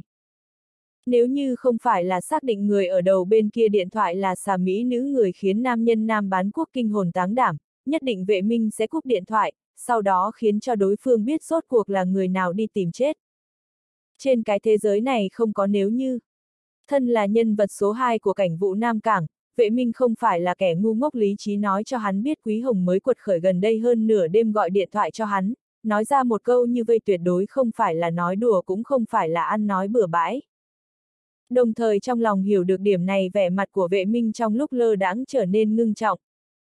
Quý tiểu thư, ý của cô là tôi không chọc nổi cái tên thanh niên gọi là Bùi Đông Lai kia. Trưởng phòng vệ, Nam Cảng là một nơi đặc thù ông thân là phó trưởng phòng cảnh vụ hẳn là nắm được quyền to, thế cho nên dù là Tương Cương hay là Lăng Hoa Cường đều phải cần lấy lòng ông. Quý Hồng trả lời một nẻo mà lại là một câu trả lời lập lờ nước đôi sau đó lại hỏi ngược lại. Chẳng qua, ông cảm thấy quyền lực ông nắm giữ trong tay lớn hay là quyền lực trong tay Tào Nghiễm Giang mới ngã ngựa không lâu trước lớn hơn. Tào Nghiễm Giang. Quý Hồng vừa dứt lời, trong lòng vệ minh liền hiện ra một cái đáp án. Đúng như lời của Quý Hồng, Nam Cảng là một nơi hết sức đặc thù, dù hắn chỉ là một phó trưởng phòng cảnh vụ bàn về cấp bậc hành chính cũng chỉ là cấp phó sảnh, bàn về thực quyền cũng chỉ là trong hệ thống cảnh sát hơn nữa còn không phải là người đứng đầu. Mà Tào Nghiễm Giang thân là nhân vật số 3 trưởng quản kinh tế của tỉnh Hồ Giang, chính là cấp phó tỉnh hàng thật giá thật, bàn về quyền lực thì lớn hơn hắn nhiều lắm, bàn về thân phận thì càng hiển hách hơn so với hắn. Huống chi Tào Nghiễm Giang là một thành viên của phe cánh Diệp gia. Ở dưới dạng tình hình này, hắn lấy cái gì đánh đồng cùng Tào Nghiễm Giang? Chẳng qua là, Đồng thời trong lòng hiện ra đáp án thì vẻ mặt của vệ minh cũng là hết sức nghi ngờ sau đó trong lòng hắn đột nhiên nghĩ tới điều gì, nhất thời sắc mặt biến đổi nhưng lại không dám khẳng định. Trưởng phòng vệ, ông có phải rất nghi ngờ hay không, tại sao tôi lại đem ông cùng Tào Nghiễm Giang so sánh với nhau? Đầu bên kia điện thoại, Quý Hồng dường như có thể đoán được tâm tư của vệ minh, vẫn là một giọng nói mê chết người không cần đền mạng nói. Ân, tôi nghĩ ông cũng đã đoán được một chút rồi nhỉ, vậy thì ông nói một chút xem ông đoán được cái gì. Nếu như là bình thường thì giọng nói nũng nịu kia của Quý Hồng sẽ làm giấy lên ham muốn chinh phục của vệ minh, chỉ là, giờ khắc này lời nói nũng nịu đó lại mang đến cho vệ minh một loại cảm giác sợ hết hồn hết phía. Theo tôi được biết, Tào Nghiễm Giang sở dĩ ngã ngựa hoàn toàn là bởi vì cô liên thủ cùng Bạch Gia gây nên. Mặc dù giọng nói của Quý Hồng mang theo vài phần trêu chọc khiến cho vệ minh thân ở địa vị cao cảm thấy rất không thoải mái, bất quá hắn cũng không có biểu hiện ra ở trong giọng nói mà là trầm giọng nói. Tối nay cô vì thanh niên tên là Bùi Đông Lai kia mà tự mình gọi điện thoại cho tôi, chẳng lẽ là muốn nói cho tôi biết rằng Tào Nghiễm Giang ngã ngựa hoàn toàn là kiệt tác của tiểu tử kia sao? Chúc mừng ông, đã trúng thưởng chai dầu ăn. Quý Hồng nở một nụ cười khanh khách như dâm phụ giữa ngày thường. Ách! Tuy rằng trong lòng vệ minh mơ hồ đoán được điểm này, chỉ là nghe được chính miệng Quý Hồng thừa nhận thì trong lòng vệ minh hốt hoảng, miệng cũng hơi mở lớn ra, trên mặt hắn hiện lên vẻ khiếp sợ. Trưởng phòng vệ thân ái, ông không cần khẩn trương, ân, tôi chỉ là ăn ngay nói thật với ông mà thôi. Nụ cười trên mặt Quý Hồng không còn sót lại chút gì, bất quá giọng nói của nàng vẫn mê người tựa hồ như đang trêu chọc tình lang. Nói đến đây hẳn là ông cũng đã nhìn ra rồi, tôi chỉ là một người làm công, ân, Bùi Thiếu là lão bản của tôi. Mà ba cái địa bàn Đông Hải, Hồ Giang cùng Nam Tô sở dĩ xảy ra chuyện cũng là tác phẩm của Bùi Thiếu, mà tôi cũng chỉ là chân chạy vặt mà thôi. T. Một lần nữa nghe được lời nói của Quý Hồng, cho dù vệ minh có tố chất tâm lý thật tốt cũng bị kích thích không nhẹ, trực tiếp hít vào một hơi. Mặt khác, trưởng phòng vệ, ông có thể còn chưa biết, vô luận là trận chiến ở Hồ Giang hay là trận chiến ở Nam Tô đều có bóng dáng của Diệp gia trong đó, nhất là ở trong trận chiến ở Nam Tô, thái tử của Diệp gia đứng phía sau màn thao túng toàn cục, Lâm Tường nhân vật đại biểu cho đời thứ tư Lâm gia lại chỉ bo bo giữ mình. Hắn, hắn rốt cuộc là ai? Lần này không đợi Quý Hồng nói cho hết lời, vệ minh liền cắt đứt lời nói của Quý Hồng. Giọng nói vừa dứt, nỗi lo lắng dâng lên tận cổ họng hắn, trong con người của hắn toát ra vài phần sợ hãi, mặc dù tại Nam Cảng thì hắn cũng tính là một nhân vật nhưng mà nếu so sánh với những đại thiếu gia của kinh thành kia thì hắn chỉ là đồ hai lúa mà thôi. Trưởng phòng vệ, chẳng lẽ ngài chưa nghe nói qua nóng vội không ăn được đậu hũ nóng? Nhất là chiếm tiện nghi của nữ nhân, khanh khách. Dường như đã nhận ra trong giọng nói của vệ minh toát ra vài phần sợ hãi, Quý Hồng một lần nữa cười phá lên rất phóng đáng. Ân, tôi nói tiếp chuyện vừa rồi. Trận chiến ở Nam Tô rất nhiều thế lực bị quấn vào, cuối cùng Thái tử Diệp ra thất bại thảm hại, ngay cả cái dám cũng không dám phóng. Mà lão bản thân ái của tôi, hắn chẳng những có thể danh chính ngôn thuận tiếp nhận hắc đạo Giang Tô hơn nữa còn được Trần Diêm Vương của quân khu Giang Ninh nhìn chúng, trở thành bảo bối trong lòng ông ta. Lời nói của Quý Hồng dường như là một thanh dao găm vô hình không ngừng đâm vào trái tim của vệ minh, một cỗ sợ hãi không cách nào dùng ngôn ngữ trong nháy mắt chiếm cứ thân thể của hắn, khiến cho tay phải của hắn không thể khống chế được run rẩy dữ dội, cái điện thoại di động tùy thời tuột khỏi tay hắn rơi xuống đất. Dĩ nhiên, tôi cũng biết trưởng phòng vệ quyền cao chức trọng, những lời này tự nhiên là sẽ không để ở trong lòng. Thấy vệ minh không nói lời nào, Quý Hồng liền châm chọc một câu sau đó cố ý ngáp một cái nói. Tốt lắm, tôi mệt rồi không quấy dày ngài nữa. Đợi, đợi một chút. Mắt thấy Quý Hồng sắp cúp điện thoại, vệ minh liền khẩn trương. Quý tiểu thư, hắn rốt cuộc là ai? Trưởng phòng vệ, hắn chẳng qua chỉ là một sinh viên bình thường của Đại học Đông Hải mà thôi, lấy thân phận của trưởng phòng vệ chỉ cần tùy tiện phái ra một hai tên thủ hạ là có thể khiến cho hắn không chịu nổi rồi. Quý Hồng cười nói, một sinh viên đại học bình thường. Vệ minh muốn mua một khối đậu hủ để tự sát rồi. Quý tiểu thư, tại sao tôi phải tin tưởng lời nói của cô? Liên tục bị Quý Hồng trêu chọc, vệ minh cũng có chút phát cáu, không nhìn được hỏi. Tôi có yêu cầu ông tin lời của tôi sao? Có sao? Quý Hồng tức giận nói.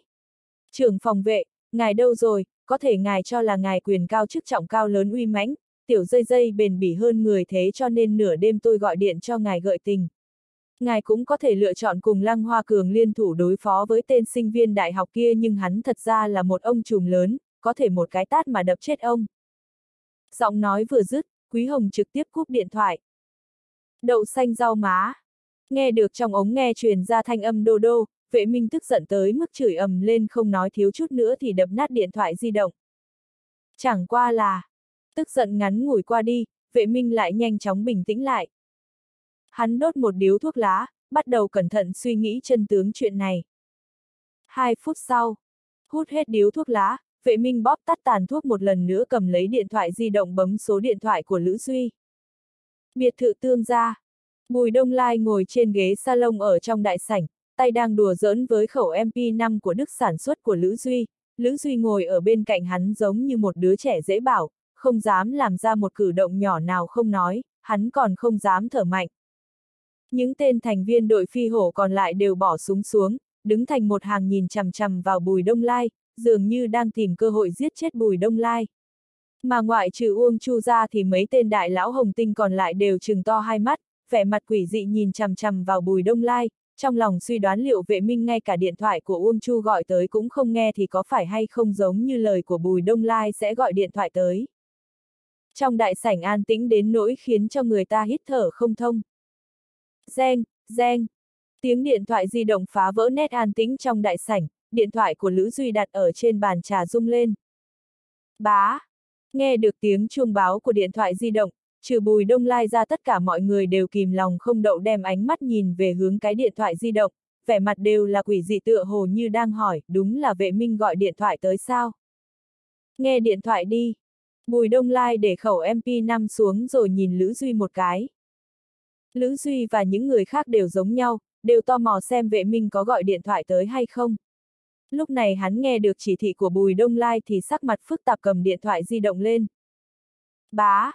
Sau một khắc, vẻ mặt của Lữ Duy liền thay đổi bởi vì, hắn thấy trên màn hình điện thoại biểu hiện lên số của vệ minh. Dưới ánh đèn, hắn không có ngay lập tức nghe điện thoại mà là không kìm chế được quay đầu lại, sắc mặt sợ hãi nhìn Bùi Đông Lai cảm giác kia dường như trong tay hắn đang cầm một quả lựu đạn đã rút chốt. Nhìn, nhìn, tay của Lữ Duy khẽ run rẩy, trực tiếp ấn nút nghe hơn nữa còn mở loa ngoài. Lữ Duy, tình huống hiện tại thế nào rồi? Điện thoại vừa chuyển thì liền truyền ra giọng nói vô cùng rõ ràng của vệ minh đủ để cho mọi người trong đại sảnh đều nghe được, đồng thời cũng khiến mọi người nhận ra được vẻ ngưng trọng cùng lo lắng trong giọng nói của hắn. Lữ Duy không nói gì mà là ngước mắt nhìn Bùi Đông Lai. Bùi Đông Lai cũng không nói gì, tựa hồ như mọi chuyện không liên quan đến hắn vậy. Lữ Duy thấy thế nỗi lo lắng lập tức treo lên đến tận cổ họng, không biết nên trả lời vệ minh như thế nào. Lữ Duy, nói đi. Đầu bên kia điện thoại, vệ minh đã tin lời của Quý Hồng, ở dưới dạng tình hình này mặc dù hắn không biết Bùi Đông Lai rốt cuộc là thần thánh phương nào nhưng hắn tin tưởng rằng nếu như Bùi Đông Lai có thể khiến cho Quý Hồng nói cho hắn nhiều như vậy thì việc Bùi Đông Lai có thể đùa chết hắn tuyệt đối là một chuyện hết sức dễ dàng. Vì thế thấy Lữ Duy không nói lời nào hắn liền gấp đến độ giống như kiến bò trên chảo nóng. Vệ, trưởng phòng vệ, tôi, tôi bị mục tiêu bắt cóc. Một lần nữa nghe thấy lời của vệ minh, sắc mặt của Lữ Duy ủy khuất, lo lắng hồi báo. Bắt cóc. Vệ minh lập tức sửng sốt sau đó giọng nói trở nên ngưng trọng hơn. Lữ Duy, để cho người của cậu không cần hành động thiếu suy nghĩ, mặt khác cậu đem điện thoại cho Bùi Tiên Sinh, tôi muốn nói chuyện với hắn. Trưởng phòng vệ, tôi ở ngay bên cạnh. Bùi Đông Lai giọng nói bình tĩnh nói. Xin lỗi, Bùi Tiên Sinh chuyện đêm nay đúng là một cái hiểu lầm, tình huống cụ thể chờ chúng ta gặp mặt tôi sẽ cho ngài một lời giải thích. Trái tim của vệ minh đập điên cuồng nói. Hiện tại tôi lập tức qua đó, trong vòng 30 phút nữa sẽ đến. Tốt, tôi chờ ông. Đối mặt với cục diện như thế, trên mặt bùi đông lai không có lộ ra chút xíu kinh ngạc nào, theo hắn xem ra nếu vệ minh vì lợi ích mà bỏ qua hồng tinh hợp tác cùng lăng hoa cường, như vậy lúc đối mặt với cường quyền trước mặt tuyệt đối sẽ trở mặt cùng lăng hoa cường. Ách! Cùng bùi đông lai bất đồng, trong đại sảnh ngoại trừ Uông Chu đã biết được thân phận chân thực của Bùi Đông Lai ra những người khác đều khẽ nhếch miệng, dùng một loại ánh mắt nhìn người ngoài hành tinh mà nhìn Bùi Đông Lai hắn rốt cuộc là ai. Đêm khuya, đèn đường hai bên đường phố tỏa ra ánh đèn hưu hắt, ánh đèn chiếu sáng phố lớn ngõ nhỏ Nam Cảng. Dưới màn đêm, vệ minh lái xe riêng đem tốc độ lên đến cực hạn, chiếc xe giống như một trận gió lốc bay ở trên đường, chạy thẳng tới khu biệt thự vịnh nước cạn. Ánh đèn xuyên qua kính chiếu vào trong ô tô, nương theo ánh đèn yếu ớt có thể thấy rõ ràng vẻ mặt của vệ minh đã hoàn toàn khôi phục tỉnh táo, trong con ngươi không ngừng lóe ra tinh quang. Tựa hồ hắn đã hoàn toàn nghĩ thông suốt chuyện này. 25 phút sau, vệ minh lái ô tô đã tới biệt thự tương gia. Cửa biệt thự tương gia, những tên thành viên đội phi hổ kia không có giống như lúc trước cầm khẩu MP5 đem họng súng nhắm ngay vào chín gã thành viên phong diệp, mà là đứng thành một hàng đợi vệ minh đến. Chào trưởng phòng. Mắt thấy vệ minh từ trong ô tô đi ra, hơn 100 tên thành viên đội phi hổ liền cúi chào. Đội trưởng Lữ đâu? Có lẽ là bởi vì tình thế rất không ổn nên vệ minh không có quan tâm đến lời chào hỏi của thành viên đội phi hổ mà là trực tiếp hỏi. Báo cáo trưởng phòng đội trưởng Lữ ở bên trong biệt thự. Một gã thành viên đội phi hổ hồi báo. Nghe được hồi báo, vệ minh không có nói gì nữa mà là bước nhanh đi vào biệt thự. Rất nhanh, trong sự chờ đợi của Bùi Đông Lai, Lữ Duy cùng đám người đại lão Hồng Tinh, vệ minh liền xuất hiện ở cửa biệt thự. Trưởng, trưởng phòng vệ. Thấy vệ minh đến thì Lữ Duy là người đầu tiên đứng dậy từ ghế salon. Năm tên đại lão Hồng Tinh đều đứng dậy nhưng mà không có lên tiếng. Bùi Đông Lai không có đứng dậy hắn vẫn ngồi yên ở trên ghế salon sắc mặt bình tĩnh nhìn vệ minh. Vệ minh không để ý đến Lữ Duy cũng không để ý đến đám người Uông Chu mà là đem ánh mắt nhìn về hướng Bùi Đông Lai. Mắt thấy bộ dáng lã vọng buông cần nắm đại cục trong tay của Bùi Đông Lai, trong lòng vệ minh càng thêm khẳng định Quý Hồng không có lửa gạt hắn, tim không khỏi đập nhanh hơn. Sau đó hắn khống chế tâm tình của bản thân rồi quay ra nói với Lữ Duy. Đội trưởng Lữ, cậu đi ra ngoài trước, đứng ở cửa chờ chỉ thị của tôi. Rõ, trưởng phòng vệ, theo bản năng Lữ Duy đứng nghiêm trào Chẳng qua là, khi hắn buông cánh tay xuống, hướng phía trước bước một bước, hắn đột nhiên nhớ ra cái gì đó khiến cho hắn sợ đến mức trực tiếp dừng bước lại, không dám bước thêm bước nữa. Dưới ánh đèn, hắn không nhịn được quay đầu lại nhìn Bùi Đông Lai, tựa hồ là xin chỉ thị của Bùi Đông Lai.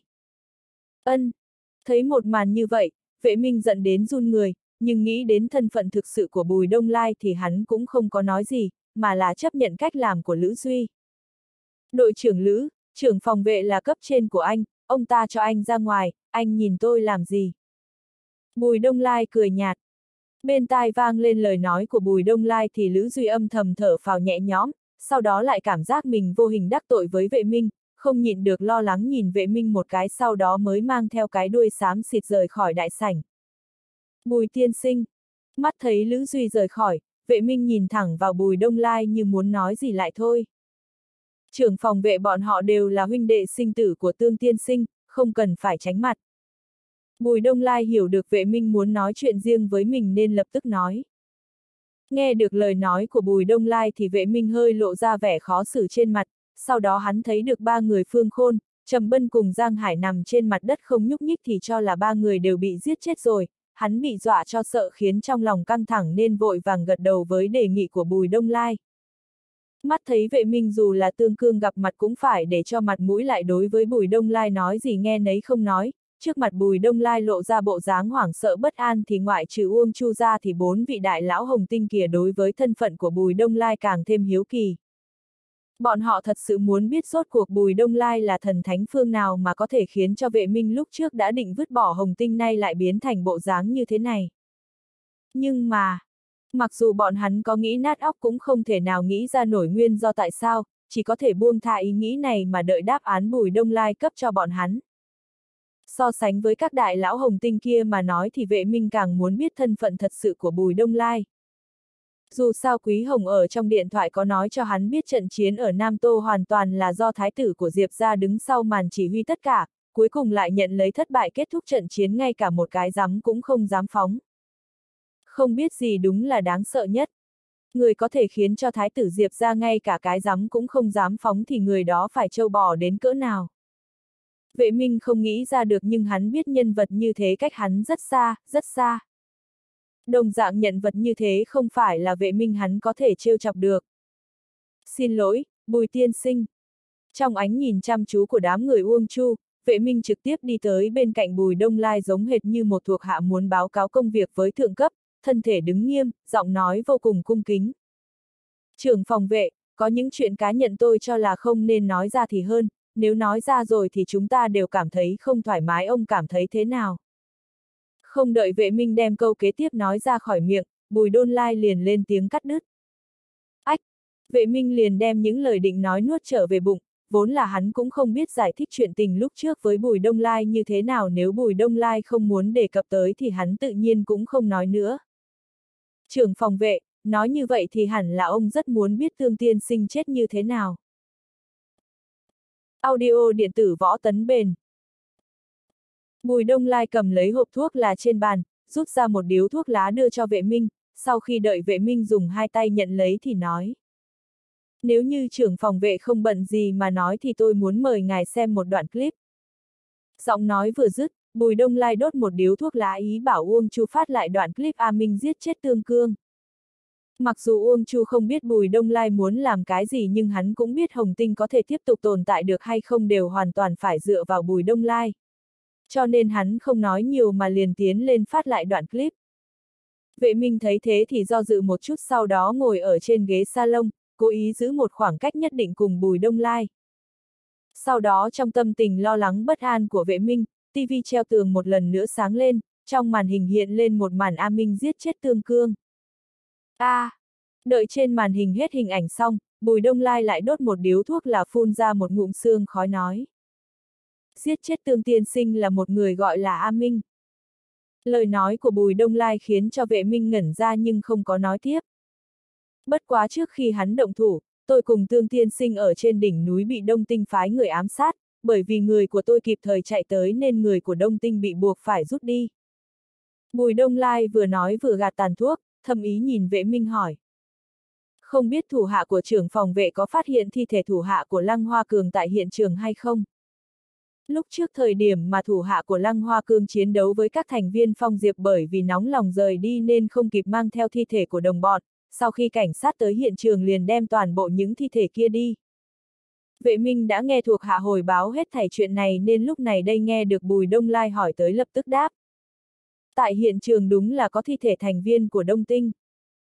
Dựa theo lời của A Minh, hắn là gian tế mà Lăng Hoa Cường cài vào trong nội bộ của Hồng Tinh. Chuyện tối nay là hắn cùng Lăng Hoa Cường trong ứng ngoài hợp giết chết tương tiên sinh. Bùi Đông Lai một lần nữa mở miệng giọng nói vẫn như cũ không nóng không lạnh không có cho người ta một loại cảm giác cả vú lấp miệng em, nhưng lại khiến cho vệ minh có một loại cảm giác không thể làm trái. Tương Tiên Sinh là nhân vật nổi tiếng trong xã hội Nam Cảng, là chủ của một công ty lớn, cái chết của ông ta hẳn là sẽ tạo thành đề tài bàn tán của người dân. Cá nhân tôi cho là cảnh sát nên kịp thời bắt hung thủ khiến hung thủ phải chịu sự trừng phạt của pháp luật, trưởng phòng vệ ông nói xem có đúng không? Nhất định phải khiến hung thủ chịu sự trừng phạt của pháp luật, đây cũng là trách nhiệm của cảnh sát chúng tôi. Vệ minh hừng hực chính nghĩa cấp ra câu trả lời chắc chắn. Trưởng phòng vệ, tôi nghe nói những tên thủ hạ kia của Lăng Hoa Cường từng tham gia chiến tranh phía Nam, phần lớn đều là những người sống sót trong đống người chết nên rất khó đối phó. Cho nên tôi đề nghị trưởng phòng vệ phái thêm người truy bắt. Bùi Đông Lai vừa nói vừa chậm rãi bóp tắt tàn thuốc. Xin Bùi tiên sinh cùng chư vị yên tâm, tôi đảm bảo đem tất cả hung thủ bắt về quy án. Vệ minh thề son sắt.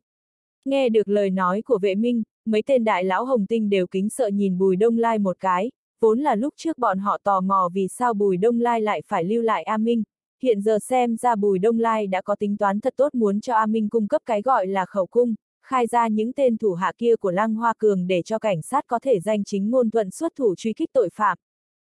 Nếu Bùi Đông Lai khiến cho hung thủ thật sự A Minh cung cấp khẩu cung, bọn họ tin rằng đừng nói là Bùi Đông Lai cảnh sát cũng có thể làm được điểm này. Trưởng phòng vệ, cá nhân tôi lại cho rằng ông thân là bằng hữu của tương tiên sinh, ngoài trách nhiệm nên có của một công bộc của người dân ra, ông cũng nên thực hiện nghĩa vụ của một người bạn chứ nhỉ, ông nói có đúng không? Đang khi nói chuyện, Bùi Đông Lai cầm lấy khẩu MP5 mà Lữ Duy lưu lại chơi đùa trong tay. Lộc bộp, thấy Bùi Đông Lai cầm khẩu súng lên, vệ minh sợ Bùi Đông Lai một súng bắn chết hắn, hắn bị dọa sợ đến trái tim co quắp, cả người cứng ngắc lại, trên mặt lộ ra vẻ sợ hãi, giọng nói mang theo vài phần run run nói. Bùi tiên sinh cứ nói. Trưởng phòng vệ, ông là bằng hữu của tương tiên sinh, tôi cũng là bằng hữu của tương tiên sinh và tất cả mọi người cũng vậy. Thấy vệ minh bị dọa sợ đến nỗi mồ hôi lạnh ứa ra, bùi đông lai thản nhiên nói. Chúng ta cũng là nên thực hiện nghĩa cử nên có của những người bạn, ân, tôi bảo đảm những chuyện này sẽ không làm khó ông ngược lại còn có thể cho con đường làm quan của ông tiến thêm một bước. Trong lòng vệ minh vừa động, hắn biết Bùi Đông Lai muốn mượn tay hắn diệt trừ Lăng Hoa Cường nên hắn biết rõ cái câu không làm khó dễ từ đâu mà đến. Lúc mà vệ minh vểnh tai lắng nghe an bài của Bùi Đông Lai thì đồng thời bên ngoài biệt thự, Lữ Duy lúc trước thiếu chút nữa bị dọa chết nhận thấy điện thoại di động rung lên. Phát hiện này khiến cho sắc mặt của hắn hơi đổi, sau đó hắn do dự một chút nói với thủ hạ mấy câu sau đó lại đi tới một góc tối không người lấy điện thoại di động ra trực tiếp ấn nút nghe. Đội trưởng Lữ, chuyện thế nào rồi? Điện thoại vừa chuyển, giọng nói của Lăng Hoa Cương thông qua điện thoại rơi vào trong tai Lữ Duy, giọng nói có chút thoải mái. Lăng tiên sinh, rốt cuộc tên thanh niên gọi là Bùi Đông Lai kia C là ai? Lữ Duy không trả lời là là hỏi ra nghi ngờ lớn nhất trong nội tâm hắn. Ân. Nghe được lời nói của Lữ Duy thì nụ cười trên mặt của Lăng Hoa Cương đơ lại. Đội trưởng Lữ, anh hỏi cái này làm gì? Lăng tiên sinh, lúc trước tôi dẫn người tiến vào biệt thự định bắt hắn nhưng mà thân thủ của hắn mạnh đến nỗi không thể tin nổi, dễ dàng chế trụ tôi. Trong đầu hiện ra cảnh tượng lúc trước từng ly từng tí một, trên mặt của Lữ Duy vẫn hiện lên nét sợ hãi, vẻ sợ hãi trong giọng nói căn bản không cách nào che giấu. Sau đó, hắn không biết đã gọi cho ai một cú điện thoại khiến cho vệ trưởng phòng chẳng những gọi điện thoại cho tôi bảo tôi dừng lại hành động hơn nữa còn tự mình đến biệt thự tương ra tìm hắn. Anh nói vệ trưởng phòng bảo các anh dừng lại hành động, hơn nữa tự mình đi tới biệt thự tương ra tìm hắn sao. Đầu bên kia điện thoại, Lăng Hoa Cường đứng lên từ ghế salon, nụ cười trên mặt biến mất không sót lại chút gì, có chẳng qua là cảm giác khiếp sợ. Đúng vậy, hơn nữa vệ trưởng phòng đối với thanh niên gọi là Bùi Đông Lai kia hết sức cung kính sợ hãi. Sợ hãi? Vệ minh sợ tiểu tử kia. Cái này con mẹ nó làm sao có thể? Lăng Hoa Cường cả kinh trợn mắt há hốc mồm. Không thể nào. Tuyệt đối là không thể nào. Dưới ánh đèn, Lăng Hoa Cường dùng sức lắc đầu, không ngừng tự nói với lòng mình như vậy. Bởi vì, hắn thật sự không cách nào tìm ra lý do khiến cho vệ minh phải sợ Bùi Đông Lai. Dù sao, Bùi Đông Lai chỉ là một người đến từ Đại Lục, ở Nam Cảng không có bất kỳ căn cơ nào, mà vệ minh lại chính là nhân vật số 2 của cảnh sát Nam Cảng. Hai người so với nhau thì khác biệt hoàn toàn. Mặc dù lý trí nói cho Lăng Hoa Cường biết chuyện này có vẻ quá mức hoang đường, nhưng mà Lăng Hoa Cường cũng hiểu được Lữ Duy không thể nào vô cớ lại lừa gạt hắn, cho nên hắn chưa từ bỏ ý định hỏi. Lữ đội trưởng, làm sao anh biết vệ trưởng phòng sợ hãi tiểu tử đại lục kia? Vệ trưởng phòng đã gọi điện thoại cho tên thanh niên gọi là Bùi Đông Lai kia để xin lỗi, hơn nữa còn nói rõ là muốn gặp mặt đích thân giải thích. Rồi sau đó tới biệt thự tương ra bảo tôi đi ra ngoài. Lúc ấy tôi bị tên kia chế trụ không dám làm ra cử động nào chỉ có thể đợi tên kia mở miệng, kết quả là vệ trưởng phòng ngay cả cái dám cũng không dám phóng.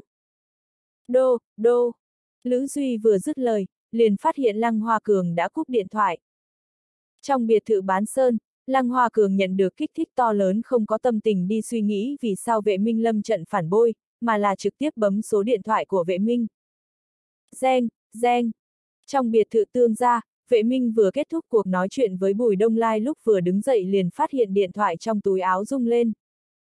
Nhận thấy được điểm này, chân mày vệ minh không khỏi nhảy lên. Vệ trưởng phòng, nếu như tôi không có đoán sai hẳn là điện thoại của Lăng Hoa Cường. Bùi Đông Lai vô tình nhắc nhở. Vệ minh liền biến sắc mặt, vẻ mặt trở nên cực kỳ khó coi sau đó hắn lấy điện thoại di động ra thấy trên màn hình di động biểu hiện đúng là số điện thoại của Lăng Hoa Cường, lúng túng gật gật đầu. Vệ trưởng phòng, trong đội ngũ của ông có nội gian. Bùi Đông Lai nghiêm mặt nói. Vì bảo vệ cho kế hoạch của chúng ta không có tí sai sót nào tôi đề nghị ông tí nữa không để cho toàn bộ thủ hạ tham gia chuyện lúc nãy tham gia vào hành động lần này. Xin bùi tiên sinh yên tâm, tôi biết nên làm như thế nào. Vệ minh gật đầu sau đó cấp ra câu trả lời chắc chắn, sắc mặt lúng túng rời khỏi biệt thự. Mắt thấy vệ minh rời đi, năm tên đại lão bao gồm cả Hồng Tinh đều là kính sợ nhìn Bùi Đông Lai. Theo bọn hắn xem ra, nếu như kế hoạch mà Bùi Đông Lai vừa vạch ra lúc nãy có thể áp dụng mà nói thì Lăng Hoa Cường sẽ tự ngã xuống hoàn toàn đồng thời từ nay về sau Đông Tinh sẽ xóa tên khỏi hắc đạo Nam Cảng. Bùi tiên sinh vì giúp báo thù cho đại ca mà làm hết thảy chuyện này, chúng tôi đều được thấy tận mắt. Uông Chu trầm ngâm một chút mở miệng tỏ thái độ. Đồng dạng nếu không có bùi tiên sinh hẳn là mọi người chúng tôi đang ngồi đây rất có thể đã giống với đại ca, Hồng Tinh cũng không còn tồn tại nữa. Đối với lời nói của Uông Chu thì bốn vị đại lão Hồng Tinh không có bất kỳ dị nghị nào. Đợi sau khi chuyện này kết thúc năm huynh đệ chúng tôi sẽ đề cử Bùi Tiên Sinh lên đảm nhiệm chức đại ca của Hồng Tinh. Vẻ mặt của Uông Chu nghiêm túc nói. Ân. Lúc này đây, mặt của đám người tiết khiêm đều biến sắc.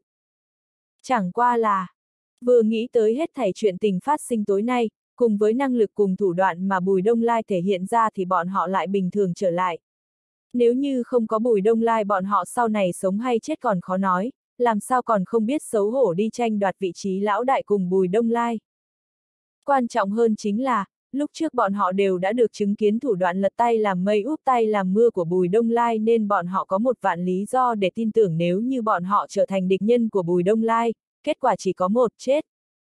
Uông Thiên Sinh, chuyện này sau này hãy bàn việc trước mắt các ông cần phải làm là mượn tay cảnh sát diệt trừ những thế lực còn lại của Phương Khôn đồng thời dùng thời gian ngắn nhất ổn định người phía dưới. Mắt thấy Uông Chu hai tay dâng vị trí đại ca của Hồng Tinh, Bùi Đông Lai suy nghĩ một chút nói. Vô luận như thế nào, tôi có thể bảo đảm với các người rằng tôi sẽ cướp lấy lợi ích thuộc về các người, ngược lại tôi sẽ khiến cho các người nhận được nhiều lợi ích hơn nữa. Hô! Nghe được Bùi Đông Lai nói như vậy, năm người Uông Chu đều là âm thầm thở phào nhẹ nhõm, đối với bọn hắn mà nói chỉ cần có thể bảo đảm lợi ích hiện tại không bị tổn hại bọn họ sẽ rất hài lòng huống chi Bùi Đông Lai nói còn cho bọn họ nhiều lợi ích hơn nữa. 5 phút sau, Phong Diệp hoàn thành chỉ thị của Bùi Đông Lai dựa theo tin tức Uông Chu cung cấp xuất lĩnh 9 gã thành viên Phong Diệp rời khỏi khu vịnh nước cạn. 10 phút sau, vệ minh một lần nữa làm ra chỉ thị, hơn 100 tên thành viên đội phi hổ nộp lên dụng cụ liên lạc, rồi sau đó rời khỏi khu vịnh nước cạn. Trong biệt thự bán sơn, bởi vì không cách nào liên lạc được với vệ minh nên lúc này Lăng Hoa Cường đang cau mày mồm ngậm xì gà đi qua đi lại trong thư phòng. Bất chi bất giác, một điếu xì gà đã cháy hết mà Lăng Hoa Cường vẫn không có nghĩ ra nguyên nhân tại sao vệ minh lâm trận phản bội. 2. Phiền não bóp tắt điếu xì gà, sắc mặt Lăng Hoa Cường khó coi ngồi ở trước bàn đọc sách nốt tiếp một điếu xì gà tiếp tục suy nghĩ rốt cuộc là tại sao. Tít, tít. Không biết qua bao lâu, lúc điếu xì gà trong tay Lăng Hoa Cường cháy hết, máy báo động màu đỏ trên bàn đọc sách sáng lên âm thanh chói tai phá vỡ vẻ an tĩnh trong thư phòng, làm cho trong lòng Lăng Hoa Cường chấn động khóe mắt giật mạnh. Chuyện gì vậy? Kinh ngạc qua đi, Lăng Hoa Cường cầm lấy điện thoại chân mày hắn vắt thành hình chữ xuyên, trầm thấp hỏi. Đại ca, anh em phía dưới phát hiện người của đội phi hổ đang đi tới nơi này, dường như là đang đi về phía chúng ta. Bên ngoài biệt thự, Lưu Kiến được xưng là đệ nhất mãnh tướng dưới trướng Lăng Hoa Cường đã từng mai phục ám sát tương cương ở đỉnh núi Thái Bình, sau đó lại sợ người của Hồng Tinh chó cùng dứt dậu trực tiếp lui về biệt thự ở lưng chừng núi chịu trách nhiệm bảo vệ an toàn của Lăng Hoa Cường, mới vừa rồi nghe được người phía dưới hồi báo phát hiện người của đội phi hổ đang tiến về biệt thự, nhận thấy được có cái gì đó không đúng trước tiên là hướng Lăng Hoa Cường hồi báo. Bá! Nghe được Lưu Kiến hồi báo, Lăng Hoa Cường đột nhiên ý thức được cái gì, sắc mặt không khỏi đại biến. A Kiến, cậu lập tức mang theo các huynh đệ rút lui. Đồng thời trong lòng cảm ứng được nguy hiểm Lăng Hoa Cường đang nhớ lại đám người lưu kiến lúc buổi tối bởi vì nóng lòng rút lui không có mang theo thi thể những người kia, lập tức làm ra quyết định. Đại ca, vậy còn anh? Bên ngoài biệt thự, Lưu Kiến cũng ý thức được nguy hiểm bất quá lại có chút bận tâm đến an nguy của Lăng Hoa Cường. Hừ, mặc dù tôi không biết người của đội phi hổ muốn làm gì, chỉ là thân phận của tôi so sánh với máu tươi của xử nữ còn muốn sạch hơn, bọn họ sẽ không làm gì tôi. Lăng Hoa Cường lạnh lùng nói. Các cậu không cần lo cho tôi, đi nhanh lên, cố gắng đừng để rơi vào trong tay cảnh sát, vạn nhất không cách nào chạy trốn thì cũng ngàn vạn lần không nên giao thủ với người của đội phi hổ, tôi sẽ nghĩ biện pháp cứu các cậu ra. Biết rồi, đại ca. Nghe Lăng Hoa Cường nói như vậy Lưu Kiến cũng không nói gì nữa liền cắt đứt liên lạc, thông qua bộ đàm truyền đạt mệnh lệnh của Lăng Hoa Cường, sau đó triệu tập thủ hạ chuẩn bị rời đi. Mà sắc mặt Lăng Hoa Cường lại là khó coi đứng dậy bước nhanh đi tới trước cửa sổ thư phòng, nhìn ra phía ngoài cửa sổ. Ngoài cửa sổ, không có đèn báo hiệu lóe lên chỉ có thể nhìn từng chiếc xe ô tô chia làm ba hướng đi tới gần biệt thự, đèn xe sáng ngời đem con đường chiếu thành một mảnh sáng sủa. Sau đó, lúc những chiếc xe hơi kia cách biệt thự của Lăng Hoa Cường không tới 500 mét, trong đó có mấy chiếc dừng lại phong tỏa con đường mà những chiếc khác thì tiếp tục tới gần biệt thự. Lộc bộp, thấy một màn như vậy, lòng của Lăng Hoa Cường trầm xuống, hắn nhìn ra cảnh sát là muốn bắt con ba ba trong hũ, khiến cho đám người lưu kiến không thể trốn thoát. Dường như vì xác minh suy đoán trong lòng Lăng Hoa Cường, thanh âm tít. Tít chói tai lại vang lên một lần nữa. Sắc mặt của Lăng Hoa Cường khó coi trở về trước bàn đọc sách một tay nhấc máy truyền tin lên. Đại ca, người của đội phi hổ phong tỏa toàn bộ đường đi, chúng tôi nếu muốn rời đi thì phải giao thủ cùng bọn họ. Lưu Kiến trong giọng nói lộ ra vẻ ngưng trọng. Anh bảo phải làm sao bây giờ? Không được giao thủ cùng họ, toàn bộ rút về biệt thự. Lăng Hoa Cường quyết đoán làm ra quyết định, sau đó cắt đứt liên lạc, sắc mặt âm trầm đi ra khỏi thư phòng. Sau đó lúc Lăng Hoa Cường mặc đồ ngủ đi tới đại sảnh biệt thự, Lưu Kiến dẫn theo hai mươi mấy tên thân kinh bách chiến đều dựa theo chỉ thị của Lăng Hoa Cường vứt bỏ súng ống sau đó đi tới đại sảnh biệt thự. Mười phút sau, mười mấy tên thành viên võ trang đầy đủ mặc đồng phục tác chiến của đội phi hổ xông vào biệt thự. Các anh muốn làm gì? Lăng Hoa Cường thân là đại ca của Đông Tinh cũng không phải là mấy tên côn đồ các kẽ trên đường nhìn thấy cảnh sát là run người lại ngược lại hắn căn bản không có đem mấy tên cảnh sát có chức vụ thấp bé trước mắt này để vào trong mắt. Lăng tiên sinh, dựa theo chứng cứ chính xác mà chúng tôi nắm giữ, những tên bảo tiêu này của ông có liên quan đến vụ án tương tiên sinh bị giết trên núi Thái Bình, chúng tôi phải dẫn bọn hắn trở về cục cảnh sát, mong ông phối hợp. Một gã đầu lĩnh của đội phi hổ lạnh lùng nói, lúc nói chuyện móc ra một tờ công văn do vệ minh đích thân ký. Lăng Hoa Cường nhíu mày, cố gắng tìm kiếm thân ảnh Lữ Duy trong đám người này. Lăng tiên sinh, ông đang tìm Lữ đội trưởng sao? Tên chỉ huy thay thế Lữ Duy trở thành đầu lĩnh của đội phi hổ trong hành động lần này cười lạnh nói. Thật ngại quá, Lữ đội trưởng bởi vì lúc trước cùng ông nói chuyện đã vi phạm kỷ luật của đội nên không có tham gia vào hành động lần này. Lăng Hoa Cường giận run người. Mang đi. Đầu lĩnh đội phi hổ vung tay lên truyền đạt mệnh lệnh. Vù, vù, vù. Mệnh lệnh của hắn vừa ban ra những tên thành viên đội phi hổ phía sau lập tức tiến lên bắt người. Đám người lưu kiến thấy Lăng Hoa Cường không có làm ra chỉ thị nên đều không có phản kháng. Sau đó, trong vẻ mặt âm trầm của Lăng Hoa Cường, toàn bộ thủ hạ cùng lưu kiến được coi là lực lượng trung thành nhất với Lăng Hoa Cường đều bị người của đội phi hổ mang đi. Dầm! Đợi thành viên đội phi hổ rút lui khỏi biệt thự xong, Lăng Hoa Cường hổn hển chụp chén lấy chén trà trên bàn ném xuống đất vỡ tan. Anh Cường, xảy ra chuyện gì vậy? Cùng lúc đó, Chu Nhược Đồng nghe được động tĩnh mặc đồ ngủ từ trên lầu đi xuống thấy Lăng Hoa Cường đập vỡ chén trà thì sợ hết hồn.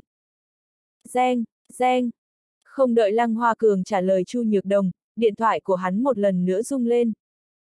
Đại ca, không xong rồi hoa ca mới vừa rồi bị cảnh sát mang đi, cảnh sát phát hiện rất nhiều ma túy ở trong biệt thự của hoa ca. Điện thoại vừa chuyển, trong ống nghe truyền ra thanh âm hoảng sợ của một gã thủ hạ. Cái gì?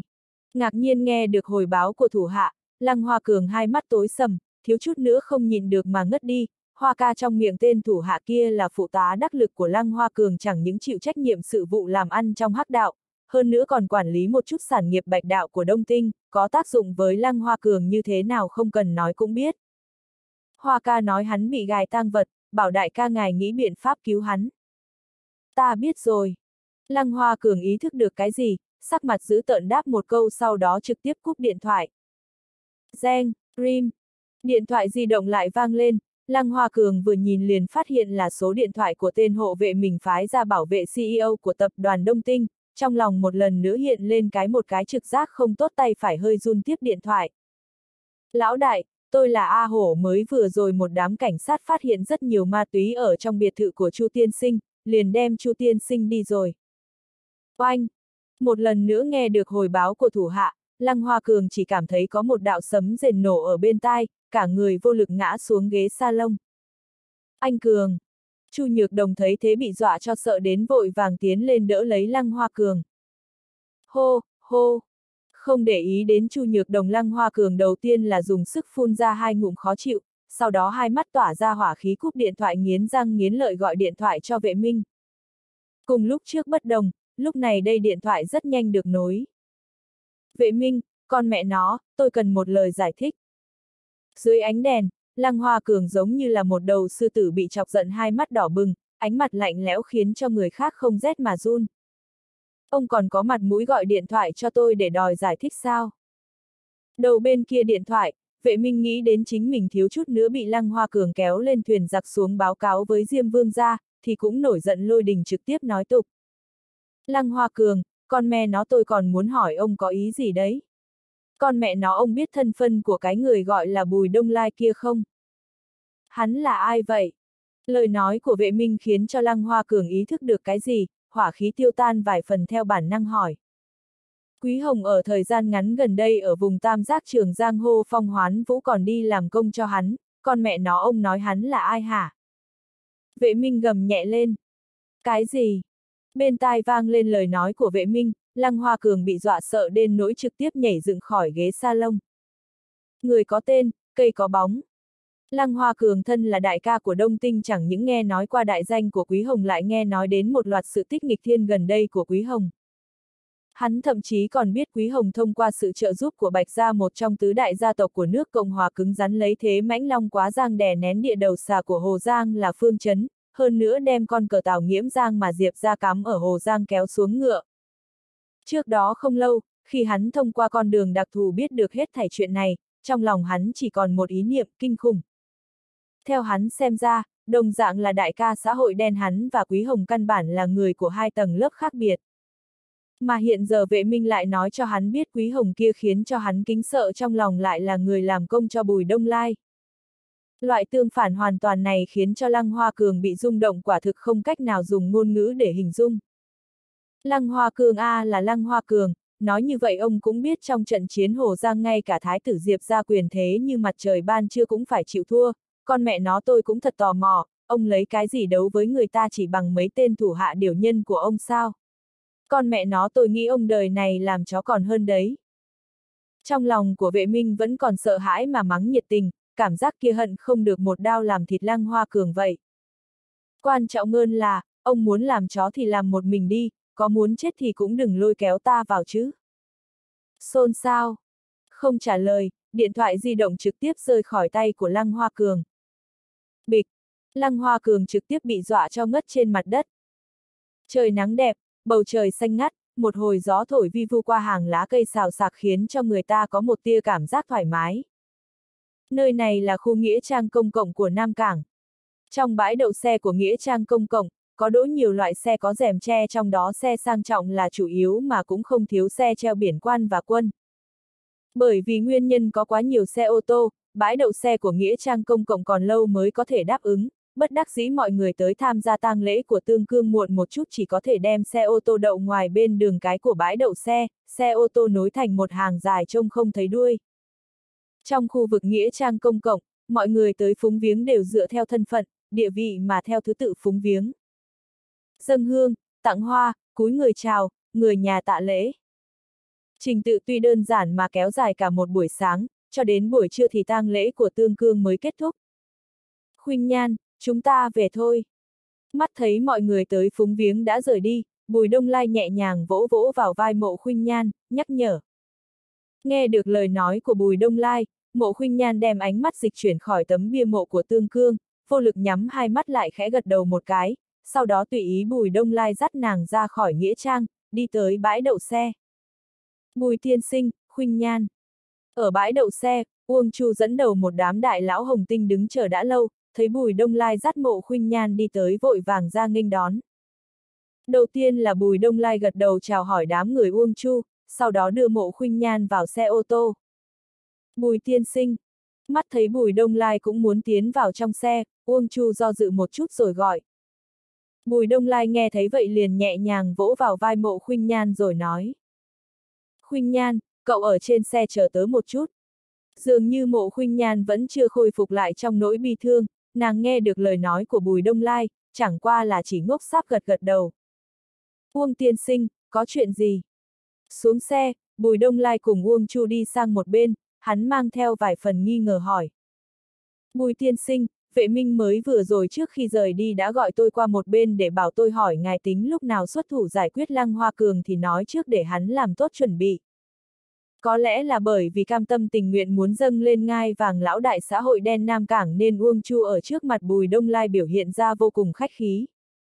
Nói xong, vẻ mặt Uông Chu ít nhiều lộ ra vẻ nghi ngờ. Nghi ngờ là bởi vì hắn biết trong ba ngày vừa qua, Bùi Đông Lai mượn tay cảnh sát đầu tiên là bắt giữ đám người lưu kiến, chính là thủ hạ của Lăng Hoa Cường, nhổ xong răng nanh của Lăng Hoa Cường sau đó lại thông qua phương thức gài tang vật hãm hại bắt hai gã thủ hạ của Lăng Hoa Cường là hai nhân vật quan trọng quản lý tập đoàn Đông Tinh. Ngoài ra, Bùi Đông Lai còn thông qua cảnh sát phong tỏa mấy cái hội sở dưới cờ của tập đoàn Đông Tinh, còn hai cái sòng bạc của Đông Tinh có thể nói là hoàn toàn bị phong sát. Tính đến trước mắt, trong Đông Tinh ngoài công ty giải trí Đông Tinh còn đang hoạt động ở bên ngoài ra thì vô luận là sản nghiệp trong hắc đạo hay là trong bạch đạo đều toàn bộ dừng hoạt động. Có thể nói là Bùi Đông Lai đã hoàn toàn đem Lăng Hoa Cường từ trên cao đá xuống mặt đất, tùy thời có thể khiến cho Lăng Hoa Cường xóa tên khỏi hắc đạo Nam Cảng. Ở dưới dạng tình hình này mà Bùi Đông Lai lại chậm chạp không có xuất thủ giải quyết Lăng Hoa Cường, chẳng những làm cho vệ minh không giải thích được mà ngay cả Uông chú cũng là có chút ít nghi ngờ. Uông tiên sinh, ông cảm thấy chết đáng sợ hay là trước khi chết khiến cho tên tạp chủng kia cảm thấy sợ hãi thì mới đáng sợ hơn? Bùi Đông Lai không trả lời Uông Chu mà là hỏi ngược lại. Uông Chu đầu tiên là ngẩn ra sau đó không hề lưỡng lự nói. Cái sau. Không sai, theo tôi được biết thì rất nhiều bệnh nhân mắc ung thư không phải là bị căn bệnh đó cướp đi tính mạng mà là bởi vì biết được mình hẳn phải chết không thể nghi ngờ thì chính mình bị dọa chết. Bùi Đông Lai híp mắt nói. Hiện giờ Lăng Hoa Cường cũng giống như một bệnh nhân ung thư bị tuyên bố tử hình, hắn biết mình sẽ chết nhưng lại không biết cái chết rốt cuộc sẽ đến vào lúc nào, cái giày vò này so sánh với một đao giết hắn thì còn làm cho hắn thống khổ hơn. Sắc mặt Uông Chu hơi đổi, trong lòng cảm thấy lạnh ngắt. Hiện nay trong tay hắn chỉ còn lại duy nhất sản nghiệp công ty giải trí Đông Tinh sao. Bùi Đông Lai suy nghĩ một chút hỏi. Uông Chu gật đầu. Đúng vậy. Uông tiên sinh, ông báo cho người phụ trách công ty giải trí Hồng Tinh một chút, yêu cầu hắn bất kể là dùng biện pháp gì trước lúc 6 giờ chiều ngày hôm nay đem toàn bộ nghệ sĩ của công ty giải trí Đông Tinh kia đem về Hồng Tinh. Giọng nói của Bùi Đông Lai không lớn nhưng lại không thể nghi ngờ. Mặt khác, nghĩ biện pháp đem tin tức tiết lộ cho Chu Nhược Đồng hoặc là người đại diện của nàng. Tốt! Uông Chu đầu tiên là gật đầu đáp ứng sau đó do dự một chút mang theo vài phần không hiểu nói. Bùi tiên sinh, ngài đây là... Tôi muốn cho Lăng Hoa Cường phải chịu cảnh hai bàn tay trắng, bao gồm cả nữ nhân của hắn. Trong đầu hiện ra cảnh ngày đó Trang Bích Phàm trong phòng vệ sinh nói với mình những lời xuất phát từ nội tâm của hắn mà nói, Bùi Đông Lai lần đầu tiên ở trước mặt Uông Chu nói ra mục đích thực sự của mình. Hai bàn tay trắng. Trong lòng Uông Chu cả kinh, không dám hỏi nhiều hơn. Công ty giải trí Hồng Tinh từ Nam Cảng cho tới châu Á đều là công ty giải trí số 1 số 2, làm việc bên trong thì những công ty giải trí khác không cách nào có thể so sánh bằng năng lực cũng như tài lực.